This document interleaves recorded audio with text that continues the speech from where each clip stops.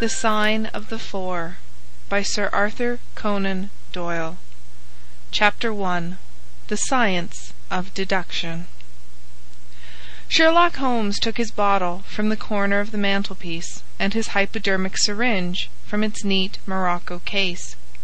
With his long, white, nervous fingers he adjusted the delicate needle and rolled back his left shirt cuff. For some little time his eyes rested thoughtfully upon the sinewy forearm and wrist, all dotted and scarred with innumerable puncture marks. Finally he thrust the sharp point home, pressed down the tiny piston, and sank back into the velvet-lined armchair with a long sigh of satisfaction. Three times a day for many months I had witnessed this performance, but custom had not reconciled my mind to it. On the contrary, from day to day I had become more irritable at the sight, and my conscience swelled nightly within me at the thought that I had lacked the courage to protest. Again and again I had registered a vow that I should deliver my soul upon the subject, but there was that in the cool, nonchalant air of my companion which made him the last man with whom one would care to take anything approaching to a liberty. His great powers, his masterly manner, and the experience which I had had of his many extraordinary qualities, all made me diffident and backward in crossing him. Yet upon that afternoon, whether it was the Beaune which I had taken with my lunch, or the additional exasperation produced by the extreme deliberation of his manner, I suddenly felt that I could hold out no longer. "Which is it to-day?" I asked. "Morphine or cocaine?" He raised his eyes languidly from the old black-letter volume which he had opened. "It is cocaine," he said. "A seven per cent. solution. Would you care to try it?" "No, indeed," I answered, briskly. "My constitution has not got over the Afghan campaign yet. I cannot afford to throw any extra strain upon it." He smiled at my vehemence. "Perhaps you are right, Watson," he said. I suppose that its influence is physically a bad one. I find it, however, so transcendently stimulating and clarifying to the mind that its secondary action is a matter of small moment. "But consider," I said earnestly. "Count the cost. Your brain may, as you say, be roused and excited, but it is a pathological and morbid process, which involves increased tissue change, and may at last leave a permanent weakness. You know, too, what a black reaction comes upon you. Surely the game is hardly worth the candle. Why should you, for a mere passing pleasure, risk the loss of those great powers with which you have been endowed? Remember that I speak not only as one comrade to another, but as a medical man to one for whose constitution he is to some extent answerable." He did not seem offended. On the contrary, he put his finger-tips together and leaned his elbow on the arms of his chair, like one who has a relish for conversation. "My mind," he said, "rebels at stagnation. Give me problems, give me work, give me the most abstruse cryptogram or the most intricate analysis, and I am in my own proper atmosphere. I can dispense then with artificial stimulants, but I abhor the dull routine of existence. I crave for mental exaltation. That is why I have chosen my own particular profession, or rather created it, for I am the only one in the world." "The only unofficial detective?" I said, raising my eyebrows. "The only unofficial consulting detective," he answered. "I am the last and highest court of appeal in detection. When Gregson, or Lestrade, or Athelney Jones are out of their depths, which, by the way, is their normal state, the matter is laid before me. I examine the data, as an expert, and pronounce a specialist's opinion. I claim no credit in such cases. My name figures in no newspaper. The work itself, the pleasure of finding a field for my peculiar powers, is my highest reward. But you have yourself had some experience of my methods of work in the Jefferson Hope case." "Yes, indeed," said I, cordially. I was never so struck by anything in my life. I even embodied it in a small brochure with the somewhat fantastic title of A Study in Scarlet. He shook his head sadly. "I glanced over it," said he. "Honestly, I cannot congratulate you upon it. Detection is, or ought to be, an exact science, and should be treated in the same cold and unemotional manner. You have attempted to tinge it with romanticism, which produces much the same effect as if you worked a love story or an elopement into the fifth proposition of Euclid." "But the romance was there," I remonstrated. "I could not tamper with the facts." "Some facts should be suppressed, or at least a just sense of proportion should be observed in treating them. The only point in the case which deserved mention was the curious analytical reasoning from effects to causes by which I succeeded in unravelling it." I was annoyed at this criticism of a work which had been specially designed to please him.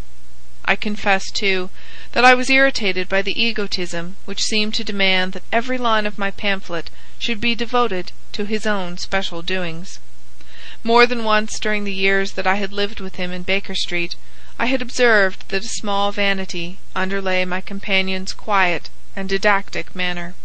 I made no remark, however, but sat nursing my wounded leg. I had a Jezail bullet through it some time before, and though it did not prevent me from walking, it ached wearily at every change of the weather. "My practice has extended recently to the Continent," said Holmes, after a while, filling up his old briar root pipe. "I was consulted last week by Francois Le Villard, who, as you probably know, has come rather to the front lately in the French detective service. He has all the Celtic power of quick intuition, but he is deficient in the wide range of exact knowledge which is essential to the higher developments of his art. The case was concerned with the will, and possessed some features of interest. I was able to refer him to two parallel cases, the one at Riga in 1857, and the other at St. Louis in 1871, which has suggested to him the true solution. Here is the letter which I had this morning acknowledging my assistance." He tossed over, as he spoke, a crumpled sheet of foreign note paper.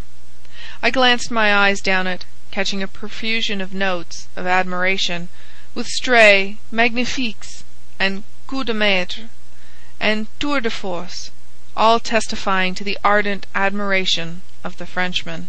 "He speaks as a pupil to his master," said I. "Oh, he rates my assistance too highly," said Sherlock Holmes, lightly. "He has considerable gifts himself. He possesses two out of the three qualities necessary for the ideal detective.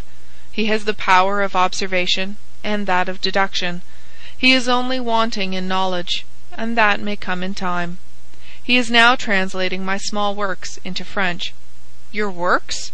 Oh, you didn't know?" he cried, laughing. "Yes, I have been guilty of several monographs. They are all upon technical subjects. Here, for example, is one upon the distinction between the ashes of the various tobaccos. In it I enumerate a hundred and forty forms of cigar, cigarette, and pipe tobacco, with coloured plates illustrating the difference in the ash. It is a point which is continually turning up in criminal trials, and which is sometimes of supreme importance as a clue. If you can say definitely, for example, that some murder has been done by a man who is smoking an Indian lunkah, it obviously narrows your field of search. To the trained eye there is as much difference between the black ash of a trichinopoly and the white fluff of bird's eye as there is between a cabbage and a potato. "You have an extraordinary genius for minutiae," I remarked. "I appreciate their importance. Here is my monograph upon the tracing of footsteps with some remarks upon the uses of plaster of Paris as a preserver of impresses. Here, too, is a curious little work upon the influence of a trade upon the form of the hand, with lithotypes of the hands of slaters, sailors, cork cutters, compositors, weavers, and diamond polishers. That is a matter of great practical interest to the scientific detective, especially in cases of unclaimed bodies, or in discovering the antecedents of criminals. But I weary you with my hobby." "Not at all," I answered earnestly. "It is of the greatest interest to me, especially since I have had the opportunity of observing your practical application of it. But you spoke just now of observation and deduction. Surely the one to some extent implies the other." "Why, hardly," he answered, leaning back luxuriously in his armchair, and sending up thick blue wreaths from his pipe. "For example, observation shows me that you have been to the Wigmore Street post office this morning, but deduction lets me know that when there you dispatched a telegram." "Right!" said I. "Right on both points. But I confess that I don't see how you arrived at it. It was a sudden impulse upon my part, and I have mentioned it to no one." "It is simplicity itself," he remarked, chuckling at my surprise, "so absurdly simple that an explanation is superfluous, and yet it may serve to define the limits of observation and of deduction. Observation tells me that you have a little reddish mould adhering to your instep. Just opposite the Seymour Street office they have taken up the pavement and thrown up some earth, which lies in such a way that it is difficult to avoid treading in it in entering. The earth is of this peculiar reddish tint which is found, as far as I know, nowhere else in the neighbourhood. So much is observation. The rest is deduction." "How, then, did you deduce the telegram?" "Why, of course I knew that you had not written the letter, since I sat opposite to you all morning. I see also in your open desk there that you have a sheet of stamps and a thick bundle of post cards. What could you go into the post office for, then, but to send a wire? Eliminate all other factors, and the one which remains must be the truth." "In this case it certainly is so," I replied after a little thought. "The thing, however, is, as you say, of the simplest. Would you think me impertinent if I were to put your theories to a more severe test?" "On the contrary he answered. "It would prevent me from taking a second dose of cocaine. I should be delighted to look into any problem which you might submit to me." "I have heard you say that it is difficult for a man to have any object in daily use without leaving the impress of his individuality upon it in such a way that a trained observer might read it. Now I have here a watch which has recently come into my possession. Would you have the kindness to let me have an opinion upon the character or habits of the late owner?" I handed him over the watch with some slight feeling of amusement in my heart, for the test was, as I thought, an impossible one, and I intended it as a lesson against the somewhat dogmatic tone which he occasionally assumed. He balanced the watch in his hand, gazed hard at the dial, opened the back, and examined the works, first with his naked eyes and then with a powerful convex lens. I could hardly keep from smiling at his crestfallen face when he finally snapped the case to and handed it back. "There are hardly any data," he remarked. "The watch has been recently cleaned, which robs me of my most suggestive facts." "You are right," I answered. "It was cleaned before being sent to me. In my heart I accused my companion of putting forward a most lame and impotent excuse to cover his failure. What data could he expect from an uncleaned watch? "Though unsatisfactory, my research has not been entirely barren," he observed, staring up at the ceiling with dreamy, lack lustre eyes. "Subject to your correction, I should judge that the watch belonged to your elder brother, who inherited it from your father. That you gather, no doubt, from the H. W. upon the back?" "Quite so. The W. suggests your own name. The date of the watch is nearly fifty years back, and the initials are as old as the watch, so it was made for the last generation. Jewellery usually descends to the eldest son, and he is most likely to have the same name as the father. Your father has, if I remember right, been dead many years. It has, therefore, been in the hands of your eldest brother. "Right so far," said I. "Anything else?" "He was a man of untidy habits, very untidy and careless. He was left with good prospects, but he threw away his chances, lived for some time in poverty with occasional short intervals of prosperity, and finally, taking to drink, he died. That is all I can gather." I sprang from my chair and limped impatiently about the room, with considerable bitterness in my heart. "This is unworthy of you, Holmes," I said. "I could not have believed that you would have descended to this. You have made inquiries into the history of my unhappy brother, and you now pretend to deduce this knowledge in some fanciful way. You cannot expect me to believe that you have read all this from his old watch. It is unkind, and, to speak plainly, has a touch of charlatanism in it." "My dear doctor," said he kindly, "pray accept my apologies. Viewing the matter as an abstract problem, I had forgotten how personal and painful a thing it might be to you. I assure you, however, that I never even knew that you had a brother until you handed me the watch." "Then how in the name of all that is wonderful did you get these facts? They are absolutely correct in every particular." "Ah, that is good luck. I could only say what was the balance of probability. I did not at all expect to be so accurate." "But it was not mere guesswork?" "No, no. I never guess. It is a shocking habit, destructive to the logical faculty. What seems strange to you is only so because you do not follow my train of thought, or observe the small facts upon which large inferences may depend. For example, I began by stating that your brother was careless. When you observe the lower part of that watch case, you notice that it is not only dinted in two places, but it is cut and marked all over from the habit of keeping other hard objects, such as coins or keys, in the same pocket. Surely it is no great feat to assume that a man who treats a fifty guinea watch so cavalierly must be a careless man. Neither is it a very far-fetched inference that a man who inherits one article of such value is pretty well provided for in other respects. I nodded, to show that I followed his reasoning. It is very customary for pawnbrokers in England, when they take a watch, to scratch the number of the ticket with a pin point upon the inside of the case. It is more handy than a label, as there is no risk of the number being lost or transposed. There are no less than four such numbers visible to my lens on the inside of this case. Inference, that your brother was often at low water. Second inference, that he had occasional bursts of prosperity, or he could not have redeemed the pledge. Finally, I ask you to look at the inner plate, which contains the keyhole. Look at the thousands of scratches all round the hole marks where the key has slipped. What sober man's key could have scored those grooves?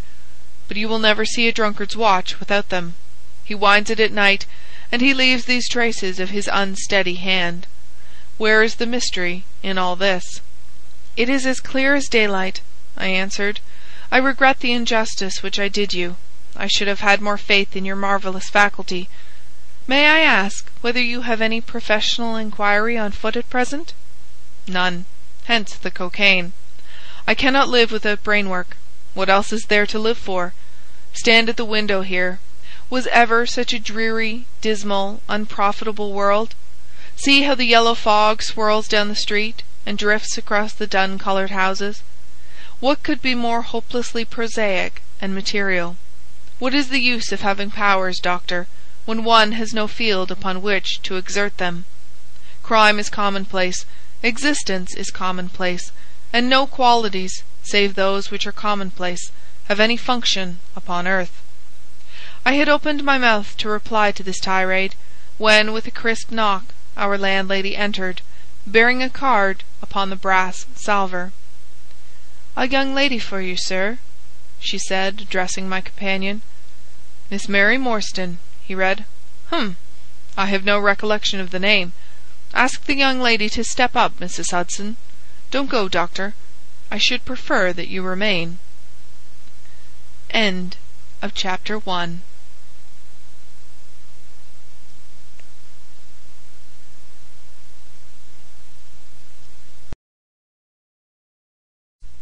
Chapter 2 The Statement of the Case Miss Morstan entered the room with a firm step and an outward composure of manner. She was a blonde young lady, small, dainty, well gloved, and dressed in the most perfect taste.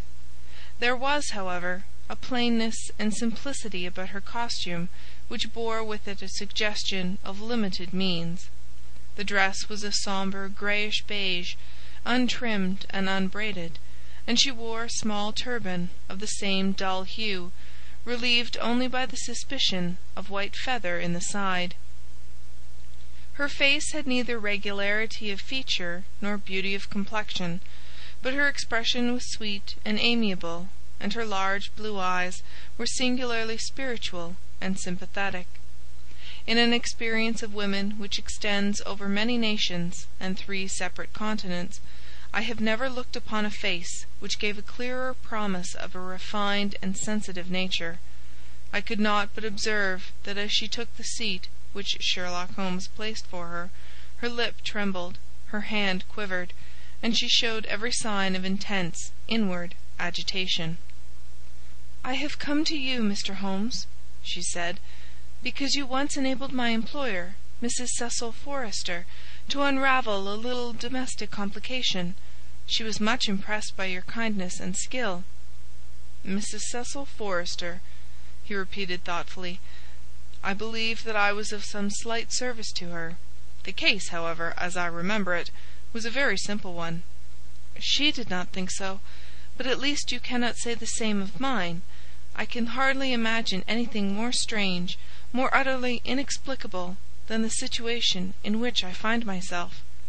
Holmes rubbed his hands, and his eyes glistened. He leaned forward in his chair, with an expression of extraordinary concentration upon his clear-cut, hawk-like features. "State your case," said he, in brisk business tones. I felt that my position was an embarrassing one. "You will, I am sure, excuse me," I said, rising from my chair. To my surprise, the young lady held up her gloved hand to detain me. "If your friend," she said, "would be good enough to stop, he might be of inestimable service to me." I relapsed into my chair. "Briefly," she continued, "the facts are these. My father was an officer in an Indian regiment who sent me home when I was quite a child. My mother was dead, and I had no relative in England. I was placed, however, in a comfortable boarding establishment at Edinburgh, and there I remained until I was seventeen years of age. In the year 1878 my father, who was senior captain of his regiment, obtained twelve months' leave and came home. He telegraphed to me from London that he had arrived all safe, and directed me to come down at once, giving the Langham Hotel as his address. His message, as I remember, was full of kindness and love. On reaching London I drove to the Langham, and was informed that Captain Morstan was staying there, but that he had gone out the night before and had not yet returned. I waited all day without news of him. That night, on the advice of the manager of the hotel, I communicated with the police, and next morning we advertised in all the papers. Our inquiries led to no result, and from that day to this no word has ever been heard of my unfortunate father. He came home with his heart full of hope, to find some peace, some comfort, and instead—" She put her hand to her throat, and a choking sob cut short the sentence.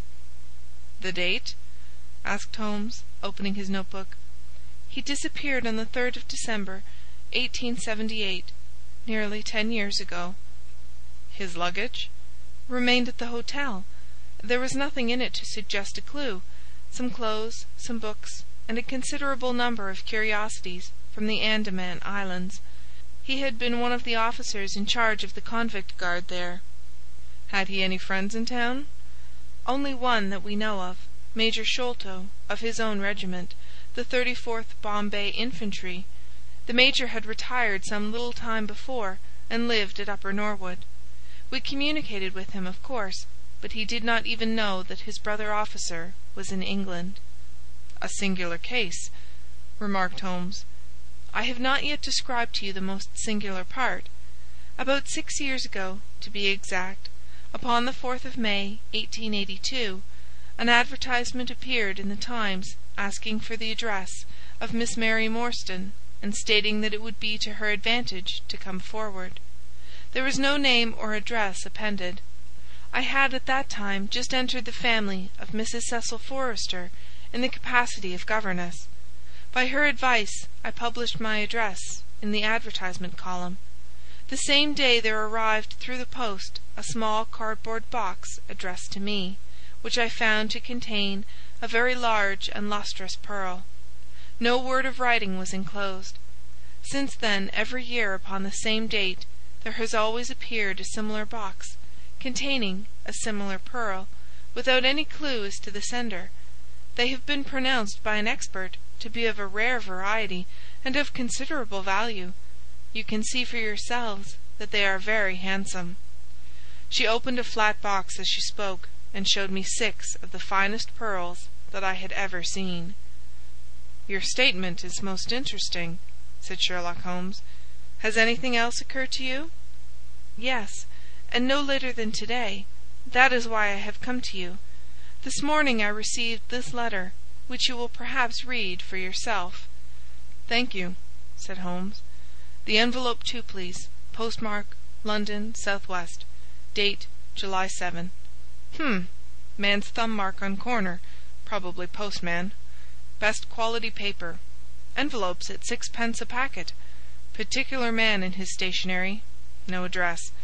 Be at the third pillar from the left outside the Lyceum Theatre to-night at seven o'clock. If you are distrustful, bring two friends. You are a wronged woman, and shall have justice. Do not bring police. If you do, all will be in vain. Your unknown friend. Well, really this is a very pretty little mystery.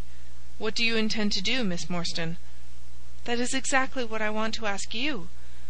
"Then we shall most certainly go, you and I, and yes, why, Dr. Watson is the very man.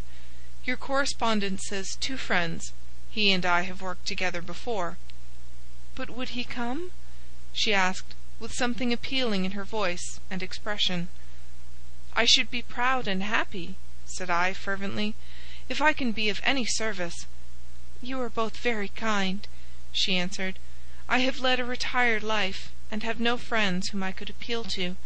If I am here at six, it will do, I suppose?"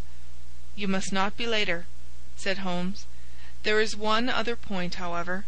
Is this handwriting the same as that upon the pearl box addresses?" "I have them here," she answered, producing half a dozen pieces of paper. "You are certainly a model client. You have the correct intuition. Let us see now." He spread out the papers upon the table, and gave little darting glances from one to the other. "They are disguised hands, except the letter," he said, presently. "But there can be no question as to the authorship. See how the irrepressible Greek E will break out, and see the twirl of the final S. They are undoubtedly by the same person. I should not like to suggest false hopes, Miss Morstan, but is there any resemblance between this hand and that of your father?" "Nothing could be more unlike." "I expected to hear you say so. We shall look out for you, then, at six. Pray allow me to keep the papers. I may look into the matter before then. It is only half past three. Au revoir, then." "Au revoir," said our visitor, and, with a bright, kindly glance from one to the other of us, she replaced her pearl box in her bosom and hurried away. Standing at the window I watched her walking briskly down the street, until the grey turban and white feather were but a speck in the sombre crowd. "What a very attractive woman!" I exclaimed, turning to my companion. He had lit his pipe again, and was leaning back with drooping eyelids. "Is she?" he said languidly. "I did not observe." "You really are an automaton, a calculating machine!" I cried. There is something positively inhuman in you at times." He smiled gently. "It is of the first importance," he said, "not to allow your judgment to be biased by personal qualities. A client is to me a mere unit, a factor in a problem.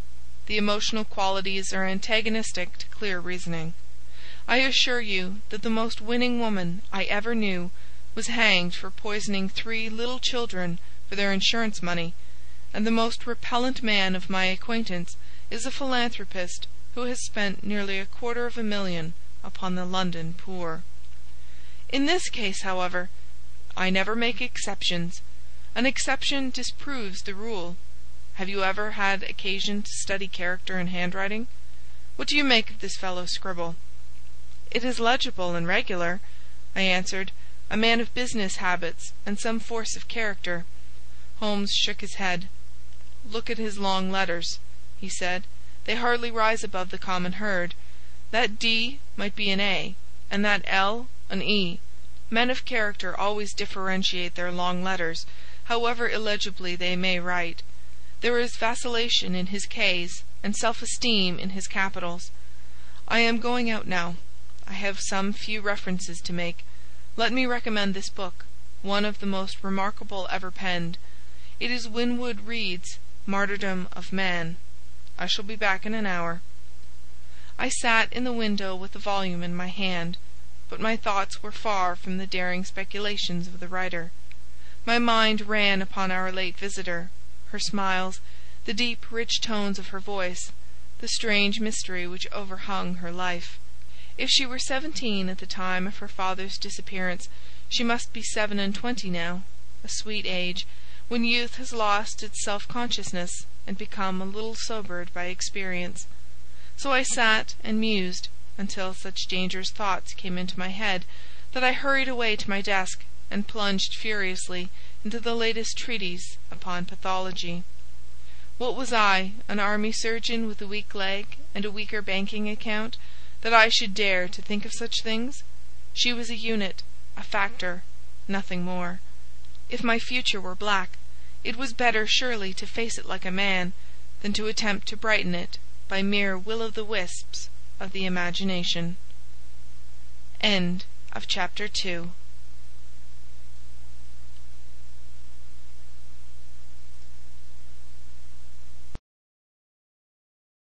Chapter 3 In Quest of a Solution It was half-past five before Holmes returned. He was bright, eager, and in excellent spirits, a mood which in his case alternated with fits of the blackest depression. "There is no great mystery in this matter," he said, taking the cup of tea which I had poured out for him. "The facts appear to admit of only one explanation." "What! You have solved it already?" "Well, that would be too much to say. I have discovered a suggestive fact, that is all. It is, however, very suggestive. The details are still to be added. I have just found, on consulting the back files of the Times, that Major Sholto, of Upper Norwood, late of the 34th Bombay Infantry, died upon the 28th of April, 1882. I may be very obtuse, Holmes but I fail to see what this suggests." "No? You surprise me. Look at it in this way, then. Captain Morstan disappears. The only person in London whom he could have visited is Major Sholto. Major Sholto denies having heard that he was in London. Four years later Sholto dies. Within a week of his death Captain Morstan's daughter receives a valuable present, which is repeated from year to year and now culminates in a letter which describes her as a wronged woman. What wrong can it refer to except this deprivation of her father? And why should the presents begin immediately after Sholto's death, unless it is that Sholto's heir knows something of the mystery, and desires to make compensation? Have you any alternative theory which will meet the facts?" "But what a strange compensation! And how strangely made! Why, too, should he write a letter now, rather than six years ago? Again, the letter speaks of giving her justice. What justice can she have? It is too much to suppose that her father is still alive. There is no other injustice in her case that you know of." "There are difficulties, there are certainly difficulties," said Sherlock Holmes pensively. "But our expedition of to-night will solve them all. Ah, here is a four-wheeler, and Miss Morstan is inside. Are you all ready? Then we had better go down, for it is a little past the hour."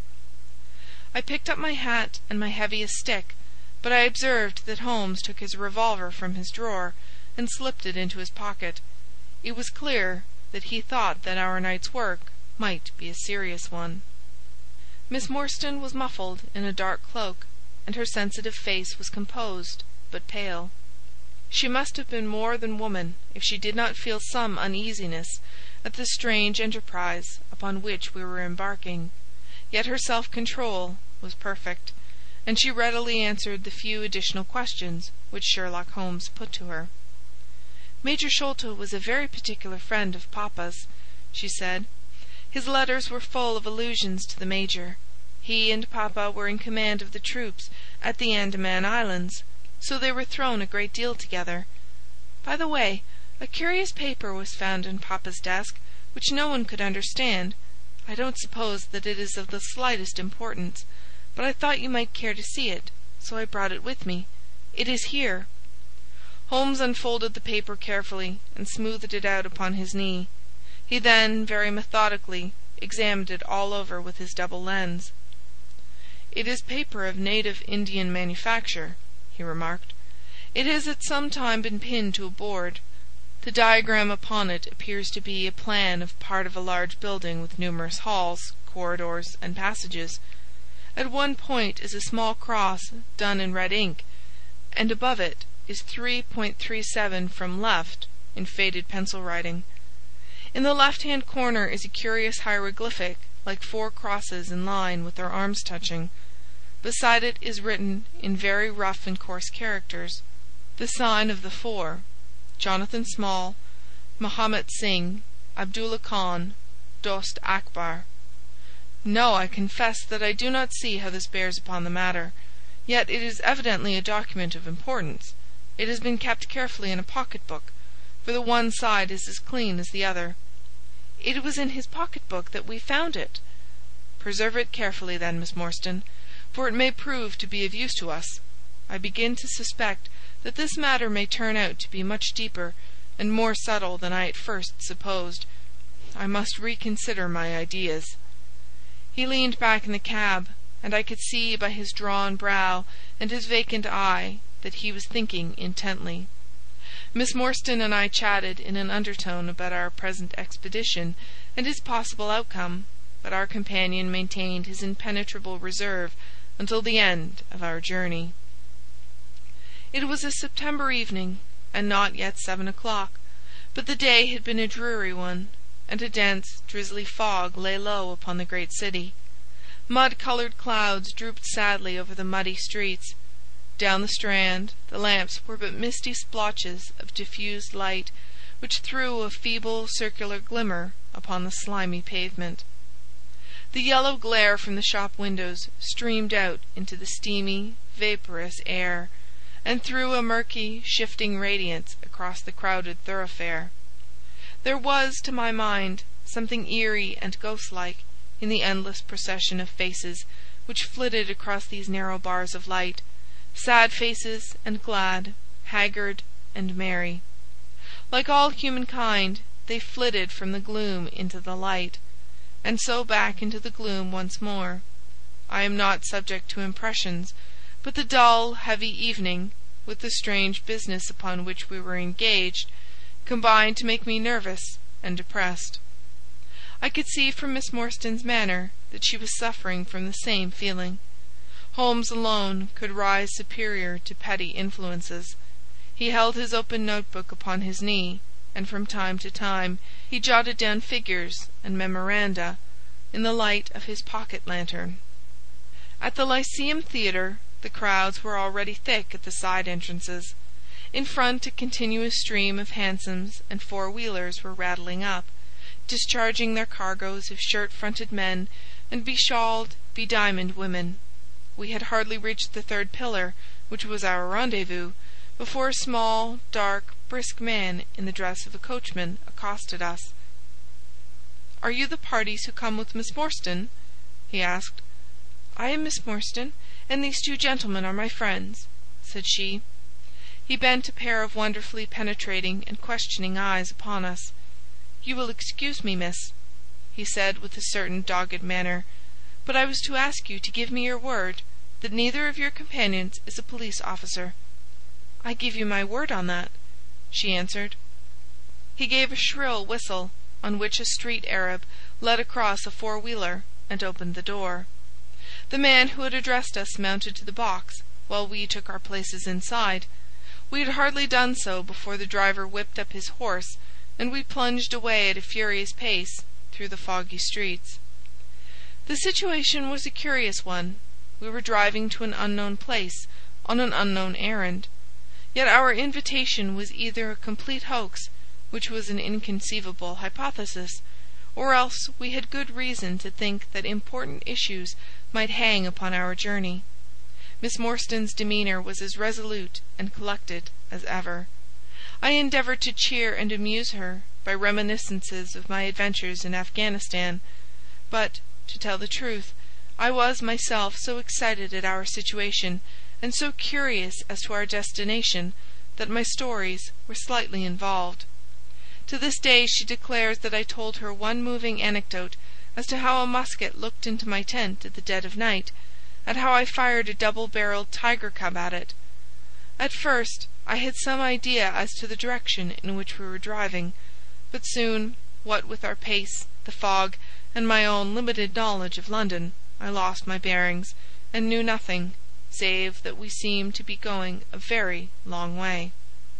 Sherlock Holmes was never at fault, however, and he muttered the names as the cab rattled through squares and in and out by tortuous by-streets. "Rochester Row," said he. "Now Vincent Square. Now we come out on the Vauxhall Bridge Road.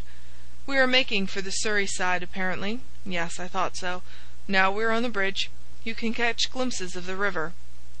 We did indeed get a fleeting view of a stretch of the Thames with the lamps shining upon the broad, silent water; but our cab dashed on, and was soon involved in a labyrinth of streets upon the other side.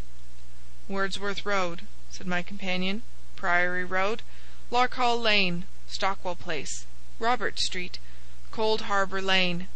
Our quest does not appear to take us to very fashionable regions." We had indeed reached a questionable and forbidding neighbourhood. Long lines of dull brick houses were only relieved by the coarse glare and tawdry brilliancy of public houses at the corner. Then came rows of two-storied villas, each with a fronting of miniature garden, and then again interminable lines of new staring brick buildings, the monster tentacles which the giant city was throwing out into the country. At last the cab drew up at the third house in a new terrace. None of the other houses were inhabited, and that at which we stopped was as dark as its neighbours, save for a single glimmer in the kitchen window. On our knocking, however, the door was instantly thrown open by a Hindoo servant clad in a yellow turban, white loose-fitting clothes, and a yellow sash. There was something strangely incongruous in this Oriental figure framed in the commonplace doorway of a third-rate suburban dwelling-house. "The Sahib awaits you," said he, and even as he spoke there came a high piping voice from some inner room. "Show them in to me, Kit Khitmutgar," it cried. "Show them straight in to me." End of chapter 3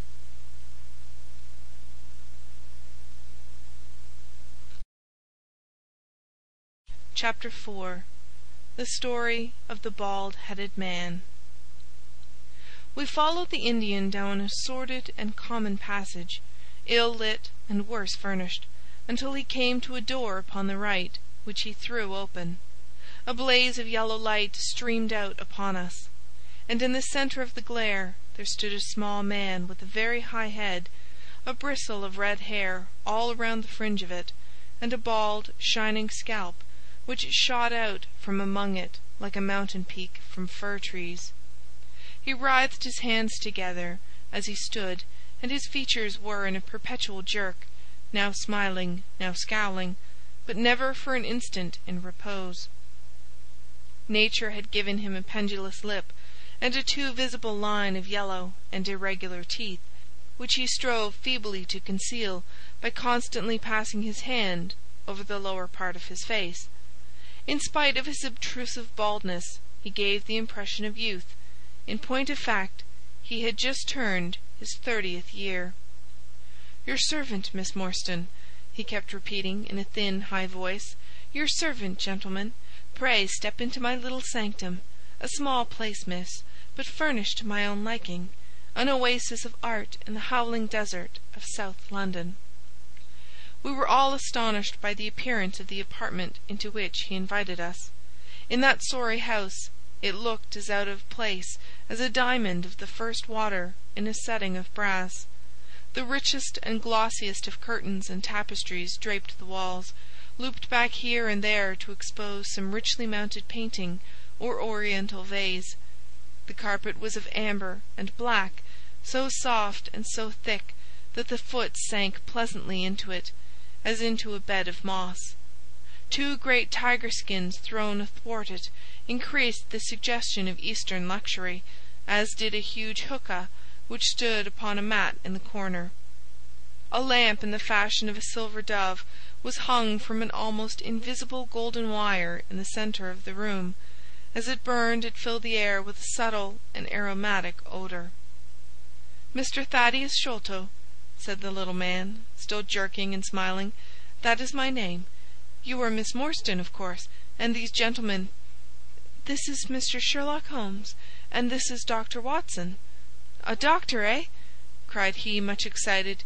"Have you your stethoscope? Might I ask you—would you have the kindness? I have grave doubts as to my mitral valve. If you would be so very good. The aortic I may rely upon, but I should value your opinion upon the mitral." I listened to his heart as requested, but was unable to find anything amiss, save indeed that he was in an ecstasy of fear, for he shivered from head to foot. "It appears to be normal," I said.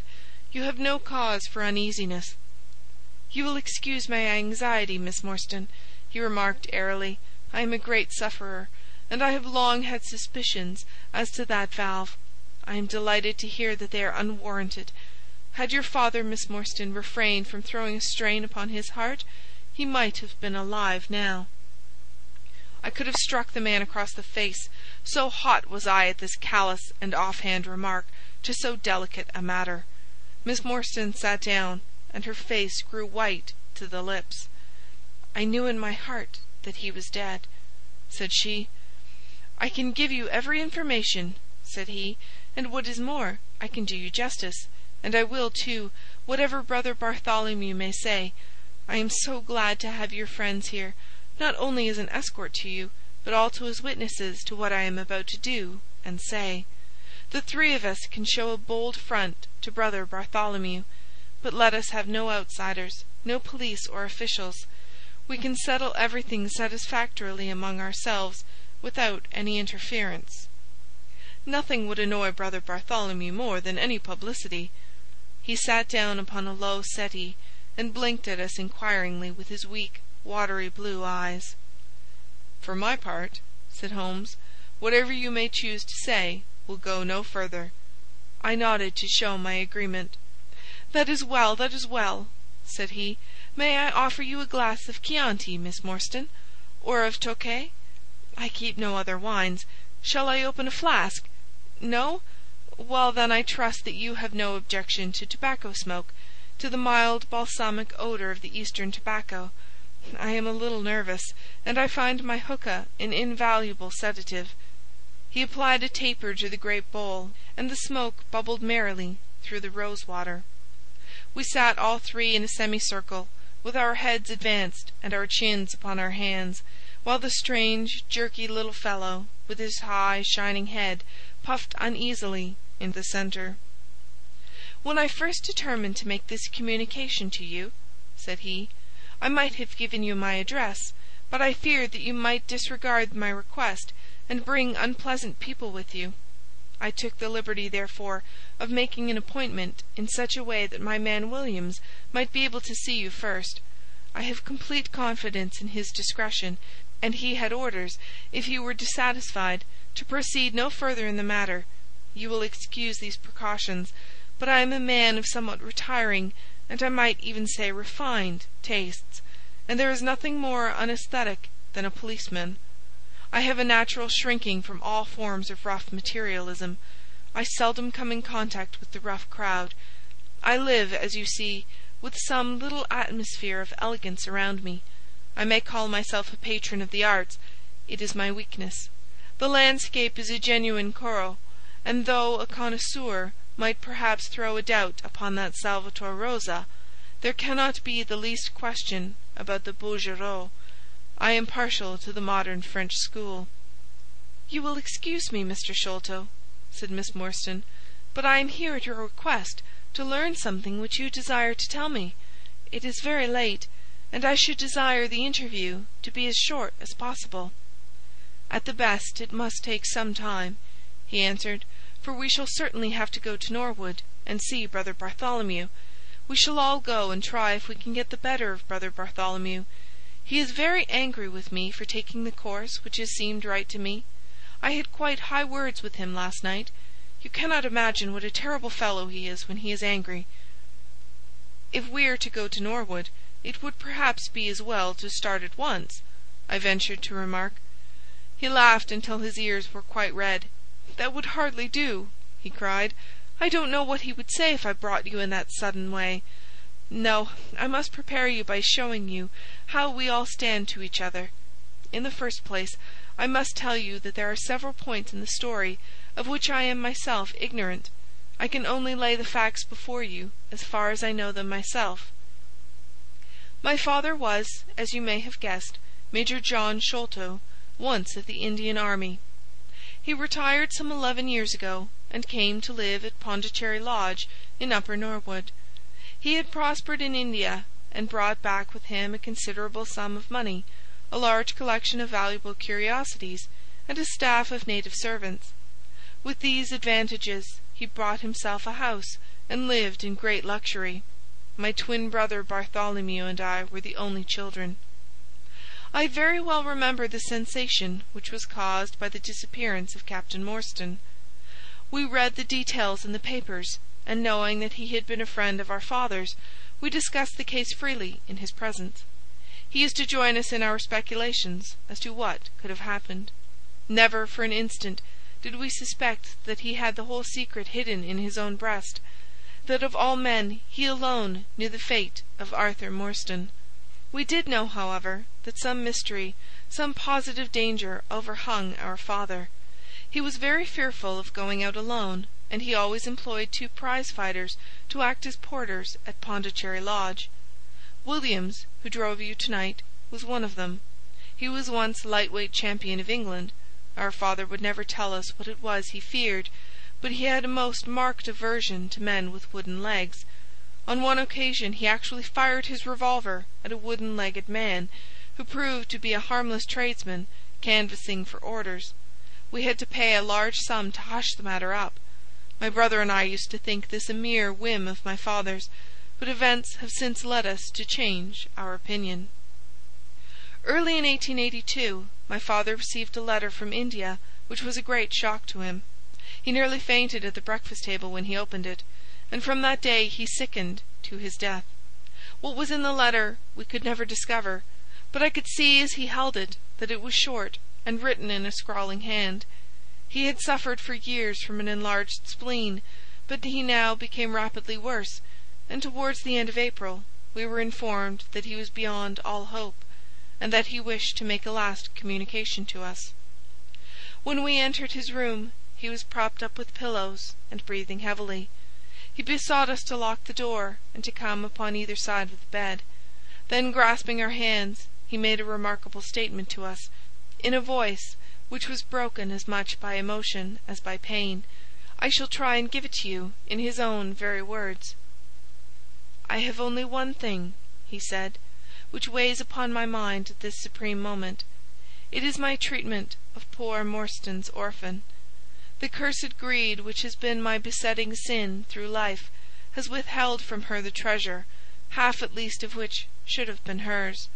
And yet I have made no use of it myself, so blind and foolish a thing is avarice. The mere feeling of possession has been so dear to me that I could not bear to share it with another. See that chaplet dipped with pearls beside the quinine bottle. Even that I could not bear to part with, although I had got it out with the design of sending it to her. You, my sons, will give her a fair share of the Agra treasure, but send her nothing, not even the chaplet, until I am gone. After all, men have been as bad as this, and have recovered. I will tell you how Morstan died," he continued. "He had suffered for years from a weak heart, but he concealed it from everyone. I alone knew it. When in India, he and I, through a remarkable chain of circumstances, came into possession of a considerable treasure. I brought it over to England, and on the night of Morstan's arrival he came straight over here to claim his share. He walked over from the station, and was admitted by my faithful Lal Chowdar, who is now dead. Morstan and I had a difference of opinion as to the division of the treasure, and we came to heated words. Morstan had sprung out of his chair in a paroxysm of anger, when he suddenly pressed his hand to his side, his face turned a dusky hue, and he fell backwards, cutting his head against the corner of the treasure chest. When I stooped over him I found, to my horror, that he was dead. For a long time I sat half distracted, wondering what I should do. My first impulse was, of course, to call for assistance, but I could not but recognize that there was every chance that I would be accused of his murder. His death at the moment of a quarrel, and the gash in his head, would be black against me. Again, an official inquiry could not be made without bringing out some facts about the treasure which I was particularly anxious to keep secret. He had told me that no soul upon earth knew where he had gone. There seemed to be no necessity why any soul ever should know. I was still pondering over the matter, when, looking up, I saw my servant, Lal Chowdar, in the doorway. He stole in and bolted the door behind him. "Do not fear, Sahib," he said. "No one need know that you have killed him. Let us hide him away, and who is the wiser?" "I did not kill him," said I. Lal Chowdar shook his head and smiled. "I heard it all, Sahib," said he. "I heard you quarrel, and I heard the blow. But my lips are sealed. All are asleep in the house. Let us put him away together." That was enough to decide me. If my own servant could not believe my innocence, how could I hope to make it good before twelve foolish tradesmen in a jury box? Lal Chowdar and I disposed of the body that night, and within a few days the London papers were full of the mysterious disappearance of Captain Morstan. You will see from what I say that I can hardly be blamed in the matter. My fault lies in the fact that we concealed not only the body, but also the treasure, and that I have clung to Morstan's share as well as to my own. I wish you therefore to make restitution. Put your ears down to my mouth. The treasure is hidden in—" At this instant a horrible change came over his expression. His eyes stared wildly, his jaw dropped, and he yelled in a voice which I can never forget, "Keep him out! For Christ's sake, keep him out!" We both stared round at the window behind us, upon which his gaze was fixed. A face was looking in at us out of the darkness. We could see the whitening of the nose where it was pressed against the glass. It was a bearded, hairy face, with wild, cruel eyes, and an expression of concentrated malevolence. My brother and I rushed towards the window, but the man was gone. When we returned to my father, his head had dropped, and his pulse had ceased to beat.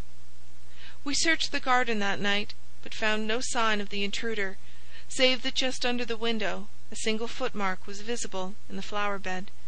But for that one trace we might have thought that our imaginations had conjured up that wild, fierce face. We soon, however, had another and a more striking proof that there were secret agencies at work all round us.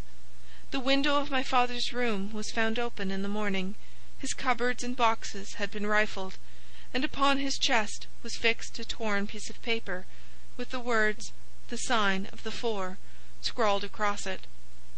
What the phrase meant, or who our secret visitor may have been, we never knew. As far as we can judge, none of my father's property had actually been stolen, though everything had been turned out. My brother and I naturally associated this peculiar incident with the fear which haunted my father during his life, but it is still a complete mystery to us. The little man stopped to relight his hookah, and puffed thoughtfully for a few moments. We had all sat absorbed, listening to his extraordinary narrative.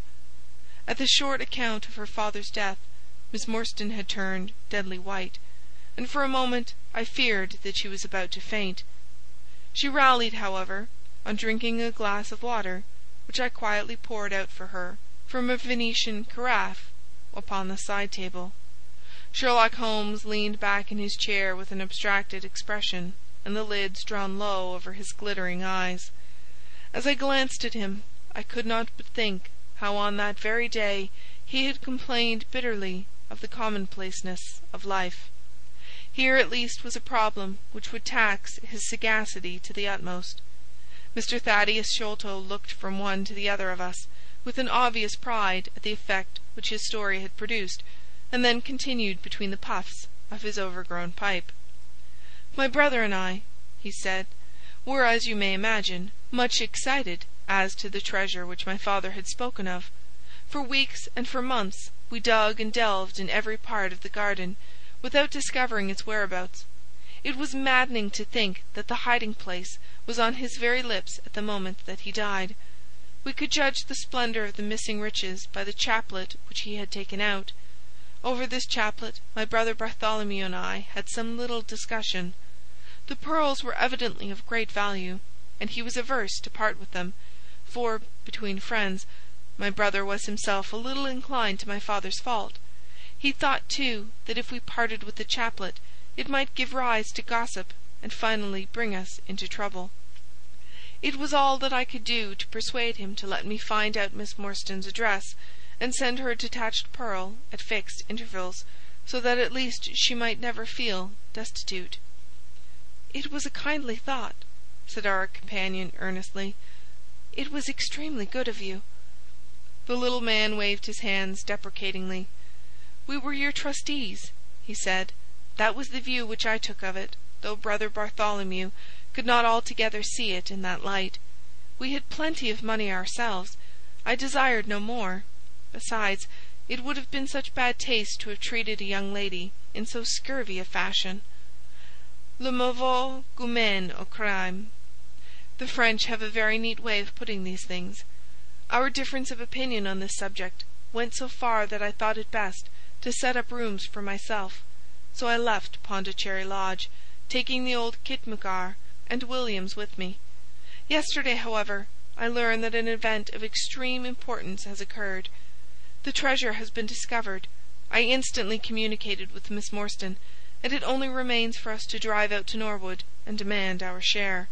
I explained my views last night to Brother Bartholomew, so we shall be expected, if not welcome, visitors. Mr. Thaddeus Sholto ceased, and sat twitching on his luxurious settee. We all remained silent with our thoughts upon the new development which the mysterious business had taken. Holmes was the first to spring to his feet. "You have done well, sir, from first to last," said he. "It is possible that we may be able to make you some small return by throwing some light upon that which is still dark to you. But, as Miss Morstan remarked just now, it is late, and we had best put the matter through without delay. Our new acquaintance very deliberately coiled up the tube of his hookah, and produced from behind a curtain a very long befrogged topcoat, with Astrakhan collar and cuffs. This he buttoned tightly up, in spite of the extreme closeness of the night, and finished his attire by putting on a rabbit-skin cap with hanging lappets which covered the ears, so that no part of him was visible save his mobile and peaky face. "My health is somewhat fragile," he remarked as he led the way down the passage. "I am compelled to be a valetudinarian." Our cab was awaiting us outside, and our programme was evidently prearranged, for the driver started off at once at a rapid pace. Thaddeus Sholto talked incessantly, in a voice which rose high above the rattle of the wheels. "Bartholomew's a clever fellow," said he. "How do you think he found out where the treasure was? He had come to the conclusion that it was somewhere indoors so he worked out all the cubic space of the house, and made measurements everywhere, so that not one inch should be unaccounted for. Among other things, he found that the height of the building was seventy-four feet, but on adding together the heights of all the separate rooms, and making every allowance for the space between, which he ascertained by borings, he could not bring the total to more than seventy feet. There were four feet unaccounted for. These could only be at the top of the building. He knocked a hole therefore in the lath and plaster ceiling of the highest room, and there, sure enough, he came upon another little garret above, which had been sealed up and was known to no one. In the centre stood the treasure chest, resting upon two rafters. He lowered it through the hole, and there it lies. He computes the value of the jewels at not less than half a million sterling. At the mention of this gigantic sum, we all stared at one another open-eyed. Miss Morstan could we secure her rights, would change from a needy governess to the richest heiress in England. Surely it was the place of a loyal friend to rejoice at such news, yet I am ashamed to say that selfishness took me by the soul, and that my heart turned as heavy as lead within me. I stammered out some few halting words of congratulation, and then sat downcast, with my head drooped, deaf to the babble of our new acquaintance. He was clearly a confirmed hypochondriac, and I was dreamily conscious that he was pouring forth interminable trains of symptoms, and imploring information as to the composition and action of innumerable quack nostrums, some of which he bore about in a leather case in his pocket. I trust that he may not remember any of the answers which I gave him that night. Holmes declares that he overheard me caution him against the great danger of taking more than two drops of castor oil, while I recommended strychnine in large doses as a sedative. However that may be, I was certainly relieved when our cab pulled up with a jerk, and the coachman sprang down to open the door. "This, Miss Morstan, is Pondicherry Lodge," said Mr. Thaddeus Sholto, as he handed her out. End of Chapter 4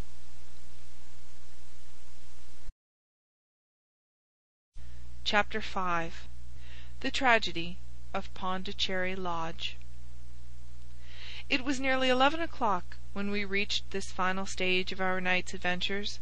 We had left the damp fog of the great city behind us, and the night was fairly fine. A warm wind blew from the westward, and heavy clouds moved slowly across the sky, with half a moon peeping occasionally through the rifts.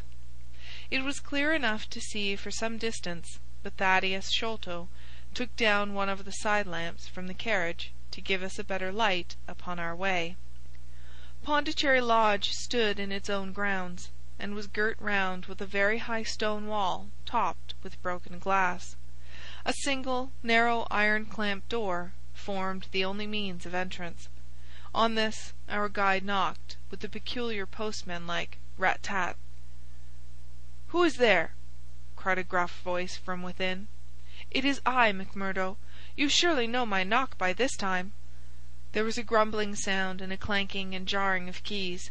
The door swung heavily back, and a short, deep-chested man stood in the opening, with the yellow light of the lantern shining upon his protruded face and twinkling, distrustful eyes. "That you, Mr. Thaddeus? But who are the others? I had no orders about them from the master." "No, McMurdo? You surprise me. I told my brother last night that I should bring some friends."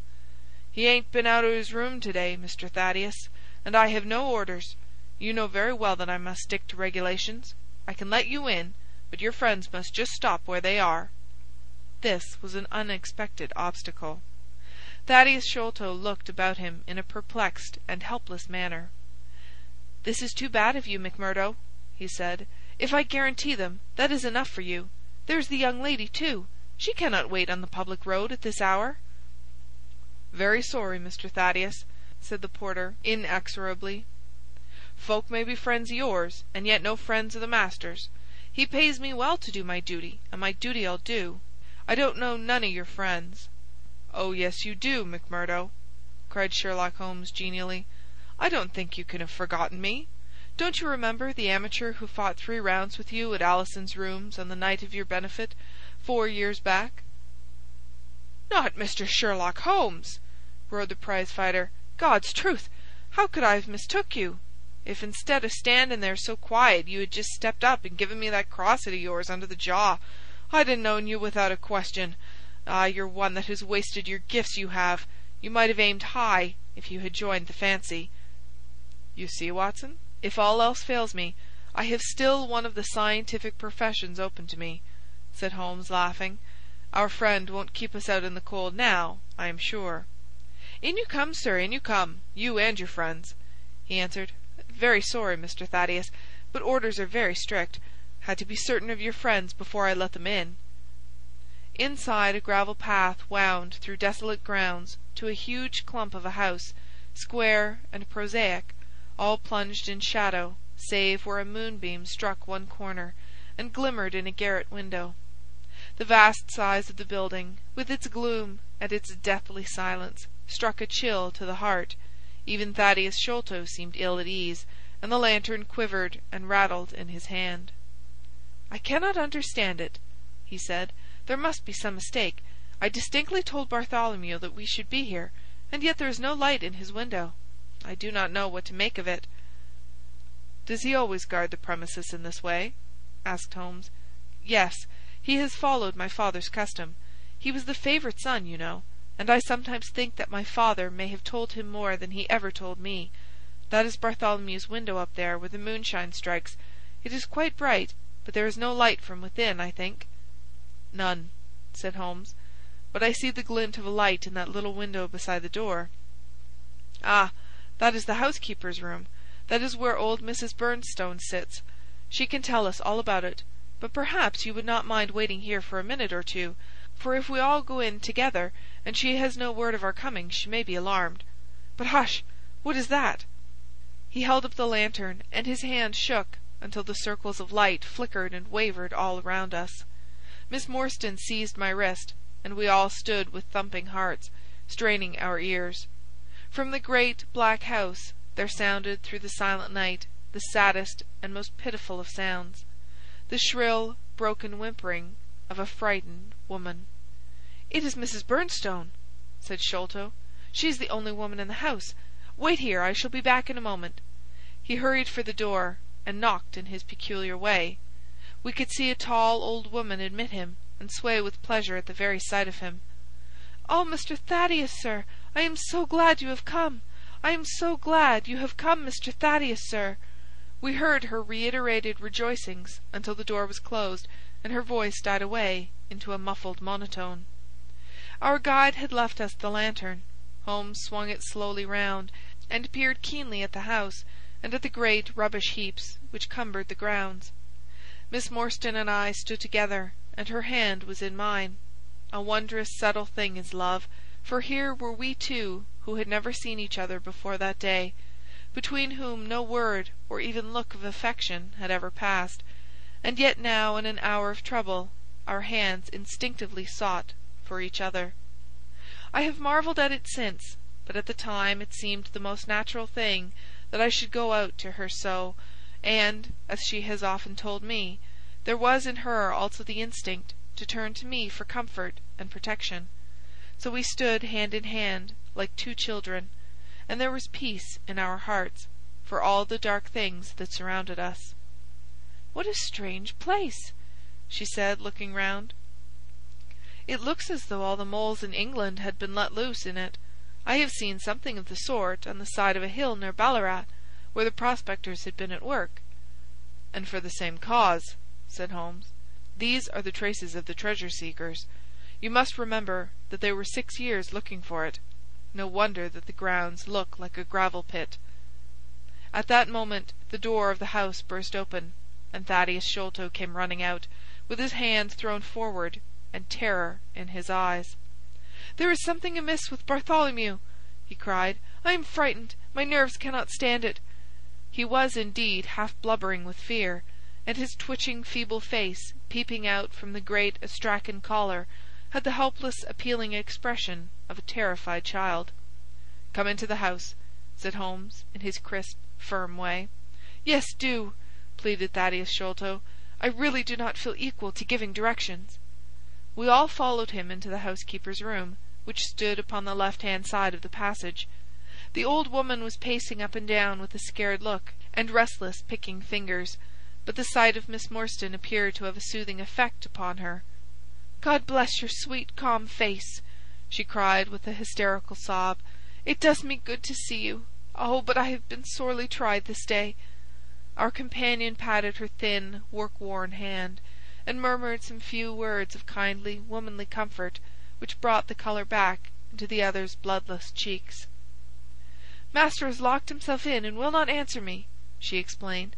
"All day I have waited to hear from him, for he often likes to be alone. But an hour ago I feared that something was amiss, so I went up and peeped through the keyhole. You must go up, Mr. Thaddeus, you must go up and look for yourself. I have seen Mr. Bartholomew Sholto in joy and in sorrow for ten long years, but I never saw him with such a face on him as that." Sherlock Holmes took the lamp and led the way, for Thaddeus Sholto's teeth were chattering in his head. So shaken was he that I had to pass my hand under his arm as we went up the stairs, for his knees were trembling under him. Twice as we ascended, Holmes whipped his lens out of his pocket and carefully examined marks which appeared to me to be mere shapeless smudges of dust upon the cocoa nut matting which served as a stair carpet. He walked slowly from step to step, holding the lamp, and shooting keen glances to right and left. Miss Morstan had remained behind with the frightened housekeeper. The third flight of stairs ended in a straight passage of some length, with a great picture in Indian tapestry upon the right of it, and three doors upon the left. Holmes advanced along it in the same slow and methodical way, while we kept close at his heels, with our long black shadows streaming backwards down the corridor. The third door was that which we were seeking. Holmes knocked without receiving any answer, and then tried to turn the handle and force it open. It was locked on the inside, however, and by a broad and powerful bolt, as we could see when we set our lamp up against it. The key being turned, however, the hole was not entirely closed. Sherlock Holmes bent down to it, and instantly rose again with a sharp intaking of the breath. "There is something devilish in this, Watson," said he, more moved than I had ever before seen him. "What do you make of it?" I stooped to the hole and recoiled in horror. Moonlight was streaming into the room, and it was bright with a vague and shifty radiance. Looking straight at me, and suspended, as it were, in the air, for all beneath was in shadow, there hung a face, the very face of our companion Thaddeus. There was the same high shining head, the same circular bristle of red hair, the same bloodless countenance. The features were set, however, in a horrible smile, a fixed and unnatural grin, which in that still and moonlit room was more jarring to the nerves than any scowl or contortion. So like was the face to that of our little friend, that I looked round at him to make sure that he was indeed with us. Then I recalled to mind that he had mentioned to us that his brother and he were twins. "This is terrible!" I said to Holmes. "What is to be done?" "The door must come down," he answered, and springing against it, he put all his weight upon the lock. It creaked and groaned, but did not yield. Together we flung ourselves upon it once more, and this time it gave way with a sudden snap, and we found ourselves within Bartholomew Sholto's chamber. It appeared to have been fitted up as a chemical laboratory. A double line of glass stoppered bottles was drawn up upon the wall opposite the door, and the table was littered over with Bunsen burners, test tubes, and retorts. In the corner stood carboys of acid in wicker baskets. One of these appeared to leak or to have been broken, for a stream of dark-coloured liquid had trickled out from it, and the air was heavy with a peculiarly pungent, tar-like odour.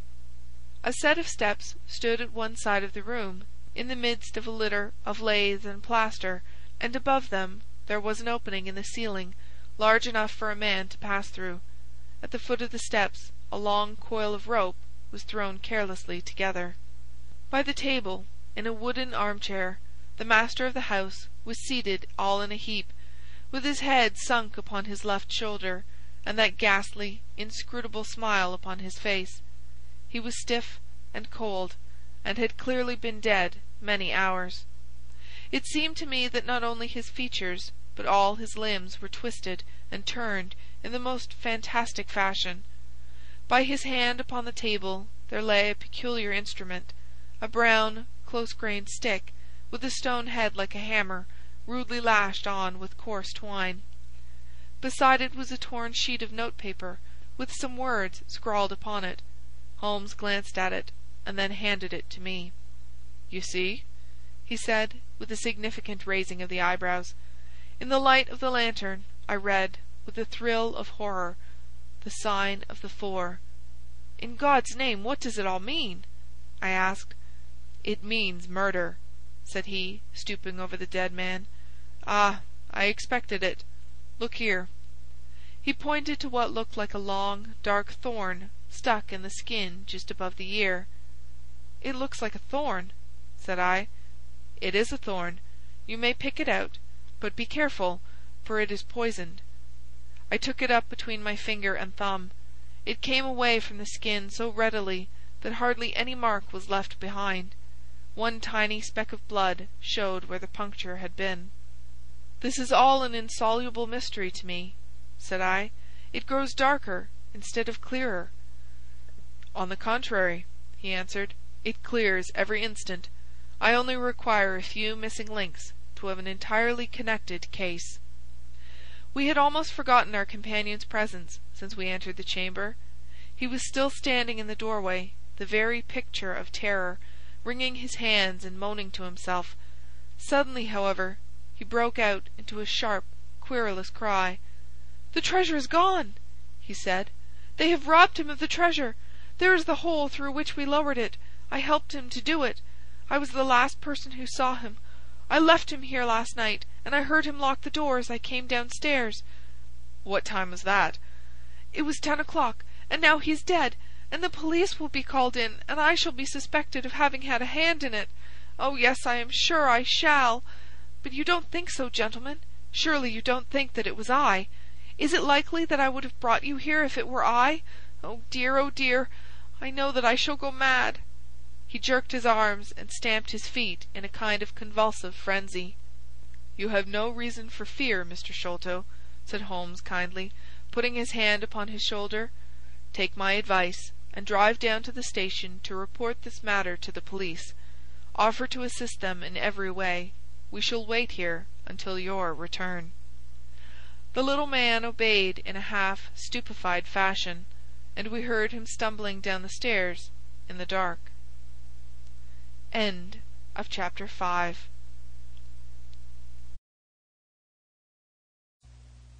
Chapter 6 Sherlock Holmes Gives a Demonstration "Now, Watson," said Holmes, rubbing his hands, "we have half an hour to ourselves. Let us make good use of it. My case is, as I have told you, almost complete. But we must not err on the side of over confidence. Simple as the case seems now, there may be something deeper underlying it." "Simple!" I ejaculated. "Surely," said he, with something of the air of a clinical professor expounding to his class. "Just sit in the corner there, that your footprints may not complicate matters. Now to work. In the first place, how did these folk come, and how did they go? The door has not been opened since last night. How of the window?" He carried the lamp across to it, muttering his observations aloud the while, but addressing them to himself rather than to me. "Window is snibbed on the inner side. Framework is solid. No hinges at the side. Let us open it. No water pipe near. Roof quite out of reach. Yet a man has mounted by the window. It rained a little last night. Here is the print of a foot in mould upon the sill, and here is a circular muddy mark, and here again upon the floor and here again by the table. See here, Watson! This is really a very pretty demonstration." I looked at the round, well defined, muddy discs. "This is not a footmark," said I. "It is something much more valuable to us. It is the impression of a wooden stump. You see here on the sill is the boot mark, a heavy boot with the broad metal heel, and beside it is the mark of the timber toe." "It is the wooden legged man." "Quite so. But there has been some one else, a very able and efficient ally. Could you scale that wall, doctor?" I looked out of the open window. The moon still shone brightly on that angle of the house. We were a good sixty feet from the round, and look where I would, I could see no foothold, nor as much as a crevice in the brickwork. "It is absolutely impossible," I answered. "Without aid it is so. But suppose you had a friend up here who lowered you this good stout rope, which I see in the corner, securing one end of it to this great hook in the wall. Then I think, if you were an active man, you might swarm up, wooden leg and all. You would depart, of course, in the same fashion, and your ally would draw up the rope, untie it from the hook, shut the window, snib it on the inside, and get away in the way that he originally came. As a minor point, it may be noted," he continued, fingering the rope, "that our wooden legged friend, though a fair climber, was not a professional sailor. His hands were far from horny. My lens discloses more than one blood mark, especially towards the end of the rope, from which I gather that he slipped down with such velocity that he took the skin off his hand." "This is all very well," said I. "But the thing becomes more unintelligible than ever. How about this mysterious ally? How came he into the room?" "Yes, the ally," repeated Holmes, pensively. "There are features of interest about this ally. He lifts the case from the regions of the commonplace. I fancy that this ally breaks fresh ground in the annals of crime in this country, though parallel cases suggest themselves from India, and, if my memory serves me, from Senegambia." "How came he, then?" I reiterated. "The door is locked, the window is inaccessible. Was it through the chimney?" "The grate is much too small," he answered. "I had already considered that possibility." "How, then?" I persisted. "You will not apply my precept," he said, shaking his head. "How often have I said to you that when you have eliminated the impossible, whatever remains, however improbable, must be the truth? We know that he did not come through the door, the window, or the chimney. We also know that he could not have been concealed in the room, as there is no concealment possible. Whence, then, did he come?" "He came through the hole in the roof!" I cried. "Of course he did. He must have done so. If you will have the kindness to hold the lamp for me, we shall now extend our researches to the room above, the secret room in which the treasure was found." He mounted the steps, and seizing a rafter with either hand, he swung himself up into the garret. Then, lying on his face, he reached down for the lamp, and held it while I followed him. The chamber in which we found ourselves was about ten feet one way and six the other. The floor was formed by the rafters, with thin lath and plaster between, so that in walking one had to step from beam to beam. The roof ran up to an apex, and was evidently the inner shell of the true roof of the house. There was no furniture of any sort, and the accumulated dust of years lay thick upon the floor. "Here you are, you see," said Sherlock Holmes, putting his hand against the sloping wall. "This is a trap door which leads out on to the roof. I can press it back, and here is the roof itself, sloping at a gentle angle. This, then, is the way by which number one entered. Let us see if we can find any other traces of his individuality." He held down the lamp to the floor, and as he did so, I saw for the second time that night a startled, surprised look come over his face. For myself, as I followed his gaze, my skin was cold under my clothes. The floor was covered thickly with the prints of a naked foot, clear, well defined, perfectly formed, but scarce half the size of those of an ordinary man. "Holmes," I said in a whisper, "a child has done the horrid thing." He had recovered his self possession in an instant. "I was staggered for the moment," he said, "but the thing is quite natural. My memory failed me, or I should have been able to foretell it. There is nothing more to be learned here. Let us go down." "What is your theory, then, as to those footmarks?" I asked, eagerly, when we had regained the lower room once more. "My dear Watson, try a little analysis yourself," said he, with a touch of impatience. "You know my methods. Apply them, and it will be instructive to compare results." "I cannot conceive anything which will cover the facts," I answered. "It will be clear enough to you soon," he said, in an offhand way. "I think that there is nothing else of importance here, but I will look." He whipped out his lens and a tape measure, and hurried about the room on his knees, measuring, comparing, examining, with his long thin nose only a few inches from the planks, and his beady eyes gleaming and deep set like those of a bird.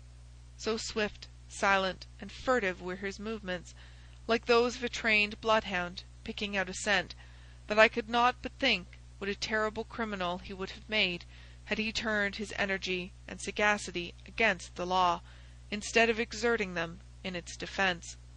As he hunted about, he kept muttering to himself, and finally he broke out into a loud crow of delight. "We are certainly in luck," said he. "We ought to have very little trouble now. Number one has had the misfortune to tread in the creosote. You can see the outline of the edge of his small foot here at the side of this evil-smelling mess. The carboy has been cracked, you see, and the stuff has leaked out." "What then?" I asked. "Why, we have got him, that's all," said he. "I know a dog that would follow that scent to the world's end. If a pack can track a trailed herring across a shire, how far can a specially trained hound follow so pungent a smell as this? It sounds like a sum in the rule of three. The answer should give us the—But, hallo! here are the accredited representatives of the law!" Heavy steps and the clamour of loud voices were audible from below, and the hall door shut with a loud crash. "Before they come," said Holmes, "just put your hand here on this poor fellow's arm, and here on his leg. What do you feel?" "The muscles are as hard as a board," I answered. "Quite so. They are in a state of extreme contraction, far exceeding the usual rigor mortis. Coupled with this distortion of the face, this Hippocratic smile, or risus sardonicus, as the old writers called it, what conclusion would it suggest to your mind?" "Death from some powerful vegetable alkaloid," I answered. "Some strychnine like substance which would produce tetanus." That was the idea which occurred to me the instant I saw the drawn muscles of the face. On getting into the room, I at once looked for the means by which the poison had entered the system. As you saw, I discovered a thorn which had been driven or shot with no great force into the scalp. You observe that the part struck was that which would be turned towards the hole in the ceiling if the man were erect in his chair. Now examine the thorn." I took it up gingerly and held it in the light of the lantern. It was long, sharp, and black, with a glazed look near the point as though some gummy substance had dried upon it. The blunt end had been trimmed and rounded off with a knife. "Is that an English thorn?" he asked. "No, it certainly is not." "With all these data you should be able to draw just some inference. But here are the regulars, so the auxiliary forces may beat a retreat." As he spoke, the steps which had been coming nearer sounded loudly on the passage, and a very stout, portly man in a grey suit strode heavily into the room. He was red faced, burly, and plethoric, with a pair of very small twinkling eyes which looked keenly out between swollen and puffy pouches. He was closely followed by an inspector in uniform, and by the still palpitating Thaddeus Sholto. "Here's a business!" He cried, in a muffled, husky voice. "Here's a pretty business! But who are all these? Why, the house seems to be as full as a rabbit warren." "I think you must recollect me, Mr. Athelney Jones," said Holmes, quietly. "Why, of course I do," he wheezed. "It's Mr. Sherlock Holmes, the theorist. Remember you! I'll never forget how you lectured us all on causes and inferences and effects in the Bishopgate jewel case. It's true you set us on the right track, but you'll own now that it was more by good luck than good guidance." "It was a piece of very simple reasoning." "Oh, come now, come! Never be ashamed to own up. But what is all this? Bad business, bad business. Stern facts here. No room for theories. How lucky that I happened to be out at Norwood over another case. I was at the station when the message arrived. What do you think the man died of?" "Oh, this is hardly a case for me to theorize over," said Holmes, dryly. "No, no. Still, we can't deny that you hit the nail on the head sometimes. Dear me! Door locked, I understand. Jewels worth half a million missing. How was the window?" "Fastened, but there are steps on the sill." "Well, well! If it was fastened the steps could have nothing to do with the matter. That's common sense. Man might have died in a fit But then the jewels are missing. Ha! I have a theory. These flashes come upon me at times. Just step outside, sergeant, and you, Mr. Sholto. Your friend can remain. What do you think of this, Holmes? Sholto was, on his own confession, with his brother last night. The brother died in a fit, on which Sholto walked off with the treasure. How's that? On which the dead man very considerately got up and locked the door on the inside. Hum! There's a flaw there. Let us apply common sense to the matter. This Thaddeus Sholto was with his brother. There was a quarrel. So much we know. The brother is dead and the jewels are gone. So much also we know. No one saw the brother from the time Thaddeus left him. His bed had not been slept in. Thaddeus is evidently in a most disturbed state of mind. His appearance is, well, not attractive. You see that I am weaving my web round Thaddeus. The net begins to close upon him. "You are not quite in possession of the facts yet," said Holmes. "This splinter of wood, which I have every reason to believe to be poisoned, was in the man's scalp, where you still see the mark. This card, inscribed as you see it, was on the table. and beside it lay this rather curious stone headed instrument. How does all that fit into your theory?" "Confirms it in every respect," said the fat detective, pompously. "House is full of Indian curiosities. Thaddeus brought this up, and if this splinter be poisonous, Thaddeus may as well have made murderous use of it as any other man. The card is some hocus pocus, a blind as like as not. The only question is, how did he depart? Ah, of course, here is a hole in the roof." With great activity, considering his bulk, he sprang up the steps and squeezed through into the garret, and immediately afterwards we heard his exulting voice proclaiming that he had found the trap door. "He can find something," remarked Holmes, shrugging his shoulders. "He has occasional glimmerings of reason." Il n'y a pas de choses si incommodes que ceux qui ont de l'esprit. "You see," said Athelney Jones, reappearing down the steps again, "facts are better than mere theories, after all. My view of the case is confirmed. There is a trap door communicating with the roof, and it is partly open." "It was I who opened it." "Oh, indeed! You did notice it, then?" He seemed a little crestfallen at the discovery. "Well, whoever noticed it, it shows how our gentleman got away. Inspector?" "Yes, sir," from the passage. "Ask Mr. Sholto to step this way. Mr. Sholto, it is my duty to inform you that anything which you may say will be used against you.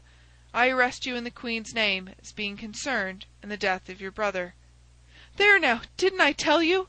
cried the poor little man, throwing out his hands and looking from one to the other of us.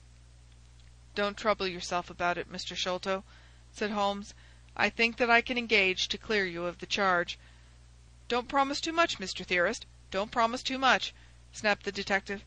"You may find it a harder matter than you think." "Not only will I clear him, Mr. Jones, but I will make you a free present of the name and description of one of the two people who were in this room last night. His name, I have every reason to believe, is Jonathan Small. He is a poorly educated man, small, active, with his right leg off, and wearing a wooden stump which is worn away upon the inner side. His left boot has a coarse, square-toed sole, with an iron band round the heel. He is a middle-aged man, much sunburned, and has been a convict. These few indications may be of some assistance to you, coupled with the fact that there is a good deal of skin missing from the palm of his hand. The other man "Ah, the other man?" Asked Athelney Jones, in a sneering voice, but impressed, none the less, as I could easily see, by the precision of the other's manner. "Is a rather curious person," said Sherlock Holmes, turning upon his heel. "I hope before very long to be able to introduce you to the pair of them. A word with you, Watson?" He led me out to the head of the stair. "This unexpected occurrence," he said has caused us rather to lose sight of the original purpose of our journey."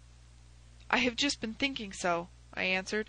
"It is not right that Miss Morstan should remain in this stricken house. No, you must escort her home. She lives with Mrs. Cecil Forrester in Lower Camberwell, so it is not very far. I will wait for you here if you will drive out again. Or perhaps you are too tired?" "By no means. I don't think I could rest until I know more of this fantastic business. I have seen something of the rough side of life, but I give you my word that this quick succession of strange surprises to night has shaken my nerve completely. I should like, however, to see the matter through with you, now that I have got so far." "Your presence will be of great service to me," he answered. "We shall work the case out independently, and leave this fellow Jones to exult over any mare's nest which he may choose to construct. When you have dropped Miss Morstan, I wish you to go on to number 3 Pinchin Lane, down near the water's edge at Lambeth. The third house on the right-hand side is a bird stuffer's. Sherman is the name. You will see a weasel holding a young rabbit in the window. Knock old Sherman up, and tell him, with my compliments, that I want Toby at once. You will bring Toby back in the cab with you." "A dog, I suppose?" "Yes, a queer mongrel, with a most amazing power of scent. I would rather have Toby's help than that of the whole detective force of London." "I shall bring him, then," said I. "It is one now. I ought to be back before three, if I can get a fresh horse." "And I," said Holmes, "shall see what I can learn from Mrs. Bernstone and from the Indian servant, who, Mr. Thaddeus tells me, sleeps in the next garret. Then I shall study the great Jones's methods, and listen to his not too delicate sarcasms. Wir sind gewohnt, dass die Menschen verhöhnen, was sie nicht verstehen. Goethe is always pithy. End of chapter 6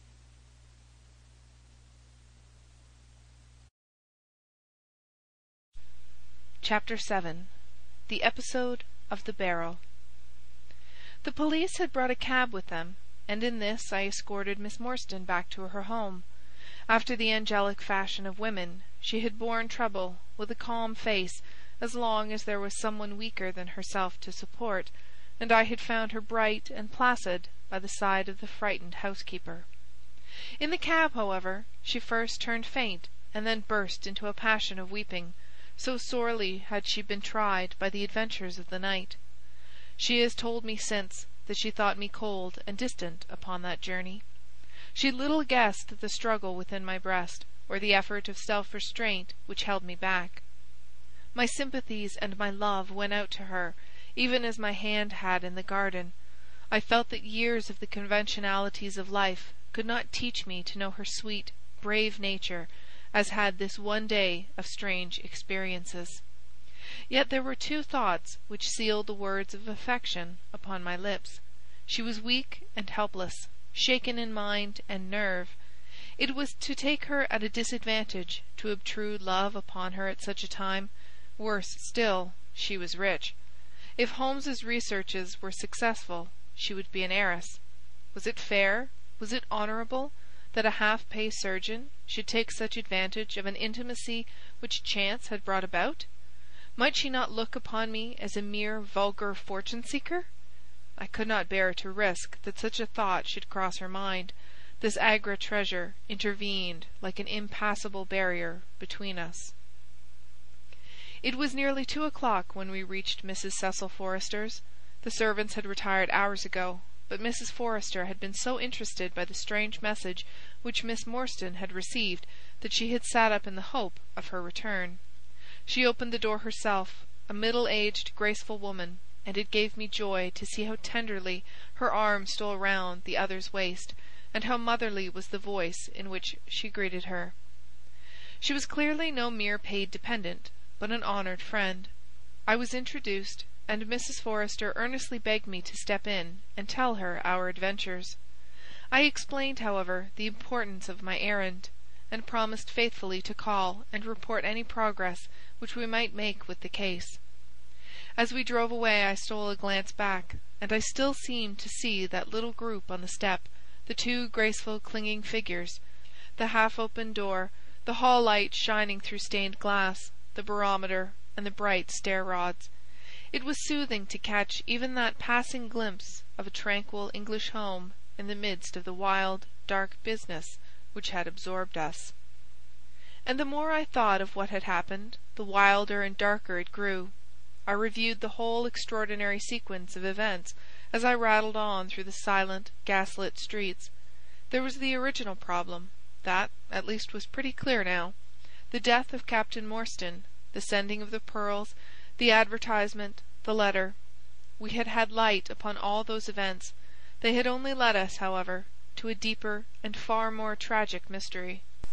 The Indian treasure, the curious plan found among Morstan's baggage, the strange scene at Major Sholto's death, the rediscovery of the treasure immediately followed by the murder of the discoverer, the very singular accompaniments to the crime, the footsteps, the remarkable weapons, the words upon the card, corresponding with those upon Captain Morstan's chart. Here was indeed a labyrinth in which a man less singularly endowed than my fellow lodger might well despair of ever finding the clue. Pinchin Lane was a row of shabby two-storied brick houses in the lower quarter of Lambeth. I had to knock for some time at number three before I could make my impression. At last, however, there was the glint of a candle behind the blind, and a face looked out at the upper window. "Go on, you drunken vagabond," said the face. "If you kick up any more row I'll open the kennels and let out forty-three dogs upon you." "If you'll let one out it's just what I have come for," said I. "Go on!" yelled the voice. "So help me gracious, I have a wiper in the bag, and I'll drop it on your 'ead if you don't hook it." "But I want a dog!" I cried. "I won't be argued with," shouted Mr. Sherman. "Now stand clear, for when I say three, down goes the wiper." "Mr. Sherlock Holmes," I began, but the words had a most magical effect, for the window instantly slammed shut, and within a minute the door was unbarred and open. Mr. Sherman was a lanky, lean old man, with stooping shoulders, a stringy neck, and blue tinted glasses. "A friend of Mr. Sherlock is always welcome," said he. "Step in, sir. Keep clear of the badger, for he bites. Ah, naughty, naughty! Would you take a nip at the gentleman?" This to a stoat which thrust its wicked head and red eyes between the bars of its cage. "Don't mind that, sir. It's only a slow worm. It ain't got no fangs, so I gives it the run o' the room, for it keeps the bettles down. You must not mind my bein' just a little short with you at first, for I'm guyed at by the children, and there's many a one just comes down this lane to knock me up. What was it that Mr. Sherlock Holmes wanted, sir?" "He wanted a dog of yours." "Ah, that would be Toby." Yes, Toby was the name. "Toby lives at number seven on the left here." He moved slowly forward, with his candle among the queer animal family which he had gathered round him. In the uncertain, shadowy light I could see dimly that there were glancing, glimmering eyes peeping down at us from every cranny and corner. Even the rafters above our heads were lined by solemn fowls, who lazily shifted their weight from one leg to the other as our voices disturbed their slumbers. Toby proved to be an ugly, long-haired, lop-eared creature, half spaniel and half lurcher, brown and white in colour, with a very clumsy, waddling gait. It accepted after some hesitation a lump of sugar which the old naturalist handed to me, and, having thus sealed an alliance, it followed me to the cab, and made no difficulties about accompanying me. It had just struck three on the palace clock when I found myself back once more at Pondicherry Lodge. The ex-prize fighter McMurdo had, I found, been arrested as an accessory, and both he and Mr. Sholto had been marched off to the station. Two constables guarded the narrow gate, but they allowed me to pass with the dog on my mentioning the detective's name. Holmes was standing on the doorstep, with his hands in his pockets, smoking his pipe. "Ah, you have him there," said he. "Good dog, then. Athelney Jones has gone. We have had an immense display of energy since you left. He has arrested not only friend Thaddeus, but the gatekeeper, the housekeeper, and the Indian servant. We have the place to ourselves but for a sergeant upstairs. Leave the dog here, and come up." We tied Toby to the hall table, and reascended the stairs. The room was as he had left it, save that a sheet had been draped over the central figure. A weary-looking police sergeant reclined in the corner. "Lend me your bull's-eye, sergeant," said my companion. "Now tie this bit of card round my neck, so as to hang it in front of me. Thank you. Now I must kick off my boots and stockings. Just you carry them down with you, Watson. I am going to do a little climbing. And dip my handkerchief into the creosote. That will do. Now come up into the garret with me for a moment." We clambered up through the hole. Holmes turned his light once more upon the footsteps in the dust. "I wish you particularly to notice these footmarks," he said. "Do you observe anything noteworthy about them?" "They belong," I said, "to a child or a small woman." "Apart from their size, though, is there nothing else?" "They appear to be much as other footmarks." "Not at all. Look here. This is the print of a right foot in the dust. Now I make one with my naked foot beside it. What is the chief difference?" "Your toes are all cramped together. The other print has each toe distinctively divided." "Quite so. That is the point. Bear that in mind. Now would you kindly step over to that flap window and smell the edge of the woodwork? I shall stay here, as I have this handkerchief in my hand." I did as he directed, and was instantly conscious of a strong tarry smell. "That is where he put his foot in getting out. If you can trace him, I should think that Toby will have no difficulty. Now run downstairs, loose the dog, and look out for Blondin." By the time that I got out into the grounds, Sherlock Holmes was on the roof, and I could see him like an enormous glowworm crawling very slowly along the ridge. I lost sight of him behind a stack of chimneys, but he presently reappeared, and then vanished once more upon the opposite side. When I made my way round there, I found him seated at one of the corner eaves. "That you, Watson?" he cried. "Yes." "This is the place. What is that black thing down there?" "A water barrel." "Top on it?" "Yes." "No sign of a ladder?" "No." "Confound the fellow! It's a most breakneck place. I ought to be able to come down where he could climb up. The water pipe feels pretty firm. Here goes, anyhow." There was a scuffling of feet, and the lantern began to come steadily down the side of the wall. Then, with a light spring, he came on to the barrel, and from there to the earth. "It was easy to follow him," he said, drawing on his stockings and boots. "Tiles were loosened the whole way along, and in his hurry he had dropped this.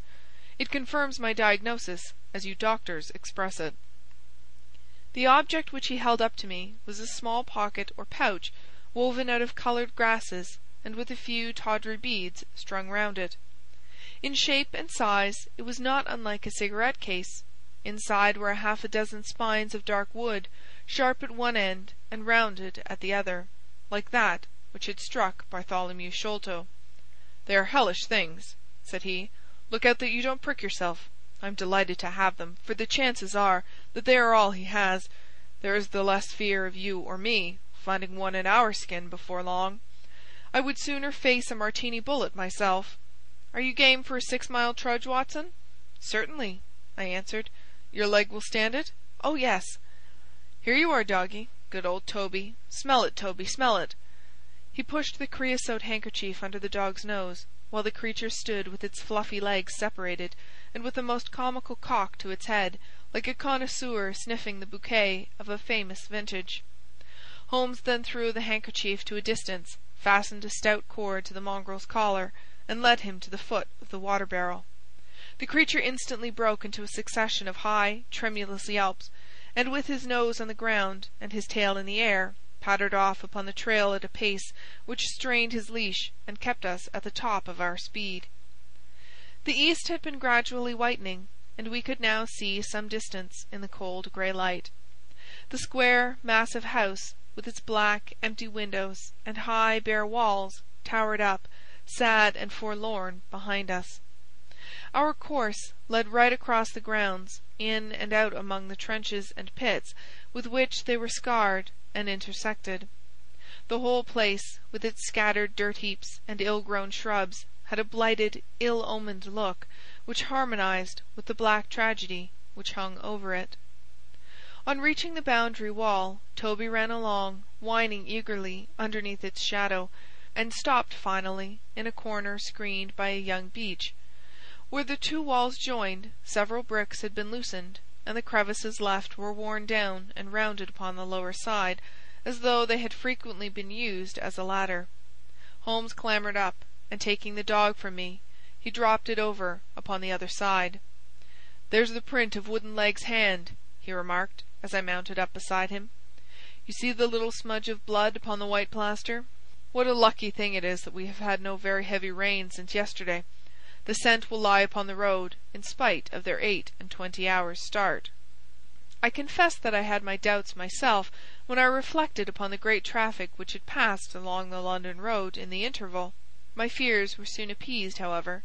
Toby never hesitated or swerved, but waddled on in his peculiar rolling fashion. Clearly, the pungent smell of the creosote rose high above all other contending scents. "Do not imagine," said Holmes, "that I depend for my success in this case upon the mere chance of one of these fellows having put his foot in the chemical.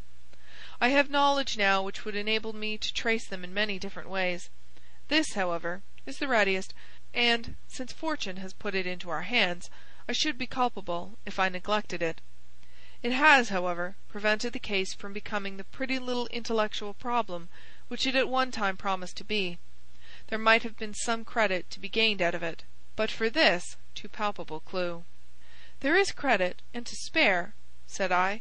"I assure you, Holmes, that I marvel at the means by which you obtain your results in this case, even more than I did in the Jefferson Hope murder.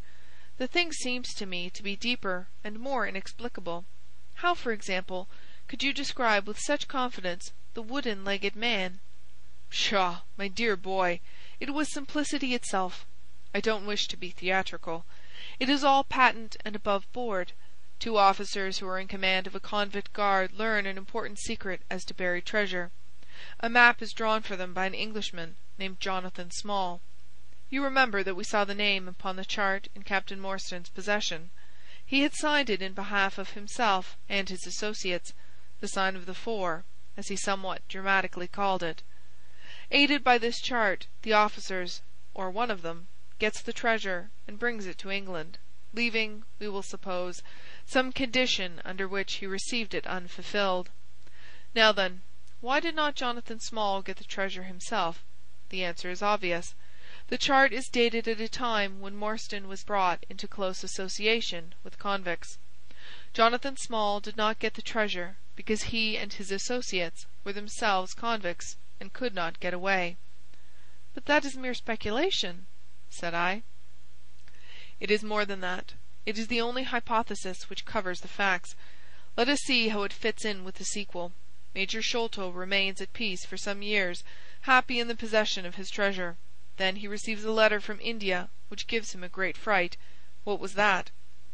"A letter to say that the men whom he had wronged had been set free." "Or had escaped. That is much more likely, for he would have known what their term of imprisonment was. It would not have been a surprise to him. What does he do then?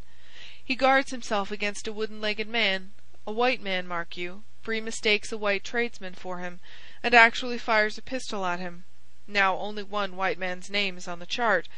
The others are Hindus or Mohammedans. There is no other white man. Therefore we may say with confidence that the wooden legged man is identical with Jonathan Small. Does the reasoning strike you as being faulty?" "No. It is clear and concise." "Well, now, let us put ourselves in the place of Jonathan Small. Let us look at it from his point of view. He comes to England with the double idea of regaining what he would consider to be his rights, and of having his revenge upon the man who had wronged him. He found out where Sholto lived and very possibly he established communications with someone inside the house. There is this butler, Lal Rao, whom we have not seen. Mrs. Bernstone gives him far from a good character. Small could not find out, however, where the treasure was hid, for no one ever knew, save the major and one faithful servant who had died. Suddenly Small learns that the major is on his deathbed. In a frenzy lest the secret of the treasure die with him, he runs the gauntlet of the guards makes his way to the dying man's window, and is only deterred from entering by the presence of his two sons. Mad with hate, however, against the dead man, he enters the room that night, searches his private papers in the hope of discovering some memorandum relating to the treasure, and finally leaves a memento of his visit in the short inscription upon the card. He had doubtless planned beforehand that should he slay the major he would leave some such record upon the body as a sign that it was not a common murder, but, from the point of view of the four associates, something in the nature of an act of justice. Whimsical and bizarre conceits of this kind are common enough in the annals of crime, and usually afford valuable indications as to the criminal. Do you follow all this?" "Very clearly." "Now what could Jonathan Small do? He could only continue to keep a secret watch upon the efforts made to find the treasure. Possibly he leaves England, and only comes back at intervals. Then comes the discovery of the garret, and he is instantly informed of it. We again trace the presence of some confederate in the household. Jonathan, with his wooden leg, is utterly unable to reach the lofty room of Bartholomew Sholto. He takes with him, however, a rather curious associate, who gets over this difficulty, but dips his naked foot into creosote, whence comes Toby, and a six-mile limp for a half-pay officer with a damaged tendo Achilles. But it was the associate and not Jonathan who committed the crime. Quite so, and rather to Jonathan's disgust, to judge by the way he stamped about when he got into the room. He bore no grudge against Bartholomew Sholto, and would have preferred if he could have been simply bound and gagged. He did not wish to put his head in a halter. There was no help for it, however. The savage instincts of his companion had broken out, and the poison had done its work. So Jonathan Small left his record lowered the treasure box to the ground, and followed it himself. That was the train of events as far as I can decipher them. Of course, as to his personal appearance, he must be middle-aged and must be sunburned after serving his time in such an oven as the Andamans. His height is readily calculated from the length of his stride, and we know that he was bearded. His hairiness was the one point which impressed itself upon Thaddeus Sholto when he saw him at the window. I don't know that there is anything else." "The associate?" "Ah, well, there is no great mystery in that. But you will know all about it soon enough. How sweet the morning air is! See how that one little cloud floats like a pink feather from some gigantic flamingo. Now the red rim of the sun pushes itself over the London cloud bank. It shines on a good many folk, but on none, I dare bet, who are on a stranger errand than you and I. How small we feel with our petty ambitions and strivings in the presence of the great elemental forces of nature. Are you well up in your Jean Paul?" "Fairly so. I worked back to him through Carlyle. "That was like following the brook to the parent lake. He makes one curious but profound remark. It is that the chief proof of man's real greatness lies in his perception of his own smallness. It argues, you see, a power of comparison and of appreciation, which is in itself a proof of nobility. There is much food for thought in Richter. You have not a pistol, have you?" "I have my stick. It is just possible that we may need something of the sort if we get to their lair. Jonathan I shall leave to you, but if the other turns nasty I shall shoot him dead. He took out his revolver as he spoke, and having loaded two of the chambers, he put it back into the right hand pocket of his jacket. We had during this time been following the guidance of Toby down the half rural, villa lined roads which led to the metropolis. Now, however, we were beginning to come among continuous streets where labourers and dockmen were already astir, and slatternly women were taking down shutters and brushing doorsteps. At the square topped corner public houses business was just beginning, and rough looking men were emerging, rubbing their sleeves across their beards after their morning wet. Strange dogs sauntered up and stared wonderingly at us as we passed, but our inimitable Toby looked neither to the right nor to the left, but trotted onwards with his nose to the ground and an occasional eager whine which spoke of a hot scent. We had traversed Streatham, Brixton, Camberwell, and now found ourselves in Kennington Lane, having borne away through the side streets to the east of the Oval. The men whom we pursued seemed to have taken a curious zigzag road, with the idea probably of escaping observation. They had never kept to the main road if a parallel side street would serve their turn. At the foot of Kennington Lane they had edged away to the left through Bond Street and Miles Street. Where the latter street turns into Knight's Place Toby ceased to advance, but began to run backwards and forwards, with one ear cocked and the other drooping, the very picture of canine indecision. Then he waddled round in circles, looking up to us from time to time, as if to ask for sympathy in his embarrassment. "What the deuce is the matter with the dog?" growled Holmes.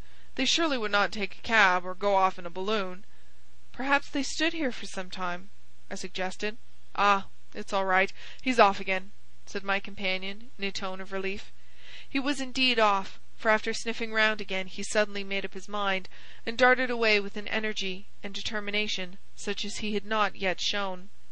The scent appeared to be much hotter than before, for he had not even to put his nose on the ground, but tugged at his leash and tried to break into a run. I could see by the gleam in Holmes's eye that he thought we were nearing the end of our journey. Our course now ran down Nine Elms until we came to Broderick and Nelson's large timber yard, just past the White Eagle Tavern. Here the dog, frantic with excitement, turned down through the side gate into the enclosure, where the sawyers were already at work. On the dog raced through sawdust and shavings, down an alley, round a passage, between two wood piles, and finally, with a triumphant yelp, sprang upon a large barrel which still stood upon the hand trolley on which it had been brought. With lolling tongue and blinking eyes, Toby stood upon the cask, looking from one to the other of us for some sign of appreciation. The staves of the barrel and the wheels of the trolley were smeared with a dark liquid, and the whole air was heavy with the smell of creosote. Sherlock Holmes and I looked blankly at each other, and then burst simultaneously into an uncontrollable fit of laughter. End of chapter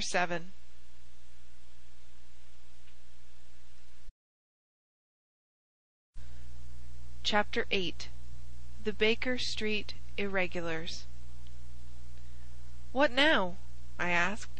"Toby has lost his character for infallibility." "He acted according to his lights," said Holmes, lifting him down from the barrel and walking him out of the timber yard. "If you consider how much creosote is carted about London in one day, it is no great wonder that our trail should have been crossed. It is much used now, especially for the seasoning of wood. Poor Toby is not to blame." "We must get on the main scent again, I suppose?" "Yes, and, fortunately, we have no distance to go. Evidently, what puzzled the dog at the corner of Knight's Place was that there were two different trails running in opposite directions. We took the wrong one. It only remains to follow the other." There was no difficulty about this. On leading Toby to the place where he had committed his fault, he cast about in a wide circle, and finally dashed off in a fresh direction. "We must take care that he does not now bring us to the place where the creosote barrel came from," I observed. "I had thought of that. But you notice that he keeps on the pavement, whereas the barrel passed down the roadway. No, we are on the true scent now." It tended down towards the riverside, running through Belmont Place and Princes Street. At the end of Broad Street it ran right down to the water's edge, where there was a small wooden wharf. Toby led us to the very edge of this, and there stood whining, looking out on the dark current beyond. "We are out of luck," said Holmes. "They have taken to a boat here." Several small punts and skiffs were lying about in the water and on the edge of the wharf. We took Toby round to each in turn, but though he sniffed earnestly, he made no sign. Close to the rude landing stage was a small brick house, with a wooden placard slung out through the second window. Mordecai Smith was printed across it in large letters, and underneath, "Boats to hire by the hour or day."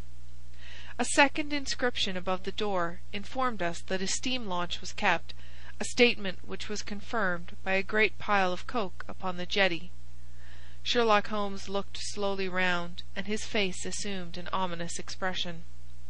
"This looks bad," said he. "These fellows are sharper than I expected. They seem to have covered their tracks. There has, I fear, been preconcerted management here." He was approaching the door of the house when it opened, and a little curly-headed lad of six came running out, followed by a stoutish, red-faced woman with a large sponge in her hand. "You come back and be washed, Jack!" she shouted. "Come back, you young imp, for if your father comes home and finds you like that, he'll let us hear of it." "Dear little chap," said Holmes strategically. "What a rosy-cheeked young rascal! Now, Jack, is there anything you would like?" The youth pondered for a moment. "I'd like a shilling," said he. "Nothing you would like better?" "I'd like two shillin' better," the prodigy answered after some thought. "Here you are, then. Catch!" "A fine child, Mrs. Smith." "Lor' bless you, sir, he is that, and forward. He gets a'most too much for me to manage, especially when my man is away days at a time." "Away, is he?" said Holmes in a disappointed voice. "I am sorry for that, for I wanted to speak to Mr. Smith." "He's been away since yesterday mornin', sir, and truth to tell, I am beginnin' to feel frightened about him. But if it was about a boat, sir, maybe I could serve as well." "I wanted to hire his steam launch." "Why, bless you, sir, it is in the steam launch that he has gone. That's what puzzles me, for I know there ain't more coals in her than would take her to about Woolwich and back. If he'd been away in the barge I'd ha' thought nothin', for many a time a job has taken him as far as Gravesend, and then if there was much doin' there he might ha' stayed over. But what good is a steam launch without coals?" "He might have bought some at a wharf down the river." "He might, sir, but it weren't his way. Many a time I've heard him call out at the prices they charge for a few odd bags. Besides, I don't like that wooden-legged man, with his ugly face and outlandish talk. What did he want always knocking about here for?" "A wooden-legged man?" said Holmes, with bland surprise. "Yes, sir, a brown, monkey-faced chap that's called more'n once for my old man. It was him that roused him up yesternight. And what's more, my man knew he was comin', for he had steam up in the launch. I tell you straight, sir, I don't feel easy in my mind about it." "But, my dear Mrs. Smith," said Holmes, shrugging his shoulders, "you are frightening yourself about nothing. How could you possibly tell that it was the wooden-legged man who came in the night? I don't quite understand how you can be so sure." "His voice, sir. I knew his voice, which is kind o' thick and foggy. He tapped at the winder, about three it would be. 'Show a leg, matey,' he says. 'Time to turn out the guard.' My old man woke up Jim—that's my eldest, and away they went, without so much as a word to me. I could hear the wooden leg clacking on the stones." "And was this wooden-legged man alone?" "Couldn't say, I am sure, sir. I didn't hear no one else." "I am sorry, Mrs. Smith, for I wanted a steam launch, and I have heard good reports of the—let me see—what is her name?" "The Aurora, sir." "Ah! She's not that old green launch with a yellow line, very broad in the beam?" "No, indeed. She is as trim a little thing as any on the river. She has been fresh painted, black, with two red streaks." "Thanks. I hope that you will hear soon from Mr. Smith. I am going down the river, and if I should see anything of the Aurora I shall let him know that you are uneasy. A black funnel, you say?" "No, sir, black with a white band." "Ah, of course, it was the sides which were black. Good morning, Mrs. Smith. There is a boatman here with a wherry, Watson. We shall take it and cross the river." "The main thing with people of that sort," said Holmes, as we sat in the sheets of the wherry, "is never to let them think that their information can be of the slightest importance to you. If you do, they will instantly shut up like an oyster. If you listen to them under protest, as it were, you are very likely to get what you want." "Our course now seems pretty clear," said I. "What would you do, then?" "I would engage a launch and go down the river on the track of the Aurora." "My dear fellow, it would be a colossal task. She may have touched at any wharf on either side of the stream between here and Greenwich. Below the bridge there is a perfect labyrinth of landing places for miles. It would take you days and days to exhaust them, if you set about it alone." "Employ the police, then." "No. I shall probably call Athelney Jones in at the last moment. He is not a bad fellow, and I should not like to do anything which would injure him professionally but I have a fancy for working it out myself, now that we have gone so far." "Could we advertise, then, asking for information from wharfingers?" "Worse and worse! Our men would know that the chase was hot at their heels, and they would be off out of the country. As it is, they are likely enough to leave, but as long as they think they are perfectly safe they will be in no hurry. Jones's energy will be of use to us there for his view of the case is sure to push itself into the daily press, and the runaways will think that every one is off on the wrong scent." "What are we to do, then?" I asked, as we landed near Millbank Penitentiary.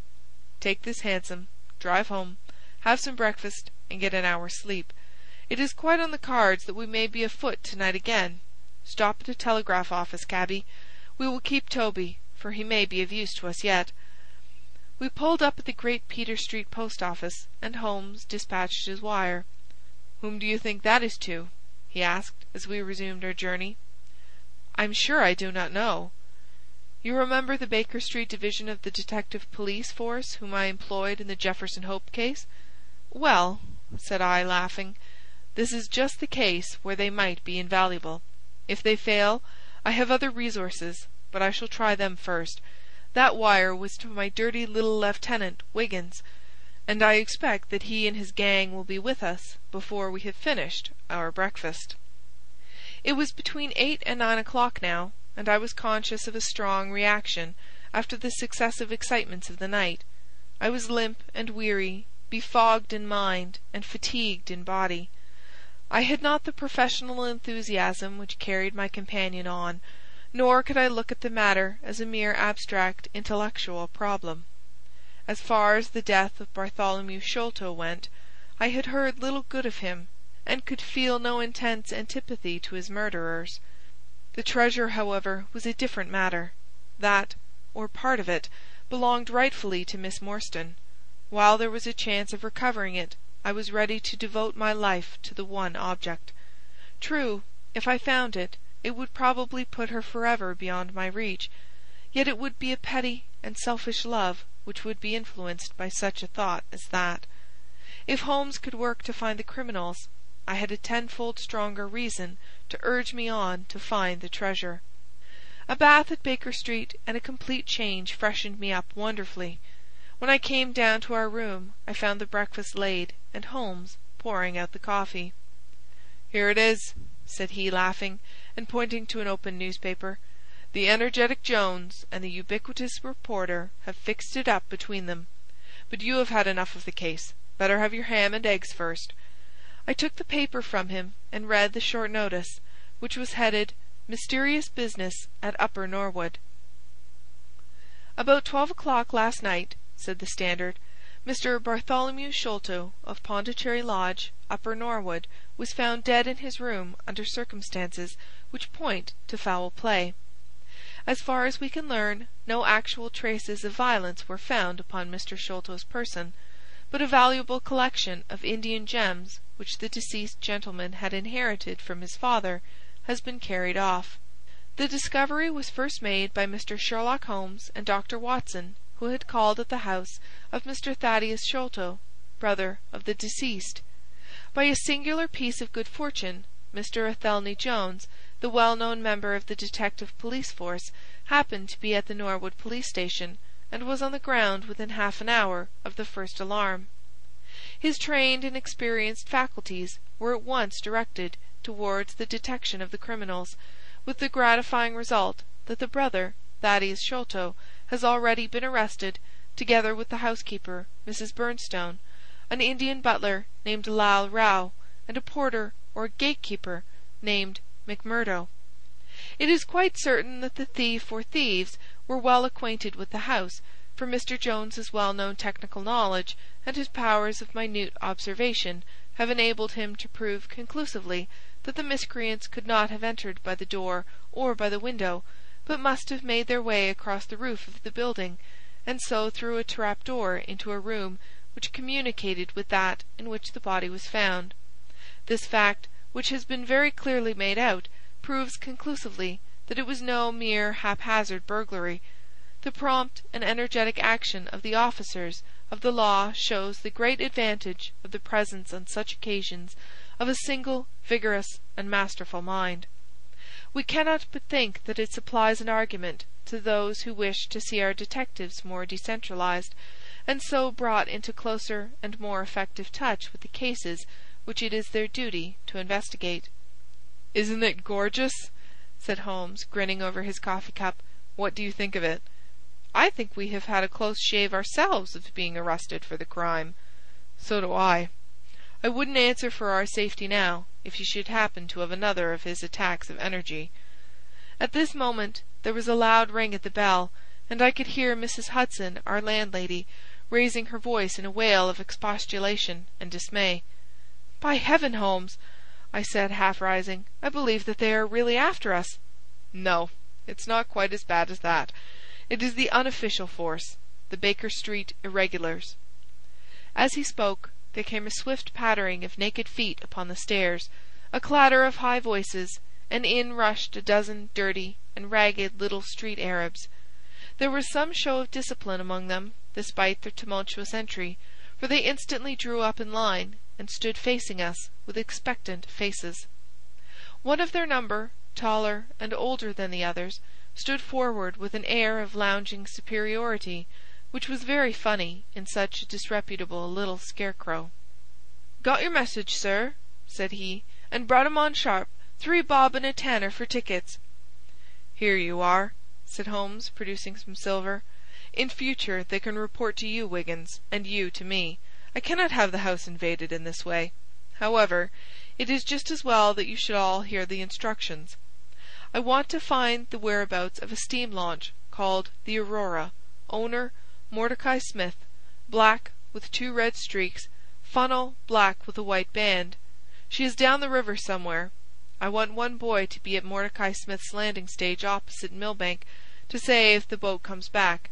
You must divide it out among yourselves and do both banks thoroughly. Let me know the moment you have news. Is that all clear?" "Yes, guv'nor," said Wiggins. "The old scale of pay, and a guinea to the boy who finds the boat. Here's a day in advance. Now off you go." He handed them a shilling each, and away they buzzed down the stairs, and I saw them a moment later streaming down the street.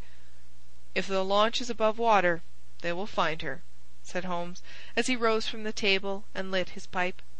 "They can go everywhere, see everything, overhear everyone. I expect to hear before evening that they have spotted her.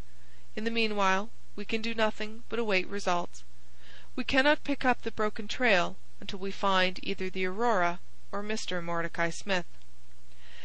"Toby could eat these scraps, I dare say. Are you going to bed, Holmes?" "No, I am not tired. I have a curious constitution. I never remember feeling tired by work, though idleness exhausts me completely. I am going to smoke and to think over this queer business to which my fair client has introduced us. If ever man had an easy task, this of ours ought to be. Wooden legged men are not so common, but the other man must, I should think, be absolutely unique." "That other man again!" "I have no wish to make a mystery of him to you, anyway but you must have formed your own opinion. Now do consider the data. Diminutive footmarks, toes never fettered by boots, naked feet, stone-headed wooden mace, great agility, small poisoned darts. What do you make of all this?" "A savage!" I exclaimed. "Perhaps one of those Indians who were the associates of Jonathan Small." "Hardly that," said he. "When I first saw signs of strange weapons I was inclined to think so but the remarkable character of the footmarks caused me to reconsider my views. Some of the inhabitants of the Indian peninsula are small men, but none could have left such marks as that. The Hindoo proper has long and thin feet. The sandal-wearing Mohammedan has the great toe well separated from the others because the thong is commonly passed between. These little darts, too, could only be shot in one way. They're from a blowpipe. Now then, where are we to find our savage?" "South American?" I hazarded. He stretched his hand up and took down a bulky volume from the shelf. "This is the first volume of a gazetteer which is now being published. It may be looked upon as the very latest authority. What have we here? Andaman Islands, situated 340 miles to the north of Sumatra, in the Bay of Bengal. Hum! What's all this? Moist climate, coral reefs, sharks, Port Blair, convict barracks, Rutland Island, cottonwoods. Ah, here we are. The aborigines of the Andaman Islands may perhaps claim the distinction of being the smallest race upon this earth, though some anthropologists prefer the Bushmen of Africa, the Digger Indians of America, and the Terra del Fuegians. The average height is rather below four feet, although many full-grown adults may be found who are very much smaller than this. They are a fierce, morose, and intractable people, though capable of forming most devoted friendships when their confidence has once been gained. Mark that, Watson. Now then, listen to this. They are naturally hideous, having large, misshapen heads, small, fierce eyes, and distorted features. Their feet and hands, however, are remarkably small. So intractable and fierce are they that all the efforts of the British official have failed to win them over in any degree. They have always been a terror to shipwrecked crews, braining the survivors with their stone-headed clubs, or shooting them with their poisoned arrows. These massacres are invariably concluded by a cannibal feast. Nice, amiable people, Watson. If this fellow had been left to his own unaided devices, this affair might have taken an even more ghastly turn. I fancy that, even as it is, Jonathan Small would give a good deal not to have employed him." "But how came he to have so singular a companion?" "Ah, that is more than I can tell. Since, however, we had already determined that Small had come from the Andamans, it is not so very wonderful that this islander should be with him. No doubt we shall know all about it in time. Look here, Watson, you look regularly done. Lie down there on the sofa and see if I can put you to sleep. He took up his violin in the corner, and as I stretched myself out he began to play some low, dreamy, melodious air, his own, no doubt, for he had a remarkable gift for improvisation. I have a vague remembrance of his gaunt limbs, his earnest face, and the rise and fall of his bow. Then I seemed to be floated peacefully away upon a soft sea of sound, until I found myself in dreamland, with the sweet face of Mary Morstan looking down upon me. End of chapter 8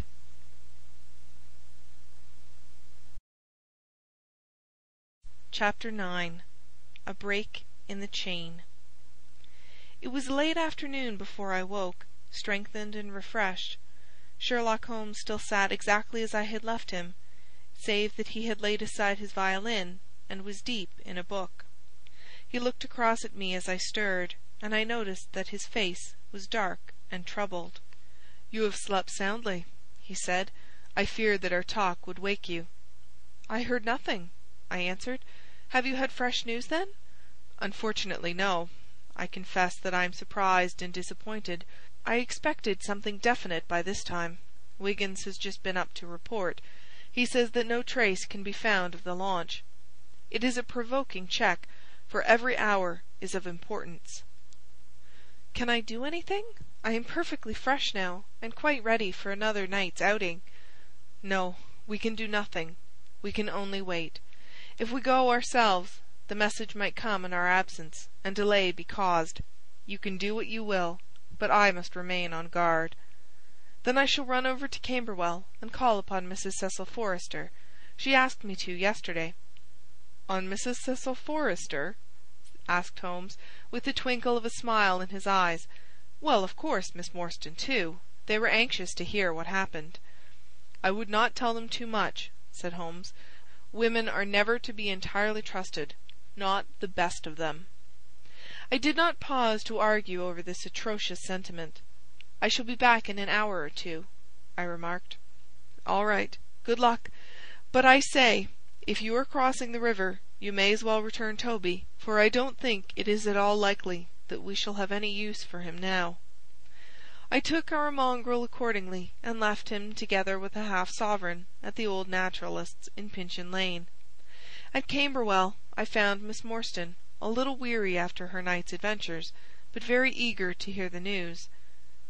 Mrs. Forrester, too, was full of curiosity.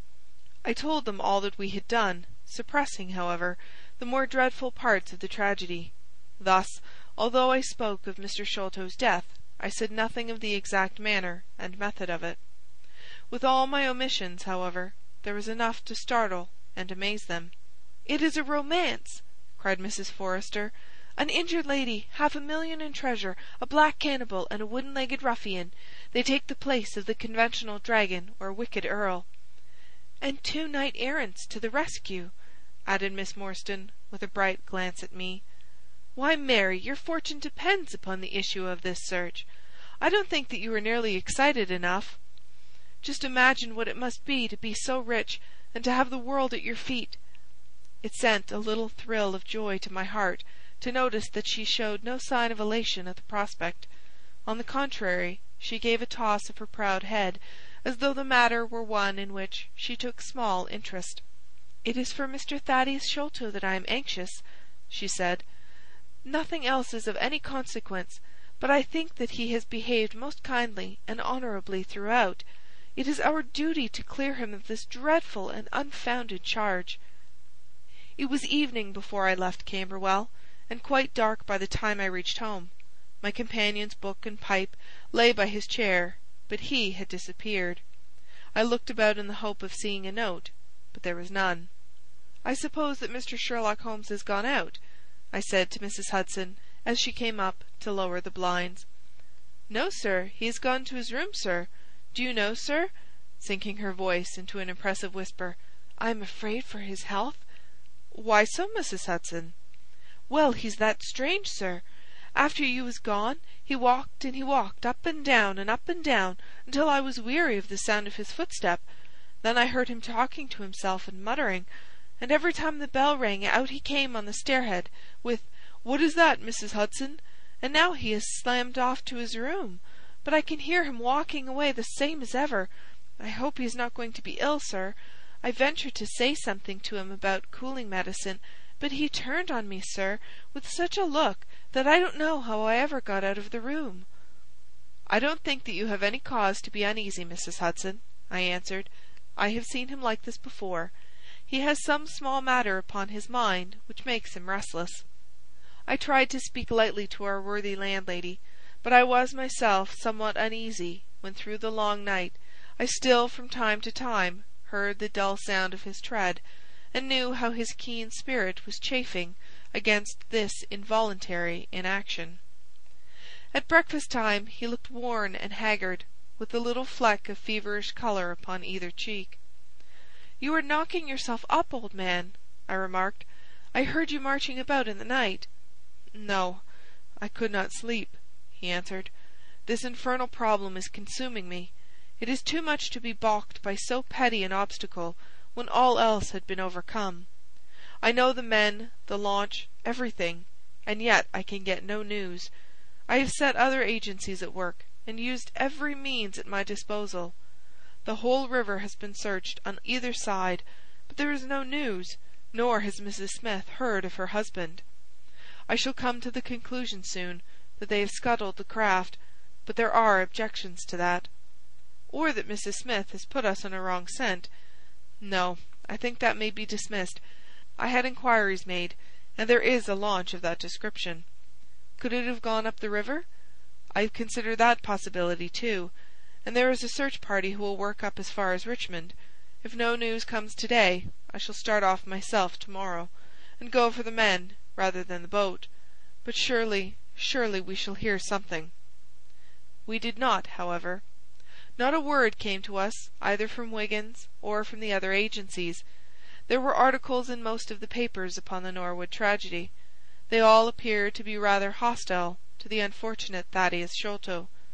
No fresh details were to be found, however, in any of them, save that an inquest was to be held upon the following day. I walked over to Camberwell in the evening to report our ill success to the ladies, and on my return I found Holmes dejected and somewhat morose. He would hardly reply to my questions, and busied himself all evening in an abstruse chemical analysis which involved much heating of retorts and distilling of vapours, ending at last in a smell which fairly drove me out of the apartment. Up to the small hours of the morning I could hear the clinking of his test tubes, which told me that he was still engaged in his malodorous experiment. In the early dawn I woke with a start and was surprised to find him standing by my bedside, clad in a rude sailor dress with a pea jacket, and a coarse red scarf around his neck. "I am off down the river, Watson," said he. "I have been turning it over in my mind, and I can see only one way out of it. It is worth trying at all events." "Surely I can come with you, then?" said I. "No, you can be much more useful if you will remain here as my representative. I am loath to go, for it is quite on the cards that some message may come during the day, though Wiggins was despondent about it last night. I want you to open all notes and telegrams, and to act on your own judgment if any news should come. Can I rely upon you?" "Most certainly." "I am afraid that you will not be able to wire to me, for I can hardly tell yet where I may find myself. If I am in luck, however, I may not be gone so very long. I shall have news of some sort or other before I get back." I had heard nothing of him by breakfast time. On opening the Standard, however, I found that there was a fresh allusion to the business. "With reference to the Upper Norwood tragedy," it remarked, "we have reason to believe that the matter promises to be even more complex and mysterious than was originally supposed. Fresh evidence has shown that it is quite impossible that Mr. Thaddeus Sholto could have been in any way concerned in the matter. He and the housekeeper, Mrs. Bernstone, were both released yesterday evening. It is believed, however, that the police have a clue as to the real culprits, and that it is being prosecuted by Mr. Athelney Jones, of Scotland Yard, with all his well-known energy and sagacity. Further arrests may be expected at any moment. That is satisfactory so far as it goes, thought I. Friend Sholto is safe at any rate. I wonder what the fresh clue may be, though it seems to be a stereotyped form whenever the police have made a blunder. I tossed the paper down upon the table, but at that moment my eye caught an advertisement in the agony column. It ran in this way: Lost. Whereas Mordecai Smith, boatman, and his son Jim left Smith's Wharf at or about three o'clock last Tuesday morning in the steam launch Aurora, black with two red stripes, funnel black with a white band, the sum of five pounds will be paid to any one who can give information to Mrs. Smith at Smith's Wharf or at 221B Baker Street, as to the whereabouts of the said Mordecai Smith and the launch Aurora. This was clearly Holmes's doing. The Baker Street address was enough to prove that. It struck me as rather ingenious, because it might be read by the fugitives without their seeing it in more than the natural anxiety of a wife for her missing husband. It was a long day. Every time that a knock came to the door, or a sharp step passed in the street, I imagined that it was either Holmes returning or an answer to his advertisement. I tried to read, but my thoughts would wander off to our strange quest and to the ill-assorted and villainous pair whom we were pursuing. Could there be, I wondered, some radical flaw in my companion's reasoning? Might he be suffering from some huge self-deception? Was it not possible that his nimble and speculative mind had built up this wild theory upon faulty premises? I had never known him to be wrong, and yet the keenest reasoner may occasionally be deceived. He was likely, I thought, to fall into error through the over-refinement of his logic, his preference for a subtle and bizarre explanation when a plainer and more commonplace one lay ready to his hand. Yet, on the other hand, I had myself seen the evidence and I had heard the reasons for his deductions. When I looked back upon the long chain of curious circumstances, many of them trivial in themselves, but all tending in the same direction, I could not disguise from myself that even if Holmes's explanation were incorrect, the true theory must be equally outre and startling. At three o'clock in the afternoon there was a loud peal at the bell, an authoritative voice in the hall, and, to my surprise, no less a person than Mr. Athelney Jones was shown up to me. Very different was he, however, from the brusque and masterful professor of common sense who had taken over the case so confidently at Upper Norwood. His expression was downcast, and his bearing meek and even apologetic. "Good day, sir, good day," said he. "Mr. Sherlock Holmes is out, I understand." "Yes, and I cannot be sure when he will be back. But perhaps you would care to wait. Take that chair and try one of these cigars." "Thank you. I don't mind if I do," said he, mopping his face with a red bandana handkerchief. "And a whisky and soda?" "Well, half a glass. It is very hot for the time of year, and I have had a good deal to worry and try me. You know my theory about this Norwood case?" "I remember that you expressed one." "Well, I have been obliged to reconsider it. I had my net drawn tightly round Mr. Sholto, sir, when pop he went through a hole in the middle of it he was able to prove an alibi which could not be shaken. From the time that he left his brother's room he was never out of sight of some one or other. So it could not be he who climbed over roofs and through trap doors. It's a very dark case, and my professional credit is at stake. I should be very glad of a little assistance." "We all need help sometimes," said I. "Your friend Sherlock Holmes is a wonderful man, sir," said he in a husky and confidential voice. He's a man who is not to be beat.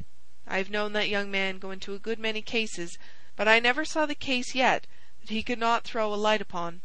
He is irregular in his methods, and a little quick perhaps in jumping at theories, but, on the whole, I think he would have made a most promising officer, and I don't care who knows it. I have had a wire from him this morning, by which I understand that he has got some clue to this Sholto business. Here is the message." He took the telegram out of his pocket and handed it to me. It was dated from Poplar at twelve o'clock. "Go to Baker Street at once," it said. "If I have not returned, wait for me. I am close on the track of the Sholto gang.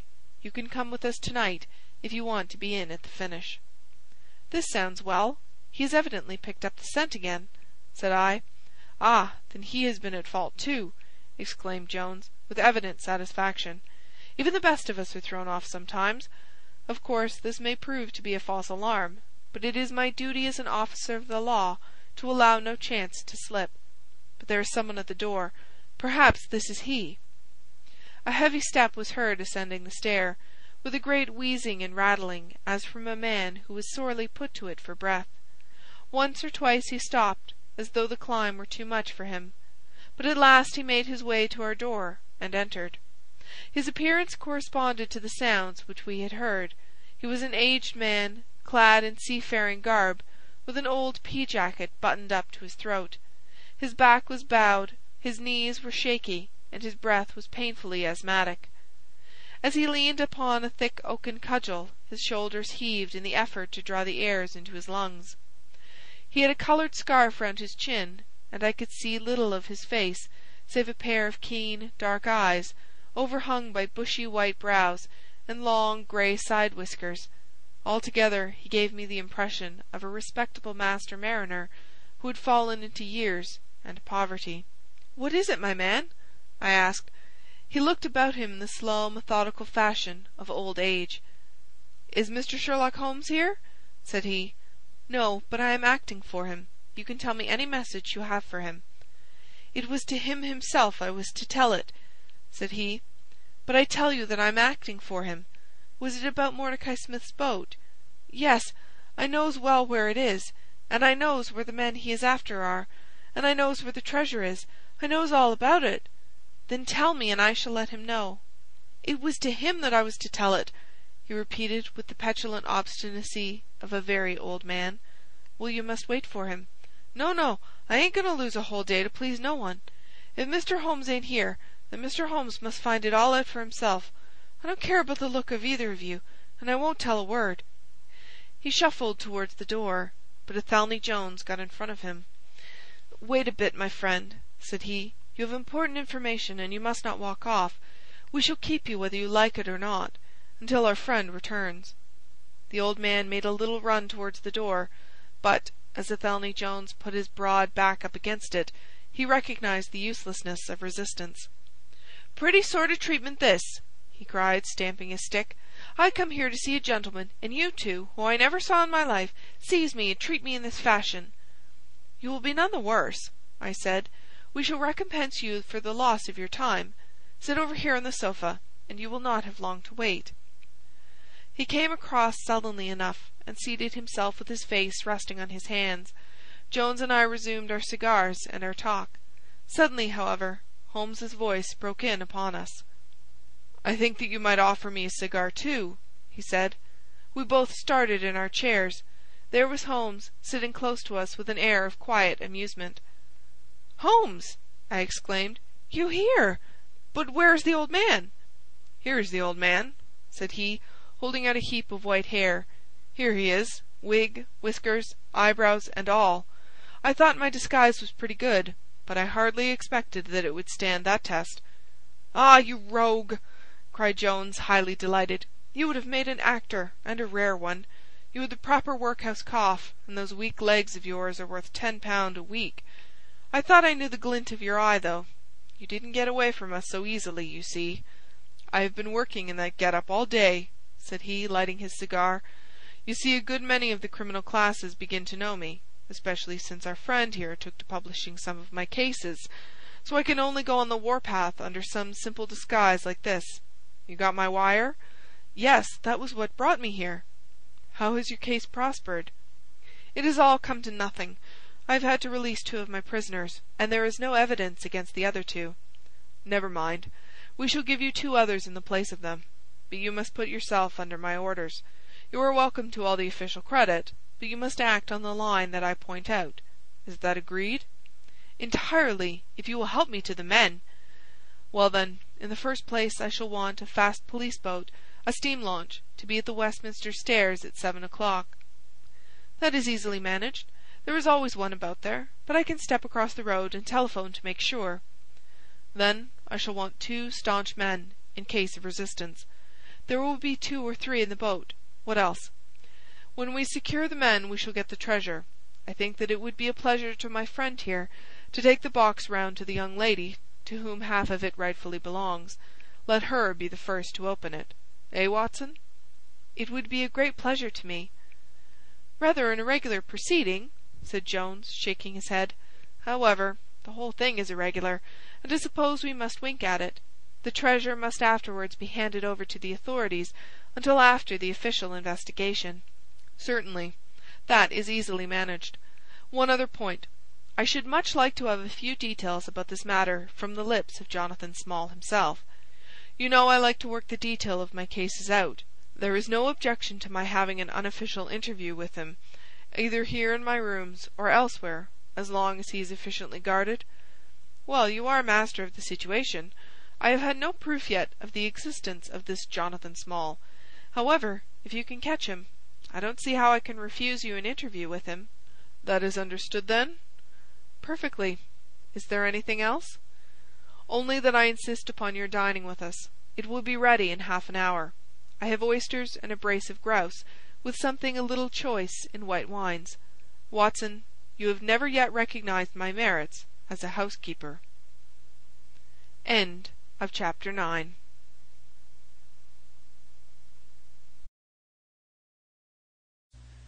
Chapter 10 The End of the Islander Our meal was a merry one. Holmes could talk exceedingly well when he chose, and that night he did choose. He appeared to be in a state of nervous exaltation. I have never known him so brilliant. He spoke on a quick succession of subjects on miracle plays, on medieval pottery, on Stradivarius violins, on the Buddhism of Ceylon, and on the warships of the future handling each as though he had made a special study of it. His bright humour marked the reaction from his black depression of the preceding days. Athelney Jones proved to be a sociable soul in his hours of relaxation, and faced his dinner with the air of a bon vivant. For myself, I felt elated at the thought that we were nearing the end of our task, and I caught something of Holmes's gaiety. None of us alluded during dinner to the cause which had brought us together. When the cloth was cleared, Holmes glanced at his watch and filled up three glasses with port. "One bumper," said he, "to the success of our little expedition. And now it is high time we were off. Have you a pistol, Watson?" "I have my old service revolver in my desk." "You had best take it, then. It is well to be prepared. I see that the cab is at the door. I ordered it for half past six." It was a little past seven before we reached the Westminster wharf, and found our launch awaiting us. Holmes eyed it critically. "Is there anything to mark it as a police boat?" "Yes, that green lamp at the side." "Then take it off." The small change was made. We stepped on board, and the ropes were cast off. Jones, Holmes, and I sat in the stern. There was one man at the rudder, one to tend the engines, and two burly police inspectors forward. "Where to?" asked Jones. "To the Tower. Tell them to stop opposite Jacobson's Yard." Our craft was evidently a very fast one. We shot past the long lines of loaded barges as though they were stationary. Holmes smiled with satisfaction as we overhauled a river steamer and left her behind us. "We ought to be able to catch anything on the river," he said. "Well, hardly that. But there are not many launches to beat us." "We shall have to catch the Aurora and she has a name for being a clipper. I will tell you how the land lies, Watson. You recollect how annoyed I was at being balked by so small a thing?" "Yes." "Well, I gave my mind a thorough rest by plunging into a chemical analysis. One of our greatest statesmen has said that a change of work is the best rest. So it is. When I had succeeded in dissolving the hydrocarbon which I was at work at, I came back to our problem of the Sholtos, and thought the whole matter out again. My boys had been up the river and down the river without result. The launch was not at any landing stage or wharf, nor had it returned. Yet it could hardly have been scuttled to hide their traces, though that always remained as a possible hypothesis if all else failed. I knew this man Small had a certain degree of low cunning, but I did not think him capable of anything in the nature of delicate finesse. That is usually a product of higher education. I then reflected that since he had certainly been in London some time, as we had evidence that he maintained a continual watch over Pondicherry Lodge, he could hardly leave at a moment's notice, but would need some little time, if it were only a day, to arrange his affairs. That was the balance of probability, at any rate. "It seems to me to be a little weak," said I. "It is more probable that he had arranged his affairs before ever he set out upon this expedition. No, I hardly think so. This lair of his would be too valuable a retreat in case of need for him to give it up until he was sure that he could do without it. But a second consideration struck me. Jonathan Small must have felt that the peculiar appearance of his companion, however much he may have top-coated him, would give rise to gossip, and possibly be associated with this Norwood tragedy. He was quite sharp enough to see that. They had started from their headquarters under cover of darkness, and he would wish to get back before it was broad light. Now it was past three o'clock, according to Mrs. Smith, when they got the boat. It would be quite bright, and people would be about in an hour or so. Therefore, I argued, they did not go very far. They paid Smith well to hold his tongue, reserved his launch for the final escape, and hurried to their lodgings with the treasure box. In a couple of nights, when they had time to see what view the papers took, and whether there was any suspicion, they would make their way under cover of darkness to some ship at Gravesend or in the Downs, where no doubt they had already arranged for passages to America or the colonies. But the launch? They could not have taken that to their lodgings. Quite so. I argued that the launch must be no great way off, in spite of its invisibility. I then put myself in the place of Small, and looked at it as a man of his capacity would. He would probably consider that to send back the launch, or to keep it at a wharf, would make pursuit easy if the police did happen to get on his track. How, then, could he conceal the launch, and yet have her at hand when wanted? I wondered what I should do myself if I were in his shoes. I could only think of one way of doing it. I might land the launch over to some boat builder or repairer with directions to make a trifling change in her. She would then be removed to his shed or yard, and so be effectually concealed, while at the same time I could have her at a few hours' notice. That seems simple enough. It is just these very simple things which are extremely liable to be overlooked. However, I am determined to act on the idea. I started at once in this harmless seaman's rig, and inquired at all the yards down the river. I drew blank at fifteen, but at the sixteenth, Jacobson's, I learned that the Aurora had been handed over to them two days ago by a wooden-legged man, with some trivial directions as to her rudder. "There ain't naught amiss with her rudder," said the foreman. "There she lies with the red streaks." At that moment who should come down but Mordecai Smith, the missing owner. He was rather the worse for liquor. I should not, of course, have known him, but he bellowed out his name and the name of his launch. "I want her to-night at eight o'clock," said he. "Eight o'clock sharp, mind, for I have two gentlemen who won't be kept waiting." They had evidently paid him well, for he was very flush of money, chucking shillings about to the men. I followed him some distance, but he subsided into an alehouse, so I went back to the yard, and happening to pick up one of my boys on the way, I stationed him as a sentry over the launch. He is to stand at water's edge and wave his handkerchief to us when they start. We shall be lying off in the stream, and it will be a strange thing if we do not take men, treasure, and all."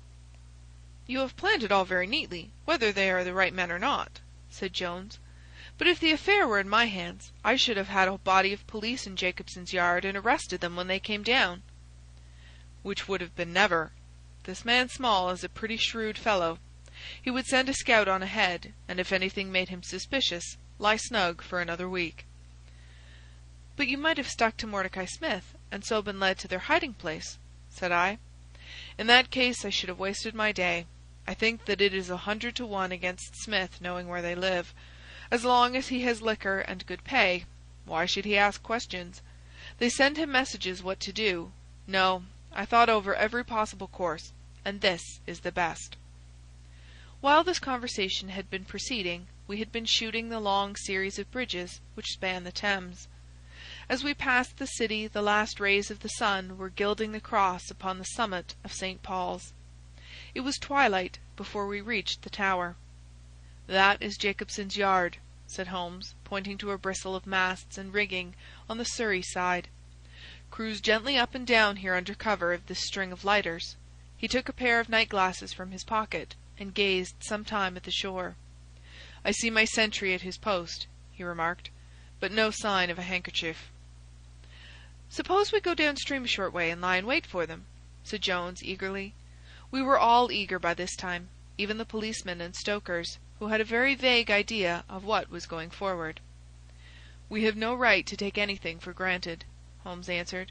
"It is certainly ten to one that they go down stream, but we cannot be certain. From this point we can see the entrance of the yard, and they can hardly see us. It will be a clear night and plenty of light. We must stay where we are. See how the folk swarm over yonder in the gaslight.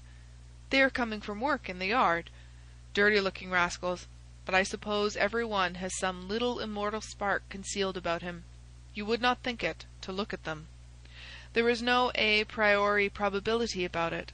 A strange enigma is man."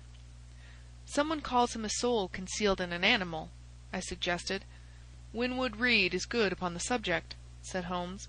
"He remarks that, while the individual man is an insoluble puzzle, in the aggregate he becomes a mathematical certainty. You can, for example, never foretell what any one man will do, but you can say with precision what an average number will be up to. Individuals vary, but percentages remain constant. So says the statistician. But do I see a handkerchief? Surely there is a white flutter over yonder." "Yes, it is your boy," I cried. "I can see him plainly." "And there is the Aurora," exclaimed Holmes, "and going like the devil! Full speed ahead, engineer! Make after that launch with the yellow light. By Heaven, I shall never forgive myself if she proves to have the heels of us!" She had slipped unseen through the yard entrance and passed behind two or three small craft, so that she had fairly got her speed up before we saw her. Now she was flying down the stream, near in to the shore, going at a tremendous rate. Jones looked gravely at her, and shook his head. "She is very fast," he said. "I doubt if we shall catch her." "We must catch her!" cried Holmes between his teeth. "Heap it on, stokers! Make her do all she can! If we burn the boat, we must have them!" We were fairly after her now. The furnaces roared and the powerful engines whizzed and clanked like a great metallic heart. Her sharp, steep prow cut through the river water and sent two rolling waves to right and to left of us. With every throb of the engines we sprang and quivered like a living thing. One great yellow lantern in our bows threw a long, flickering funnel of light in front of us. Right ahead a dark blur upon the water showed where the Aurora lay, and the swirl of white foam behind her spoke of the pace at which she was going. We flashed past barges, steamers, merchant vessels, in and out, behind this one and round the other. Voices hailed us out of the darkness, but still the Aurora thundered on, and still we followed close upon her track. "Pile it on, men, pile it on!" cried Holmes, looking down into the engine room, while the fierce glow from below beat upon his eager, aquiline face. "Get every pound of steam you can."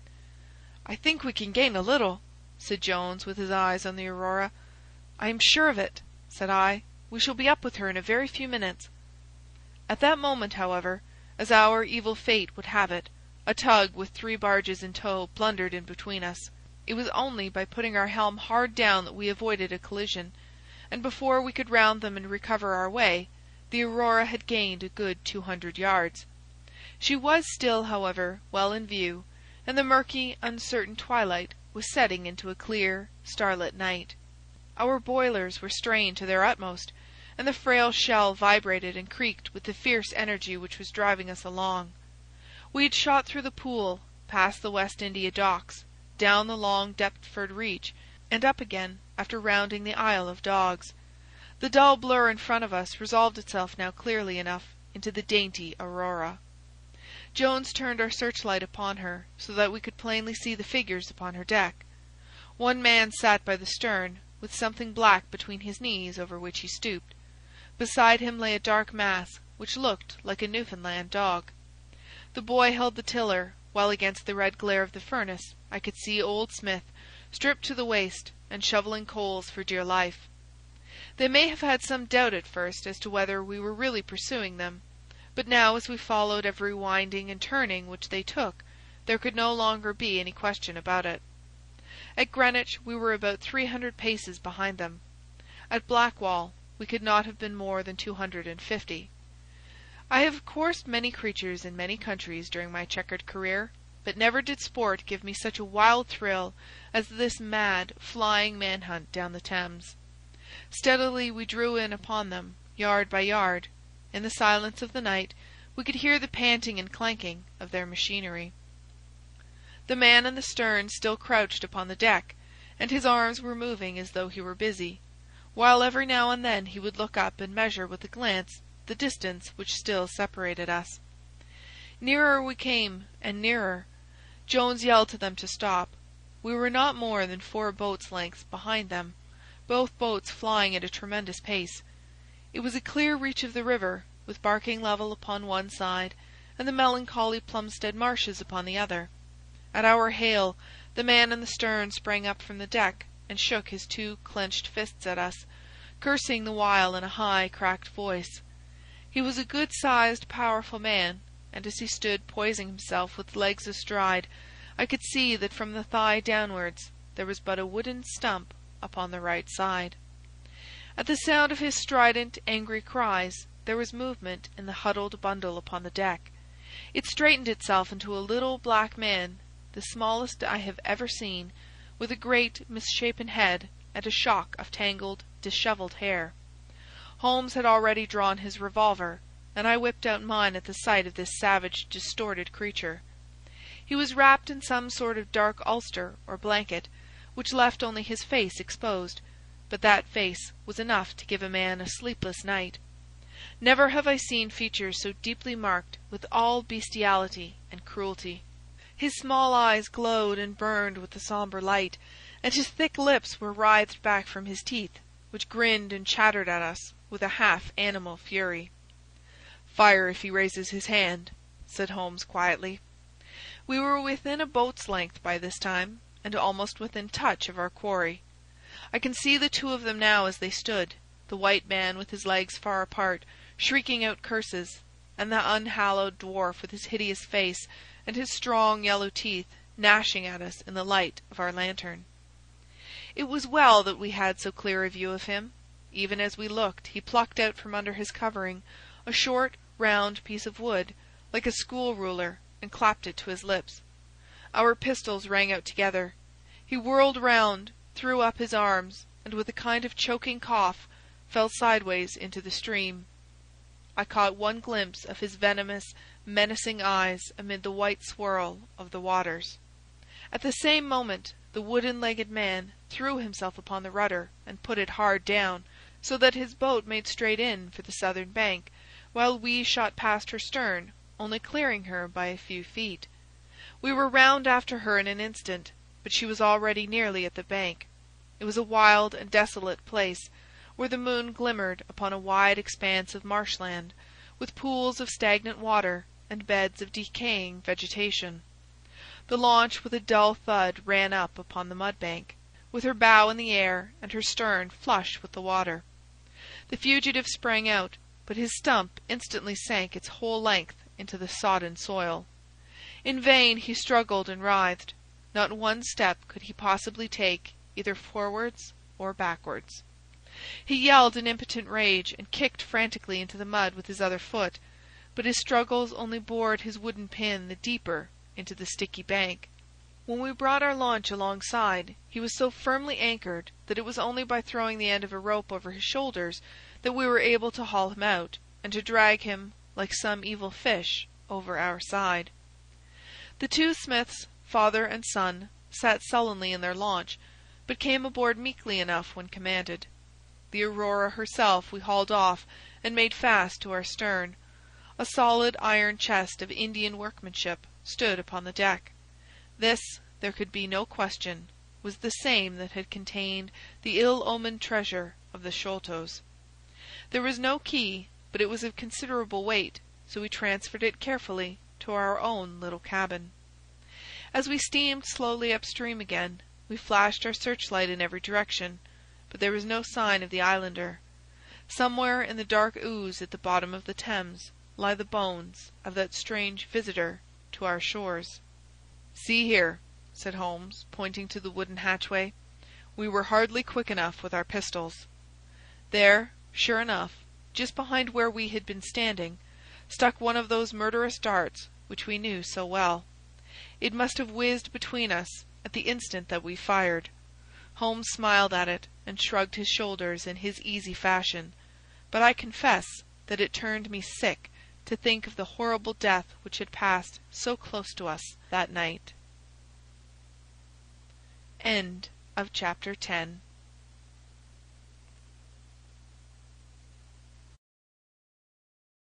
Chapter 11 The Great Agra Treasure. Our captive sat in the cabin opposite to the iron box which he had done so much and waited so long to gain. He was a sunburned, reckless-eyed fellow, with a network of lines and wrinkles all over his mahogany features, which told of a hard, open-air life. There was a singular prominence about his bearded chin, which marked a man who was not to be easily turned from his purpose. His age may have been fifty or thereabouts, for his black, curly hair was thickly shot with grey. His face in repose was not an unpleasing one, though his heavy brows and aggressive chin gave him, as I had lately seen, a terrible expression when moved to anger. He sat now with his handcuffed hands upon his lap, and his head sunk upon his breast, while he looked with his keen, twinkling eyes at the box which had been the cause of his ill doings. It seemed to me that there was more sorrow than anger in his rigid and contained countenance. Once he looked up at me with a gleam of something like humour in his eyes. "Well, Jonathan Small," said Holmes, lighting a cigar, "I am sorry that it has come to this." "And so am I, sir," he answered frankly. "I don't believe that I can swing over the job. I give you my word on the book that I never raised hand against Mr. Sholto. It was that little hell hound Tonga who shot one of his cursed darts into him. I had no part in it, sir. I was as grieved as if it had been my blood relation. I welted the little devil with the slack end of the rope for it, but it was done, and I could not undo it again." "Have a cigar," said Holmes, "and you had best take a pull out of my flask, for you are very wet. How could you expect so small and weak a man as this black fellow to overpower Mr. Sholto, and hold him while you were climbing the rope?" "You seem to know as much about it as if you were there, sir. The truth is that I hoped to find the room clear. I knew the habits of the house pretty well, and it was the time when Mr. Sholto usually went down to his supper. I shall make no secret of the business. The best defence that I can make is just the simple truth. Now if it had been the old major, I would have swung for him with a light heart. I would have thought no more of knifing him than of smoking this cigar. But it's cursed hard that I should be lagged over this young Sholto, with whom I had no quarrel whatever." "You are under the charge of Mr. Athelney Jones, of Scotland Yard. He is going to bring you up to my rooms, and I shall ask you for a true account of the matter. You must make a clean breast of it, for if you do I hope that I may be of use to you. I think I can prove that the poison acted so quickly that the man was dead before ever you reached the room." "That he was, sir. I never got such a turn in my life as when I saw him grinning at me with his head on his shoulder as I climbed through the window. It fairly shook me, sir. I'd have half killed Tonga for it if he had not scrambled off. That was how he came to leave his club, and some of his darts too, as he tells me, which I dare say helped to put you on our track, though how you kept on it is more than I can tell. I don't feel no malice against you for it, but it does seem a queer thing," he added, with a bitter smile, "that I, who have a fair claim to nigh upon half a million of money, should spend the first half of my life building a breakwater in the Andamans, and am like to spend the other half digging drains at Dartmoor. It was an evil day for me when I first clapped eyes upon the merchant Achmet, and had to do with the Agra treasure, which never brought anything but a curse yet upon the man who owned it. To him it brought murder, to Major Sholto it brought fear and guilt, to me it has meant slavery for life." At this moment Athelney Jones thrust his broad face and heavy shoulders into the tiny cabin. "Quite a family party," he remarked. "I think I shall have a pull at that flask, Holmes. Well, I think we may all congratulate each other. Pity we didn't take the other alive, but there was no choice. I say, Holmes, you must confess that you cut it rather fine. It was all we could do to overhaul her." "All is well that ends well," said Holmes. "But I certainly did not know that the Aurora was such a clipper." "Smith says she is one of the fastest launches on the river, and that if he had had another man to help him with the engines we should never have caught her. He swears he knew nothing of this Norwood business." "Neither he did," cried our prisoner. "Not a word. I chose his launch because I heard that she was a flyer. We told him nothing, but we paid him well and he was to get something handsome if we reached our vessel, the Esmeralda, at Gravesend, outward bound for the Brazils. Well, if he has done no wrong, we shall see that no wrong comes to him. If we are pretty quick in catching our men, we are not so quick in condemning them. It was amusing to notice how the consequential Jones was already beginning to give himself airs on the strength of the capture. From the slight smile which played over Sherlock Holmes's face, I could see that the speech had not been lost upon him. "We will be at Vauxhall Bridge presently," said Jones, "and shall land you, Dr. Watson, with the treasure box. I need hardly tell you that I am taking a very grave responsibility upon myself in doing this. It is most irregular. But, of course, an agreement is an agreement. I must, however, as a matter of duty, send an inspector with you, since you have so valuable a charge. You will drive, no doubt?" "Yes, I shall drive." "It is a pity there is no key, that we may make an inventory first. You will have to break it open. Where is the key, my man?" "At the bottom of the river," said Small, shortly. "Hum! There is no use your giving this unnecessary trouble. We have had work enough already through you. However, doctor, I need not warn you to be careful. Bring the box back with you to the Baker Street rooms. You will find us there, on our way to the station." They landed me at Vauxhall, with my heavy iron box, and with a bluff, genial inspector as my companion. A quarter of an hour's drive brought us to Mrs. Cecil Forrester's. The servant seemed surprised at so late a visitor. Mrs. Cecil Forrester was out for the evening, she explained, and likely to be very late. Miss Morstan, however, was in the drawing room, so to the drawing room I went, box in hand, leaving the obliging inspector in the cab. She was seated by the open window, dressed in some sort of white, diaphanous material, with a little touch of scarlet at the neck and waist. The soft light of a shaded lamp fell upon her as she leaned back in the basket chair, playing over her sweet, grave face, and tinting with a dull, metallic sparkle the rich coils of her luxuriant hair.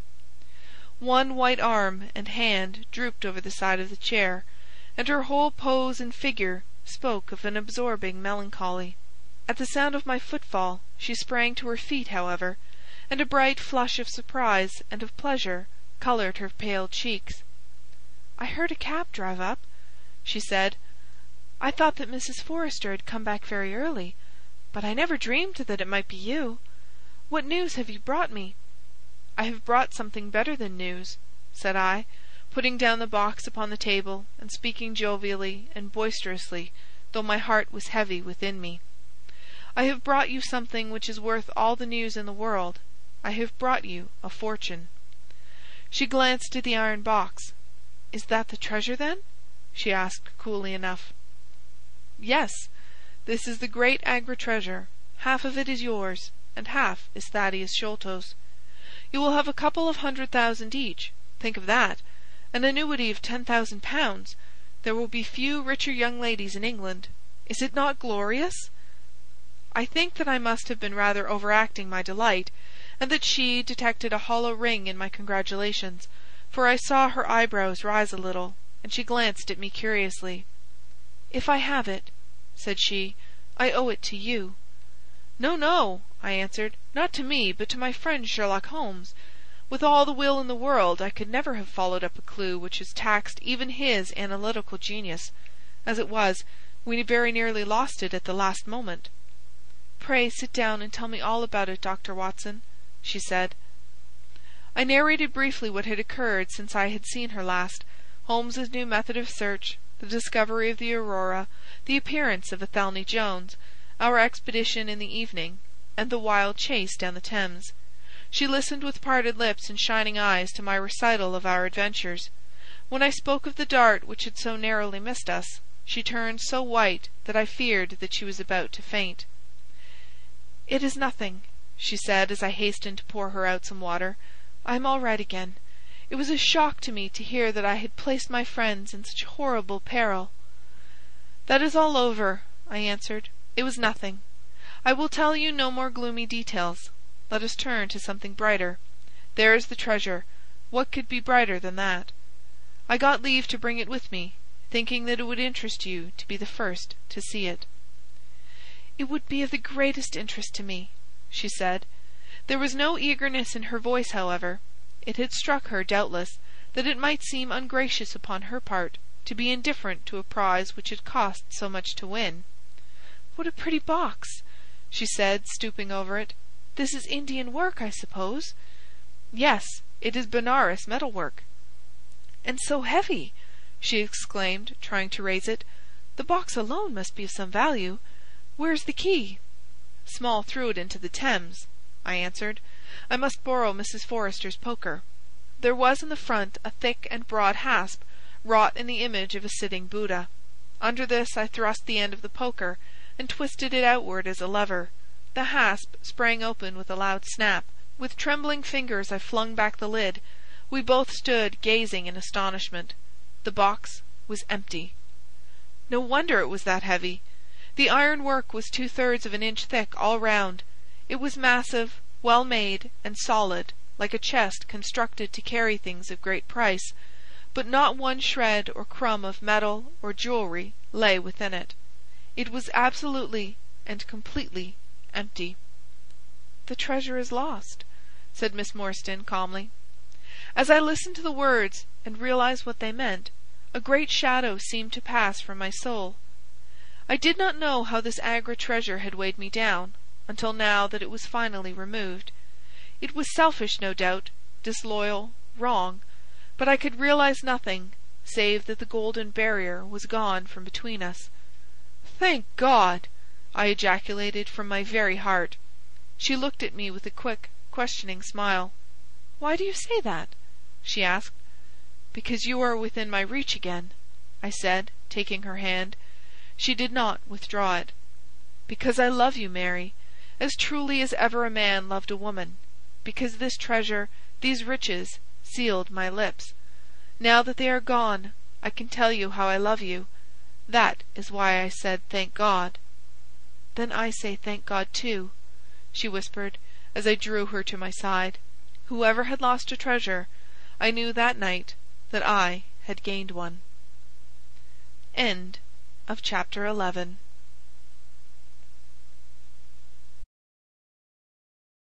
Chapter 12 The Strange Story of Jonathan Small A very patient man was that inspector in the cab, for it was a weary time before I rejoined him. His face clouded over when I showed him the empty box. "There goes the reward," said he, gloomily. "Where there's no money, there's no pay. This night's work would have been worth a tenner each to Sam Brown and me, if the treasure had been there." "Mr. Thaddeus Sholto is a rich man," I said. "He will see that you are rewarded, treasure or no." The inspector shook his head despondently, however. "It's a bad job," he repeated, "and so Mr. Athelney Jones will think." His forecast proved to be correct, for the detective looked blank enough when I got to Baker Street and showed him the empty box. They had only just arrived, Holmes, the prisoner, and he, for they had changed their plans so far as to report themselves at a station upon the way.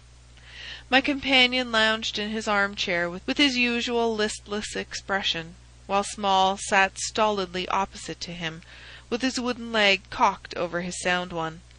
As I exhibited the empty box, he leaned back in his chair and laughed aloud. "This is your doing, Small," said Athelney Jones, angrily. "Yes, I have put it away where you shall never lay hand upon it," he cried, exultantly. "It is my treasure, and if I can't have the loot, I'll take darned good care that no one else does. I tell you that no living man has any right to it, unless it is three men who are in the Andaman convict barracks, and myself. I know now that I cannot have the use of it, and I know that they cannot. I have acted all through for them as much as for myself. It's been the sign of four with us always. Well, I know that they would have had me do just what I have done, and throw the treasure into the Thames, rather than let it go to kith or kin of Sholto or of Morstan. It was not to make them rich that we did for Achmet. You'll find the treasure where the key is, and where little Tonga is.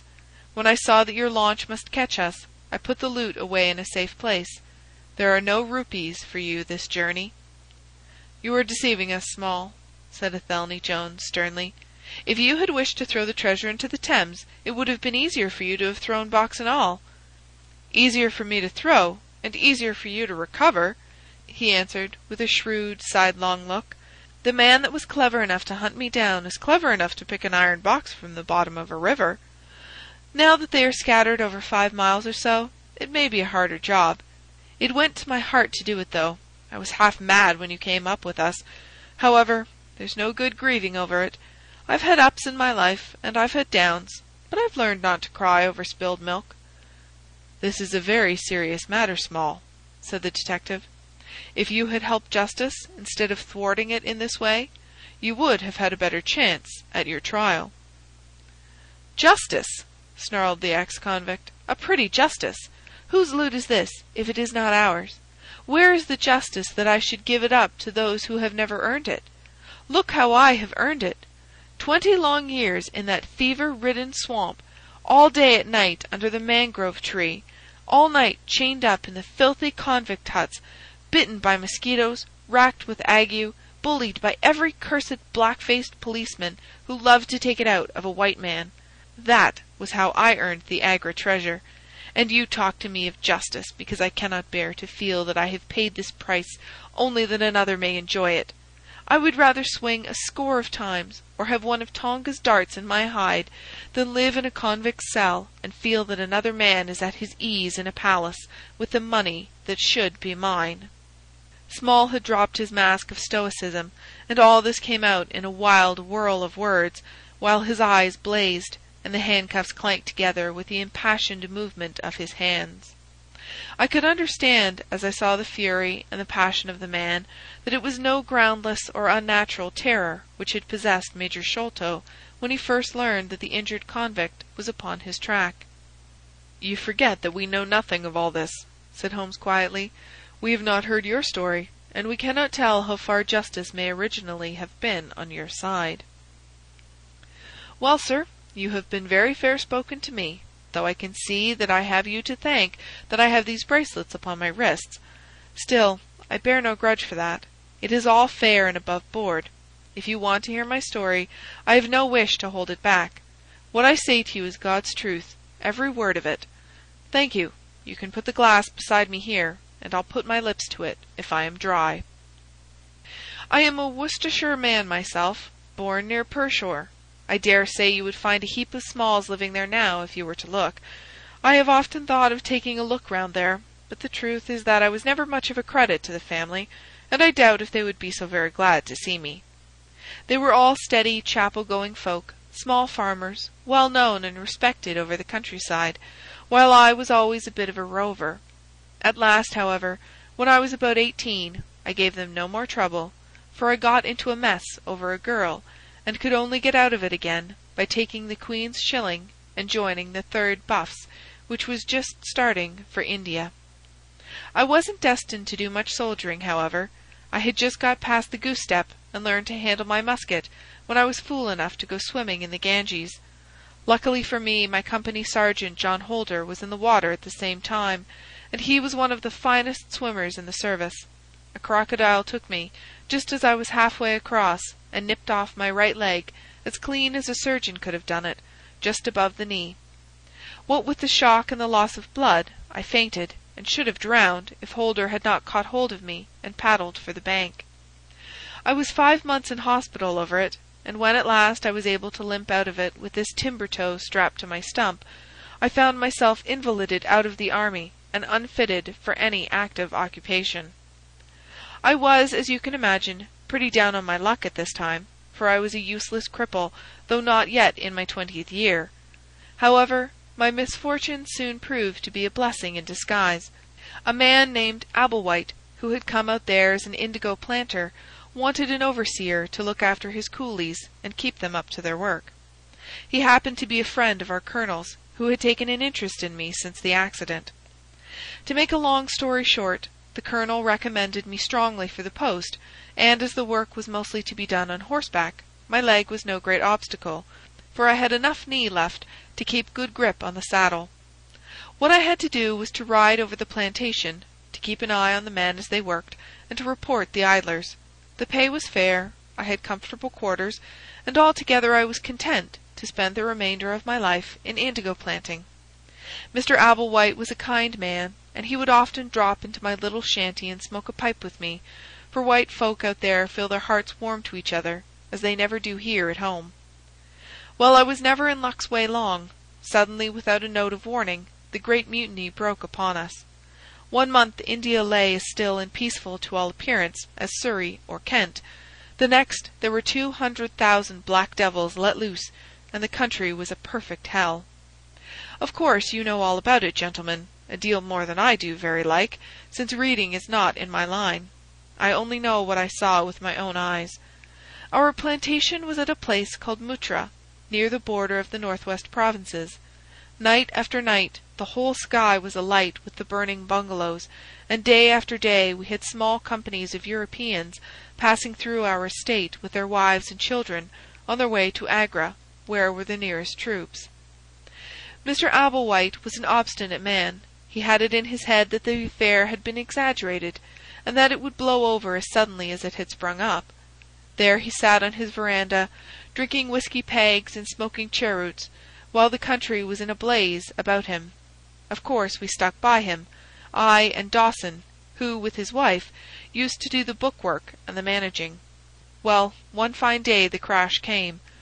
I had been away on a distant plantation, and was riding slowly home in the evening, when my eye fell upon something all huddled together at the bottom of a steep nullah. I rode down to see what it was, and the cold struck through my heart when I found it was Dawson's wife, all cut into ribbons, and half eaten by jackals and native dogs. A little further up the road, Dawson himself was lying on his face, quite dead, with an empty revolver in his hand and four sepoys lying across each other in front of him. I reined up my horse, wondering which way I should turn, but at that moment I saw thick smoke curling up from Abel-White's bungalow, and the flames beginning to burst through the roof.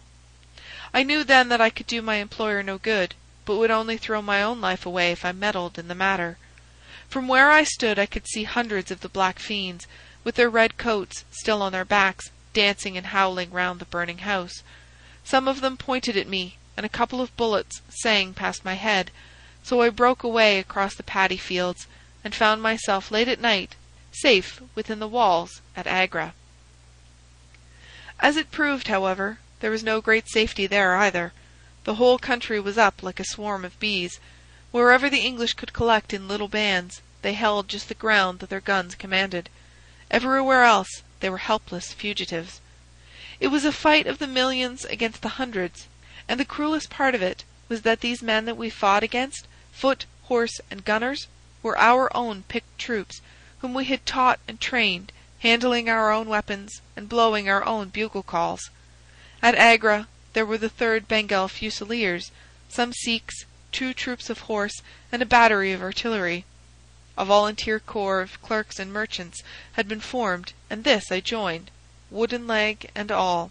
We went out to meet the rebels at Shah Gunge early in July, and we beat them back for a time, but our powder gave out, and we had to fall back upon the city. Nothing but the worst news came to us from every side, which is not to be wondered at, for if you look at the map you will see that we were right in the heart of it. Lucknow is rather better than a hundred miles to the east, and Cawnpore about as far to the south. From every point on the compass there was nothing but torture and murder and outrage. The city of Agra is a great place, swarming with fanatics and fierce devil worshippers of all sorts. Our handful of men were lost among the narrow, winding streets. Our leader moved across the river, therefore, and took up his position in the old fort at Agra. I don't know if any of you gentlemen have ever read or heard anything of that old fort. It is a very queer place, the queerest that ever I was in and I have been in some rum corners too. First of all, it is enormous in size. I should think that the enclosure must be acres and acres. There is a modern part, which took all our garrison, women, children, stores, and everything else, with plenty of room over. But the modern part is nothing like the size of the old quarter, where nobody goes, and which is given over to the scorpions and the centipedes. It is all full of great deserted halls and winding passages, and long corridors twisting in and out, so that it is easy enough for folk to get lost in it. For this reason it was seldom that any one went into it, though now and again a party with torches might go exploring. The river washes along the front of the old fort, and so protects it, but on the sides and behind there are many doors, and these had to be guarded, of course, in the old quarter as well as in that which was actually held by our troops. We were short-handed, with hardly enough men to man the angles of the building and to serve the guns. It was impossible for us, therefore, to station a strong guard at every one of the innumerable gates. What we did was to organize a central guard house in the middle of the fort, and to leave each gate under the charge of one white man and two or three natives. I was selected to take charge during certain hours of the night of a small isolated door upon the southwest side of the building. Two Sikh troopers were placed under my command, and I was instructed if anything went wrong to fire my musket, when I might rely upon help coming at once from the central guard. As the guard was a good two hundred paces away, however, and as the space between was cut up into a labyrinth of passages and corridors, I had great doubts as to whether they could arrive in time to be of any use in case of an actual attack. Well, I was pretty proud at having this small command given me, since I was a raw recruit, and a game-legged one at that. For two nights I kept the watch with my Punjabis. They were tall, fierce-looking chaps, Mahomet Singh and Abdullah Khan by name, both old fighting men who had borne arms against us at Chillianwallah. They could talk English pretty well, but I could get little out of them, they preferred to stand together and jabber all night in their queer Sikh lingo. For myself, I used to stand outside the gateway, looking down on the broad, winding river and on the twinkling lights of the great city. The beating of drums, the rattle of tom-toms, and the yells and howls of the rebels, drunk with opium and with bang, were enough to remind us all night of our dangerous neighbours across the stream. Every two hours the officer of the night used to come round to all the posts to make sure that all was well. The third night of my watch was dark and dirty, with a small driving rain. It was dreary work standing in the gateway hour after hour in such weather. I tried again and again to make my Sikhs talk, but without much success.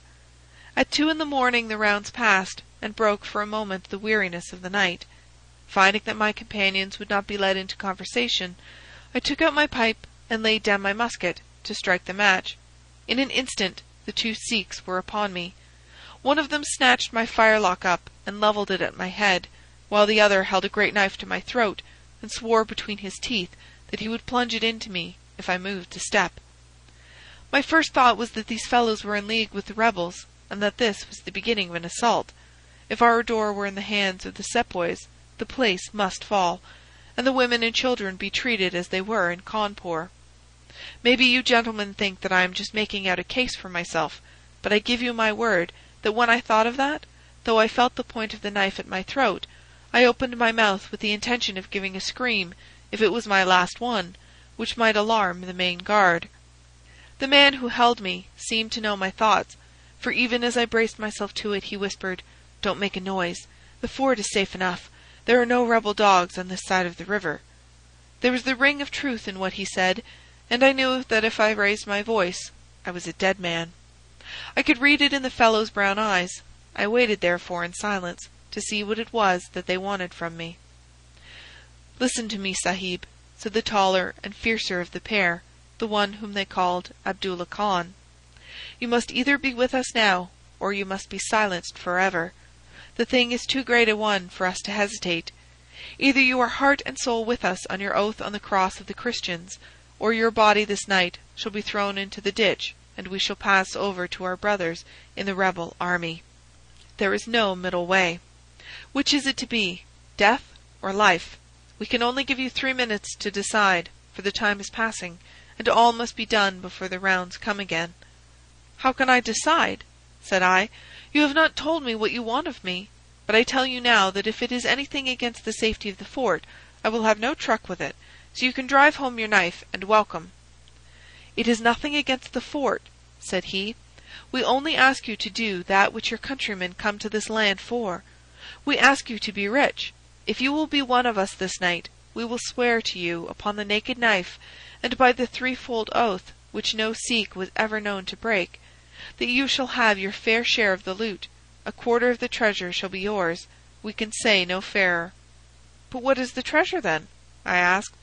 I am as ready to be rich as you can be, if you will but show me how it can be done." "You will swear, then," said he, "by the bones of your father, by the honour of your mother, by the cross of your faith, to raise no hand and speak no word against us, either now or afterwards?" "I will swear it," I answered, "provided that the fort is not endangered." "Then, my comrade, I will swear that you shall have a quarter of the treasure which shall be equally divided among the four of us." "There are but three," said I. "No. Dost Akbar must have his share. We can tell the tale to you while we await them. Do you stand at the gate, Mahomet Singh, and give notice of their coming. The thing stands thus, Sahib, and I tell it to you because I know that an oath is binding upon a Feringhee, and that we may trust you. Had you been a lying Hindoo, though you had sworn by all the gods in their false temples, your blood would have been upon the knife, and your body in the water. But the Sikh knows the Englishman, and the Englishman knows the Sikh. Hearken, then, to what I have to say. There is a rajah in the northern provinces who has much wealth, though his lands are small.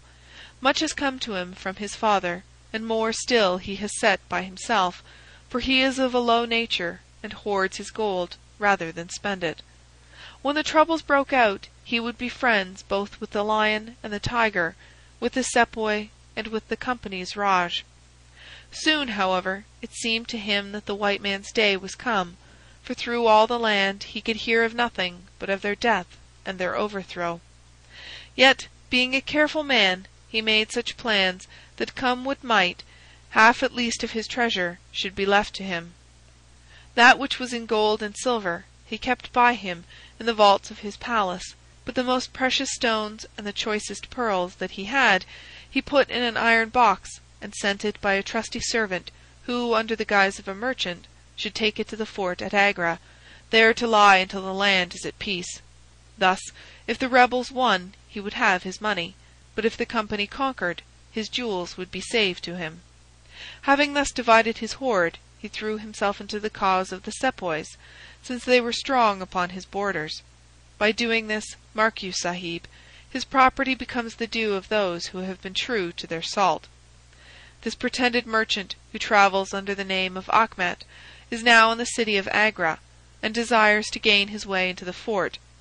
He has with him as travelling companion my foster brother, Dost Akbar, who knows his secret. Dost Akbar has promised this night to lead him to a side postern of the fort, and has chosen this one for his purpose. Here he will come presently, and here he will find Mahomet Singh and myself awaiting him. The place is lonely, and none shall know of his coming. The world shall know of the merchant Achmet no more, but the great treasure of the Rajah shall be divided among us. What say you to it, Sahib? In Worcestershire the life of a man seems a great and a sacred thing. But it is very different when there is fire and blood all round you, and you have been used to meeting death at every turn. Whether Achmet the merchant lived or died was a thing as light as air to me, but at the talk about the treasure my heart turned to it, and I thought of what I might do in the old country with it, and how my folk would stare when they saw their ne'er do well coming back with his pockets full of gold moidores. I had, therefore, already made up my mind. Abdullah Khan, however, thinking that I hesitated, pressed the matter more closely. "Consider, Sahib," said he, "that if this man is taken by the commandant, he will be hung or shot, and his jewels taken by the government, so that no man will be a rupee the better for them.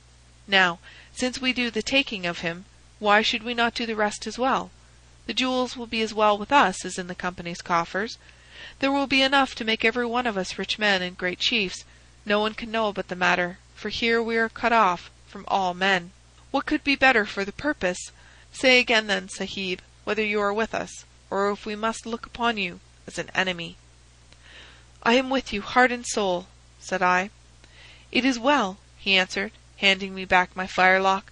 "You see that we trust you, for your word, like ours, is not to be broken. We have now only to wait for my brother and the merchant."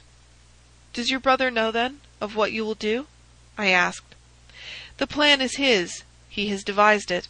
We will go to the gate and share the watch with Mahomet Singh." The rain was still falling steadily, for it was just the beginning of the wet season. Brown, heavy clouds were drifting across the sky, and it was hard to see more than a stone cast. A deep moat lay in front of our door, but the water was in places nearly dried up, and it could easily be crossed. It was strange to me to be standing there with those two wild Punjabis, waiting for the man who was coming to his death. Suddenly my eye caught the glint of a shaded lantern at the other side of the moat. It vanished among the mound heaps, and then appeared again coming slowly in our direction. Here they are!" I exclaimed. "You will challenge him, Sahib, as usual," whispered Abdullah. "Give him no cause for fear. Send us in with him, and we shall do the rest while you stay here on guard. Have the lantern ready to uncover, that we may be sure that it is indeed the man." The light had flickered onwards, now stopping and now advancing, until I could see two dark figures upon the other side of the moat. I let them scramble down the sloping bank, splash through the mire, and climb half way up to the gate before I challenged them. "Who goes there?" said I in a subdued voice. "Friends," came the answer. I uncovered my lantern and threw a flood of light upon them. The first was an enormous Sikh, with a black beard which nearly swept down to his cummerbund. Outside of a show, I have never seen so tall a man. The other was a little, fat, round fellow, with a great yellow turban, and a bundle in his hand done up in a shawl. He seemed to be all in a quiver with fear, for his hands twitched as if he had the ague, and his head kept turning to left and right with two bright, little twinkling eyes, like a mouse when he ventures out from his hole. It gave me the chills to think of killing him, but I thought of the treasure, and my heart set as hard as a flint within me. When he saw my white face he gave a little chirrup of joy, and came running up towards me. "Your protection, Sahib!" he panted. "Your protection for the unhappy merchant Achmet! I have travelled across Rajputana that I might seek the shelter of the fort at Agra. I have been robbed and beaten and abused because I have been the friend of the company. It is a blessed night, this, when I am once more in safety, I and my poor possessions." "What have you in the bundle?" I asked. "An iron box," he answered, "which contains one or two little family matters which are of no value to others, but which I should be sorry to lose. Yet I am not a beggar, and I shall reward you, young Sahib, and your governor also, if he will give me the shelter I ask." I could not trust myself to speak longer with the man. The more I looked at his fat, frightened face, the harder did it seem that we should slay him in cold blood. It was best to get it over. "Take him to the main guard," said I. The two Sikhs closed in upon him on each side, and the giant walked behind, while they marched in through the dark gateway. Never was a man so compassed round with death. I remained at the gateway with the lantern. I could hear the measured tramp of their footsteps sounding through the lonely corridors. Suddenly it ceased, and I heard voices and a scuffle with the sound of blows. A moment later there came to my horror a rush of footsteps coming in my direction, with the loud breathing of a running man. I turned my lantern down the long straight passage, and there was the fat man, running like the wind, with a smear of blood across his face, and close at his heels, bounding like a tiger, the great black-bearded Sikh, with a knife flashing in his hand. I have never seen a man run so fast as that little merchant. He was gaining on the Sikh, and I could see that if he once passed me and got to the open air, he would save himself yet. My heart softened to him, but again the thought of his treasure turned me hard and bitter. I cast my firelock between his legs as he raced past, and he rolled twice over like a shot rabbit. Ere he could stagger to his feet, the Sikh was upon him, and buried his knife twice in his side. The man never uttered moan nor moved muscle, but lay where he had fallen. I think myself that he may have broken his neck with the fall. You see, gentlemen, that I am keeping my promise. I am telling you every work of the business, just exactly as it happened, whether it is in my favour or not." He stopped and held out his manacled hands for the whisky and water which Holmes had brewed for him. For myself, I confess that I had now conceived the utmost horror of the man not only for this cold-blooded business in which he had been concerned, but even more for the somewhat flippant and careless way in which he narrated it. Whatever punishment was in store for him, I felt that he might expect no sympathy from me. Sherlock Holmes and Jones sat with their hands upon their knees, deeply interested in the story, but with the same disgust written upon their faces. He may have observed it, for there was a touch of defiance in his voice and manner as he proceeded. "It was all very bad, no doubt," said he. "I should like to know how many fellows in my shoes would have refused a share of this loot when they knew that they would have had their throats cut for their pains. Besides, it was my life or his when once he was in the fort. If he had got out, the whole business would come to light, and I should have been court-martialed and shot as likely as not, for people were not very lenient at a time like that." "Go on with your story," said Holmes shortly. "Well, we carried him in, Abdullah, Akbar, and I. A fine weight he was, too, for all that he was so short. Mahomet Singh was left to guard the door. We took him to a place which the Sikhs had already prepared. It was some distance off, where a winding passage leads to a great empty hall, the brick walls of which were all crumbling to pieces. The earth floor had sunk in at one place, making a natural grave, so we left Achmet the merchant there, having first covered him over with loose bricks. This done, we all went back to the treasure. It lay where he had dropped it when he was first attacked. The box was the same which now lies open upon your table. A key was hung by a silken cord to that carved handle upon the top. We opened it, and the light of the lantern gleamed upon a collection of gems such as I have read of and thought about when I was a little lad at Pershore. It was blinding to look upon them. When we had feasted our eyes we took them all out and made a list of them. There were one hundred and forty-three diamonds of the first water, including one which has been called, I believe, the Great Mogul, and is said to be the second largest stone in existence. Then there were ninety-seven very fine emeralds, and one hundred and seventy rubies, some of which, however, were small. There were forty carbuncles, two hundred and ten sapphires, sixty-one agates, and a great quantity of beryls, onyxes, cat's eyes, turquoises, and other stones, the very names of which I did not know at the time, though I have become more familiar with them since.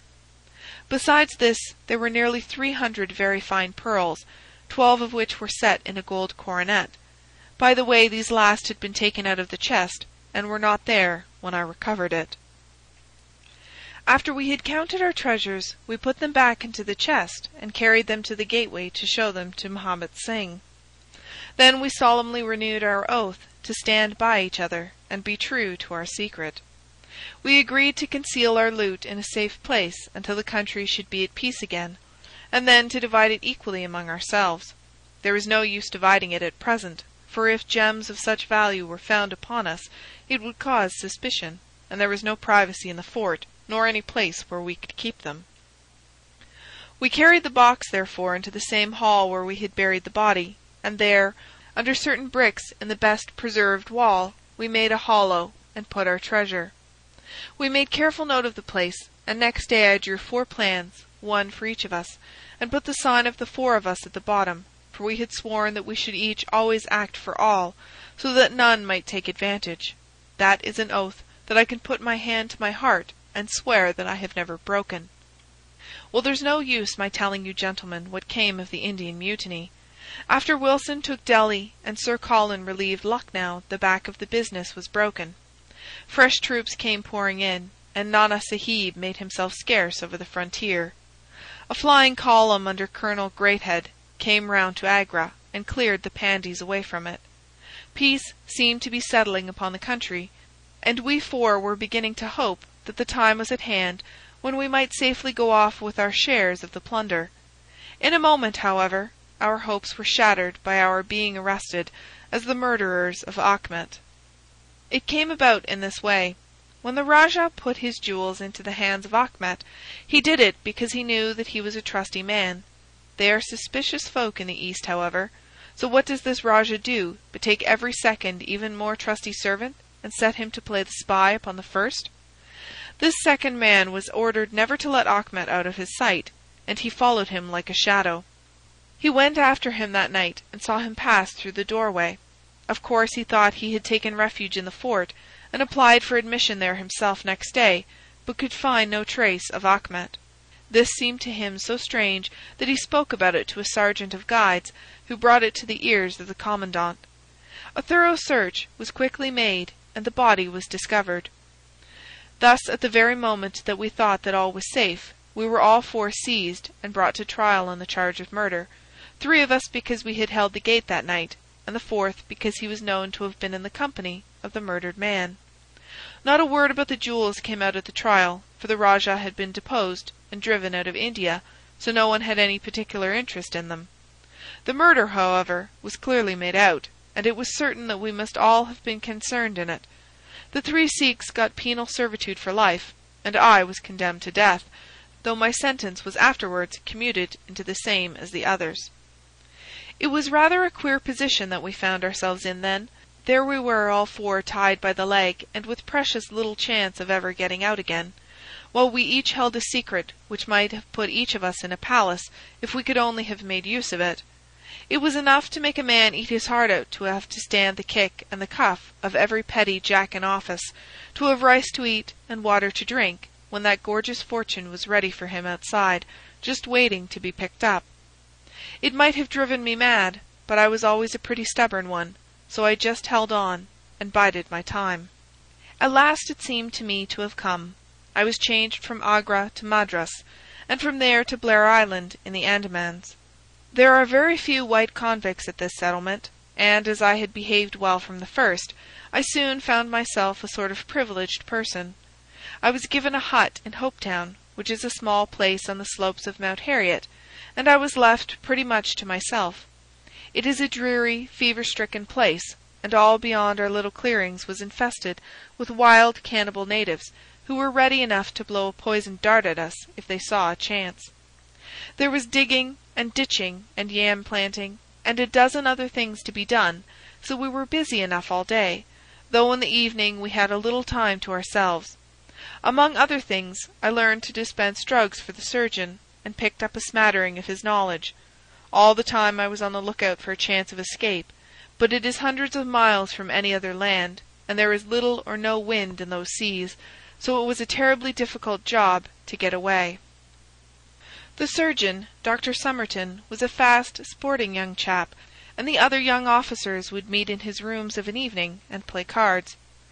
The surgery, where I used to make up my drugs, was sitting next to his sitting room with a small window between us. Often, if I felt lonesome, I used to turn out the lamp in the surgery, and then, standing there, I could hear their talk and watch their play. I am fond of a hand at cards myself, and it was almost as good as having one to watch the others. There was Major Sholto, Captain Morstan, and Lieutenant Bromley Brown, who were in command of the native troops, and there was the surgeon himself and two or three prison officials, crafty old hands who played a nice, sly, safe game. A very snug little party they used to make. Well, there was one thing which very soon struck me, and that was that the soldiers used always to lose and the civilians to win. Mind, I don't say that there was anything unfair, but so it was. These prison chaps had done little else than play cards ever since they had been at the Andamans, and they knew each other's game to a point while the others just played to pass the time and threw their cards down anyhow. Night after night the soldiers got up poorer men, and the poorer they got the more keen they were to play. Major Sholto was the hardest hit. He used to pay in notes and gold at first, but soon it came to notes of hand and for big sums. He sometimes would win for a few deals, just to give him heart, and then the luck would set in against him worse than ever. All day he would wander about as black as thunder, and he took to drinking a deal more than was good for him. One night he lost even more heavily than usual. I was sitting in my hut when he and Captain Morstan came stumbling along on the way to their quarters. They were bosom friends, those two, and never far apart. The major was raving about his losses.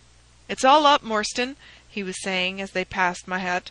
"I shall have to send in my papers. I am a ruined man." "Nonsense, old chap!" Said the other, slapping him upon the shoulder. "I've had a nasty facer myself, but That was all I could hear, but it was enough to set me thinking. A couple of days later Major Sholto was strolling on the beach, so I took the chance of speaking to him. "I wish to have your advice, Major," said I. "Well, Small, what is it?" he asked, taking the cheroot from his lips. "I wanted to ask you, sir," said I, "who is the proper person to whom hidden treasure should be handed over? I know where half a million worth lies, and as I cannot use it myself, I thought perhaps the best thing that I could do would be to hand it over to the proper authorities, and then perhaps they would get my sentence shortened for me." "Half a million, Small?" he gasped, looking hard at me to see if I was in earnest. "Quite that, sir, in jewels and pearls. It lies there ready for any one. And the queer thing about it is that the real owner is outlawed and cannot hold property so that it belongs to the first comer." To Government, Small," he stammered. "To Government." But he said it in a halting fashion, and I knew in my heart that I had got him. "You think, then, sir, that I should give the information to the Governor General?" said I, quietly. "Well, well, you must not do anything rash, or that you might repent. Let me hear all about it, Small. Give me the facts." I told him the whole story, with small changes so that he could not identify the places. When I had finished, he stood stock still and full of thought. I could see by the twitch of his lip that there was a struggle going on within him. "This is a very important matter, Small," he said, at last. "You must not say a word to anyone about it, and I shall see you again soon." Two nights later he and his friend Captain Morstan came to my hut in the dead of night with a lantern. "I want you just to let Captain Morstan hear that story from your own lips, Small," said he. I repeated it as I had told it before. "It rings true, eh?" said he. "It's good enough to act upon?" Captain Morstan nodded. "Look here, Small," said the major. "We have been talking it over, my friend here and I, and we have come to the conclusion that this secret of yours is hardly a government matter after all, but is a private concern of your own, which of course you have the power of disposing of as you think best. Now the question is, what price would you ask for it? We might be inclined to take it up, and at least look into it, if we could agree as to terms." He tried to speak in a cool, careless way, but his eyes were shining with excitement and greed.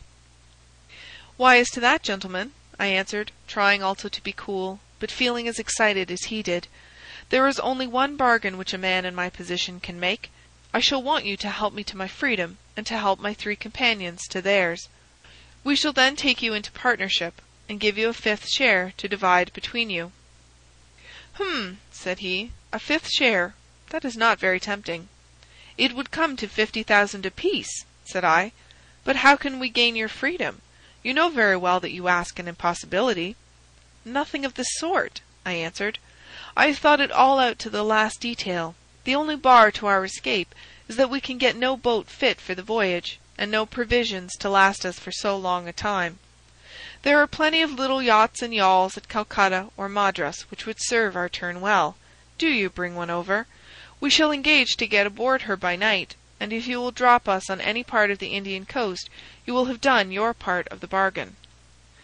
"If there were only one," he said. "None or all," I answered. "We have sworn it. The four of us must always act together." "You see, Morstan," said he, Small is a man of his word. He does not flinch from his friend. I think we may very well trust him." "It's a dirty business," the other answered. "Yet, as you say, the money would save our commissions handsomely." "Well, Small," said the major, "we must, I suppose, try and meet you. We must first, of course, test the truth of your story. Tell me where the box is hid, and I shall get leave of absence and go back to India in the monthly relief boat to inquire into the affair." "Not so fast," said I, growing colder as he got hot. I must have the consent of my three comrades. I tell you that it is four or none with us." "Nonsense!" he broke in. "What have three black fellows to do with our agreement?" "Black or blue," said I, "they are in with me, and we all go together." Well, the matter ended by a second meeting, at which Mahomet Singh, Abdullah Khan, and Dost Akbar were all present. We talked the matter over again, and at last we came to an arrangement. We were to provide both the officers with charts of the part of the Agra fort, and mark the place in the wall where the treasure was hid. Major Sholto was to go to India to test our story. If he found the box he was to leave it there, to send out a small yacht provisioned for a voyage, which was to lie off Rutland Island, and to which we were to make our way, and finally to return to his duties. Captain Morstan was then to apply for leave of absence, to meet us at Agra and there we were to have a final division of the treasure, he taking the major's share as well as his own. All this we sealed by the most solemn oaths that the mind could think or the lips utter. I sat up all night with paper and ink, and by the morning I had the two charts all ready, signed with the sign of the four, that is, of Abdullah, Akbar, Mahomet, and myself. Well, gentlemen, I weary you with my long story and I know that my friend Mr. Jones is impatient to get me safely stowed in chokey. I'll make it as short as I can. The villain Sholto went off to India, but he never came back again. Captain Morstan showed me his name among a list of passengers in one of the mail boats very shortly afterwards. His uncle had died, leaving him a fortune, and he had left the army, yet he could stoop to treat five men as he had treated us. Morstan went over to Agra shortly afterwards, and found, as we expected, that the treasure was indeed gone. The scoundrel had stolen it all, without carrying out one of the conditions on which we had sold him the secret. From that day I lived only for vengeance. I thought of it by day, and I nursed it by night. It became an overpowering, absorbing passion with me. I cared nothing for the law, nothing for the gallows. To escape, to track down Sholto, to have my hand upon his throat—that was my one thought. Even the Agra treasure had come to be a smaller thing in my mind than the slaying of Sholto. Well, I have set my mind on many things in this life, and never one which I did not carry out. It was weary years before my time came. I have told you that I had picked up something of a medicine. One day when Dr. Somerton was down with a fever, a little Andaman islander was picked up by a convict gang in the woods. He was sick to death, and had gone to a lonely place to die. I took him in hand, though he was as venomous as a young snake, and after a couple of months I got him all right and able to walk. He took a kind of fancy to me then, and would hardly go back to his woods, but he was always hanging about my hut. I learned a little of his lingo from him, and this made him all the fonder of me. Tonga, for that was his name, was a fine boatman, and owned a big roomy canoe of his own. When I found that he was devoted to me, and would do anything to serve me, I saw my chance of escape. I talked it over with him. He was to bring his boat round on a certain night to an old wharf which was never guarded, and there he was to pick me up. I gave him directions to have several gourds of water, and a lot of yams, cocoanuts, and sweet potatoes. He was staunch and true, was little Tonga. No man ever had a more faithful mate. At the night named he had his boat at the wharf. As it chanced, however, there was one of the convict guard down there, a vile Pathan, who had never missed a chance of insulting and injuring me. I had always vowed vengeance, and now I had my chance. It was as if fate had placed him in my way that I might pay my debt before I left the island. He stood on the bank with his back to me, and his carbine on his shoulder. I looked about for a stone to beat out his brains with, but none could I see. Then a queer thought came into my head, and showed me where I could lay my hand on a weapon. I sat down in the darkness and unstrapped my wooden leg. With three long hops I was on him. He put his carbine to his shoulder, but I struck him full, and knocked the whole front of his skull in. You can see the split in the wood now where I hit him. We both went down together, for I could not keep my balance, but when I got up I found him still lying quiet enough. I made for the boat, and in an hour we were well out at sea. Tonga had brought all his earthly possessions with him, his arms and his gods. Among other things he had a long bamboo spear and some Andaman cocoa-nut matting, with which I made a sort of sail. For ten days we were beating about, trusting to luck, and on the eleventh we were picked up by a trader which was going from Singapore to Jeddah with a cargo of Malay pilgrims. They were a rum crowd, and Tonga and I soon managed to settle down among them. They had one very good quality: they let you alone, and asked no questions. Well, if I were to tell you all the adventures that my little chum and I went through, you would not thank me, for I would have you here until the sun was shining. Here and there we drifted about the world, something always turning up to keep us from London. All the time, however, I never lost sight of my purpose. I would dream of Sholto at night. A hundred times I have killed him in my sleep. At last, however, some three or four years ago, we found ourselves in England. I had no great difficulty in finding where Sholto lived, and I set to work to discover whether he had realized the treasure, or if he still had it. I made friends with someone who could help me. I name no names, for I don't want to get anyone else in a hole. And I soon found that he still had the jewels. Then I tried to get at him in many ways, but he was pretty sly, and had always two prize-fighters, besides his sons and his khitmutgar, on guard over him. One day, however, I got word that he was dying. I hurried at once to the garden, mad that he should slip out of my clutches like that, and looking through the window, I saw him lying in his bed, with his sons on each side of him. I'd have come through and taken my chance with the three of them, only even as I looked at him his jaw dropped, and I knew that he was gone. I got into his room that same night, though, and I searched his papers to see if there was any record of where he had hidden our jewels. There was not a line, however, so I came away, bitter and savage as a man could be. Before I left, I bethought me that if I ever met my Sikh friends again, it would be a satisfaction to know that I had left some mark of our hatred. So I scrawled down the sign of the four of us, as it had been on the chart, and I pinned it on his bosom.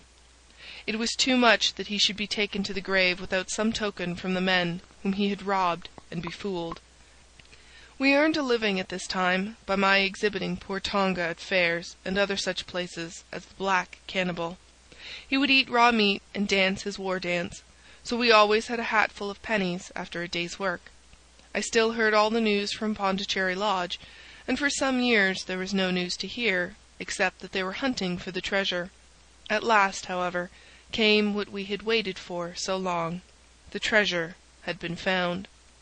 It was up at the top of the house in Mr. Bartholomew Sholto's chemical laboratory. I came at once and had a look at the place, but I could not see how with my wooden leg I was to make my way up to it. I learned, however, about a trap door in the roof, and also about Mr. Sholto's supper hour. It seemed to me that I could manage this thing easily through Tonga. I brought him out with me, with a long rope wound round his waist. He could climb like a cat, and he soon made his way through the roof. But, as ill luck would have it, Bartholomew Sholto was still in the room, to his cost. Tonga thought he had done something very clever in killing him, for when I came up by the rope I found him strutting about as proud as a peacock. Very much surprised was he when I made at him with the rope's end, and cursed him for a little bloodthirsty imp. I took the treasure box and let it down, and then slid down myself, having first left the sign of the four upon the table, to show that the jewels had come back at last to those who had most right to them. Tonga then pulled up the rope, closed the window, and made off the way that he had come. I don't know that I have anything else to tell you. I had heard a waterman speak of the speed of Smith's launch, the Aurora, so I thought she would be a handy craft for our escape. I engaged with old Smith, and was to give him a big sum if he got us safe to our ship. He knew, no doubt, that there was some screw loose, but he was not in our secrets. All this is the truth, and if I tell it to you, gentlemen, it is not to amuse you, for you have not done me a very good turn, but it is because I believe the best defence I can make is just to hold back nothing, but let all the world know how badly I have myself been served by Major Sholto, and how innocent I am of the death of his son." "A very remarkable account," said Sherlock Holmes. "A fitting wind up to an extremely interesting case. There is nothing at all new to me in the latter part of your narrative, except that you brought your own rope. That I did not know. By the way, I had hoped that Tonga had lost all his darts, yet he managed to shoot one at us in the boat." "He had lost them all, sir, except the one which was in his blowpipe at the time." "Ah! Of course," said Holmes. "I had not thought of that." "Is there any other point which you would like to ask about?" asked the convict, affably. "I think not, thank you," my companion answered. "Well, Holmes," said Athelney Jones, "you are a man to be humoured, and we all know that you are a connoisseur of crime; but duty is duty, and I have gone rather far in doing what you and your friend asked me. I shall feel more at ease when we have our story teller here safe under lock and key. The cab still waits, and there are two inspectors downstairs. I am much obliged to you both for your assistance. Of course you will be wanted at the trial. Good night to you." "Good night, gentlemen both," said Jonathan Small. "You first, Small," remarked the wary Jones as they left the room. "I'll take particular care that you don't club me with your wooden leg, whatever you may have done to the gentleman at the Andaman Isles." "Well, and there is the end of our little drama," I remarked after we had sat some time smoking in silence. "I fear that it may be the last investigation in which I shall have the chance of studying your methods. Miss Morstan has done me the honour to accept me as a husband in prospective. He gave a most dismal groan. "I feared as much," said he. "I really cannot congratulate you." I was a little hurt. "Have you any reason to be dissatisfied with my choice?" I asked. "Not at all. I think she is one of the most charming young ladies I ever met, and might have been most useful in such work as we have been doing. She had a decided genius that way. Witness the way in which she preserved that Agra plan from all the other papers of her father. But love is an emotional thing, and whatever is emotional is opposed to that true, cold reason which I place above all things. I should never marry myself, lest I bias my judgment." "I trust," said I, laughing, "that my judgment may survive the ordeal. But you look weary." "Yes, the reaction is already upon me. I shall be as limp as a rag for a week." "Strange," said I, "how terms of what in another man I should call laziness alternate with your fits of splendid energy and vigour." "Yes," he answered, "there are in me the makings of a very fine loafer, and also of a pretty spry sort of fellow. I often think of those lines of old Goethe: Schade, dass die Natur nur einen Mensch aus dir schuf, Den zum würdigen Mann war und zum Schelmen der Stoff. By the way, apropos of this Norwood business, you see that they had, as I surmised, a confederate in the house, who could be none other than Lal Rao, the butler. So Jones actually has the undivided honour of having caught one fish in his great haul. "The division seems rather unfair," I remarked. "You have done all the work in this business. I get a wife out of it. Jones gets the credit. Pray, what remains for you?" "For me," said Sherlock Holmes, "there still remains the cocaine bottle." And he stretched his long white hand up for it. End of Chapter 12 End of The Sign of the Four by Sir Arthur Conan Doyle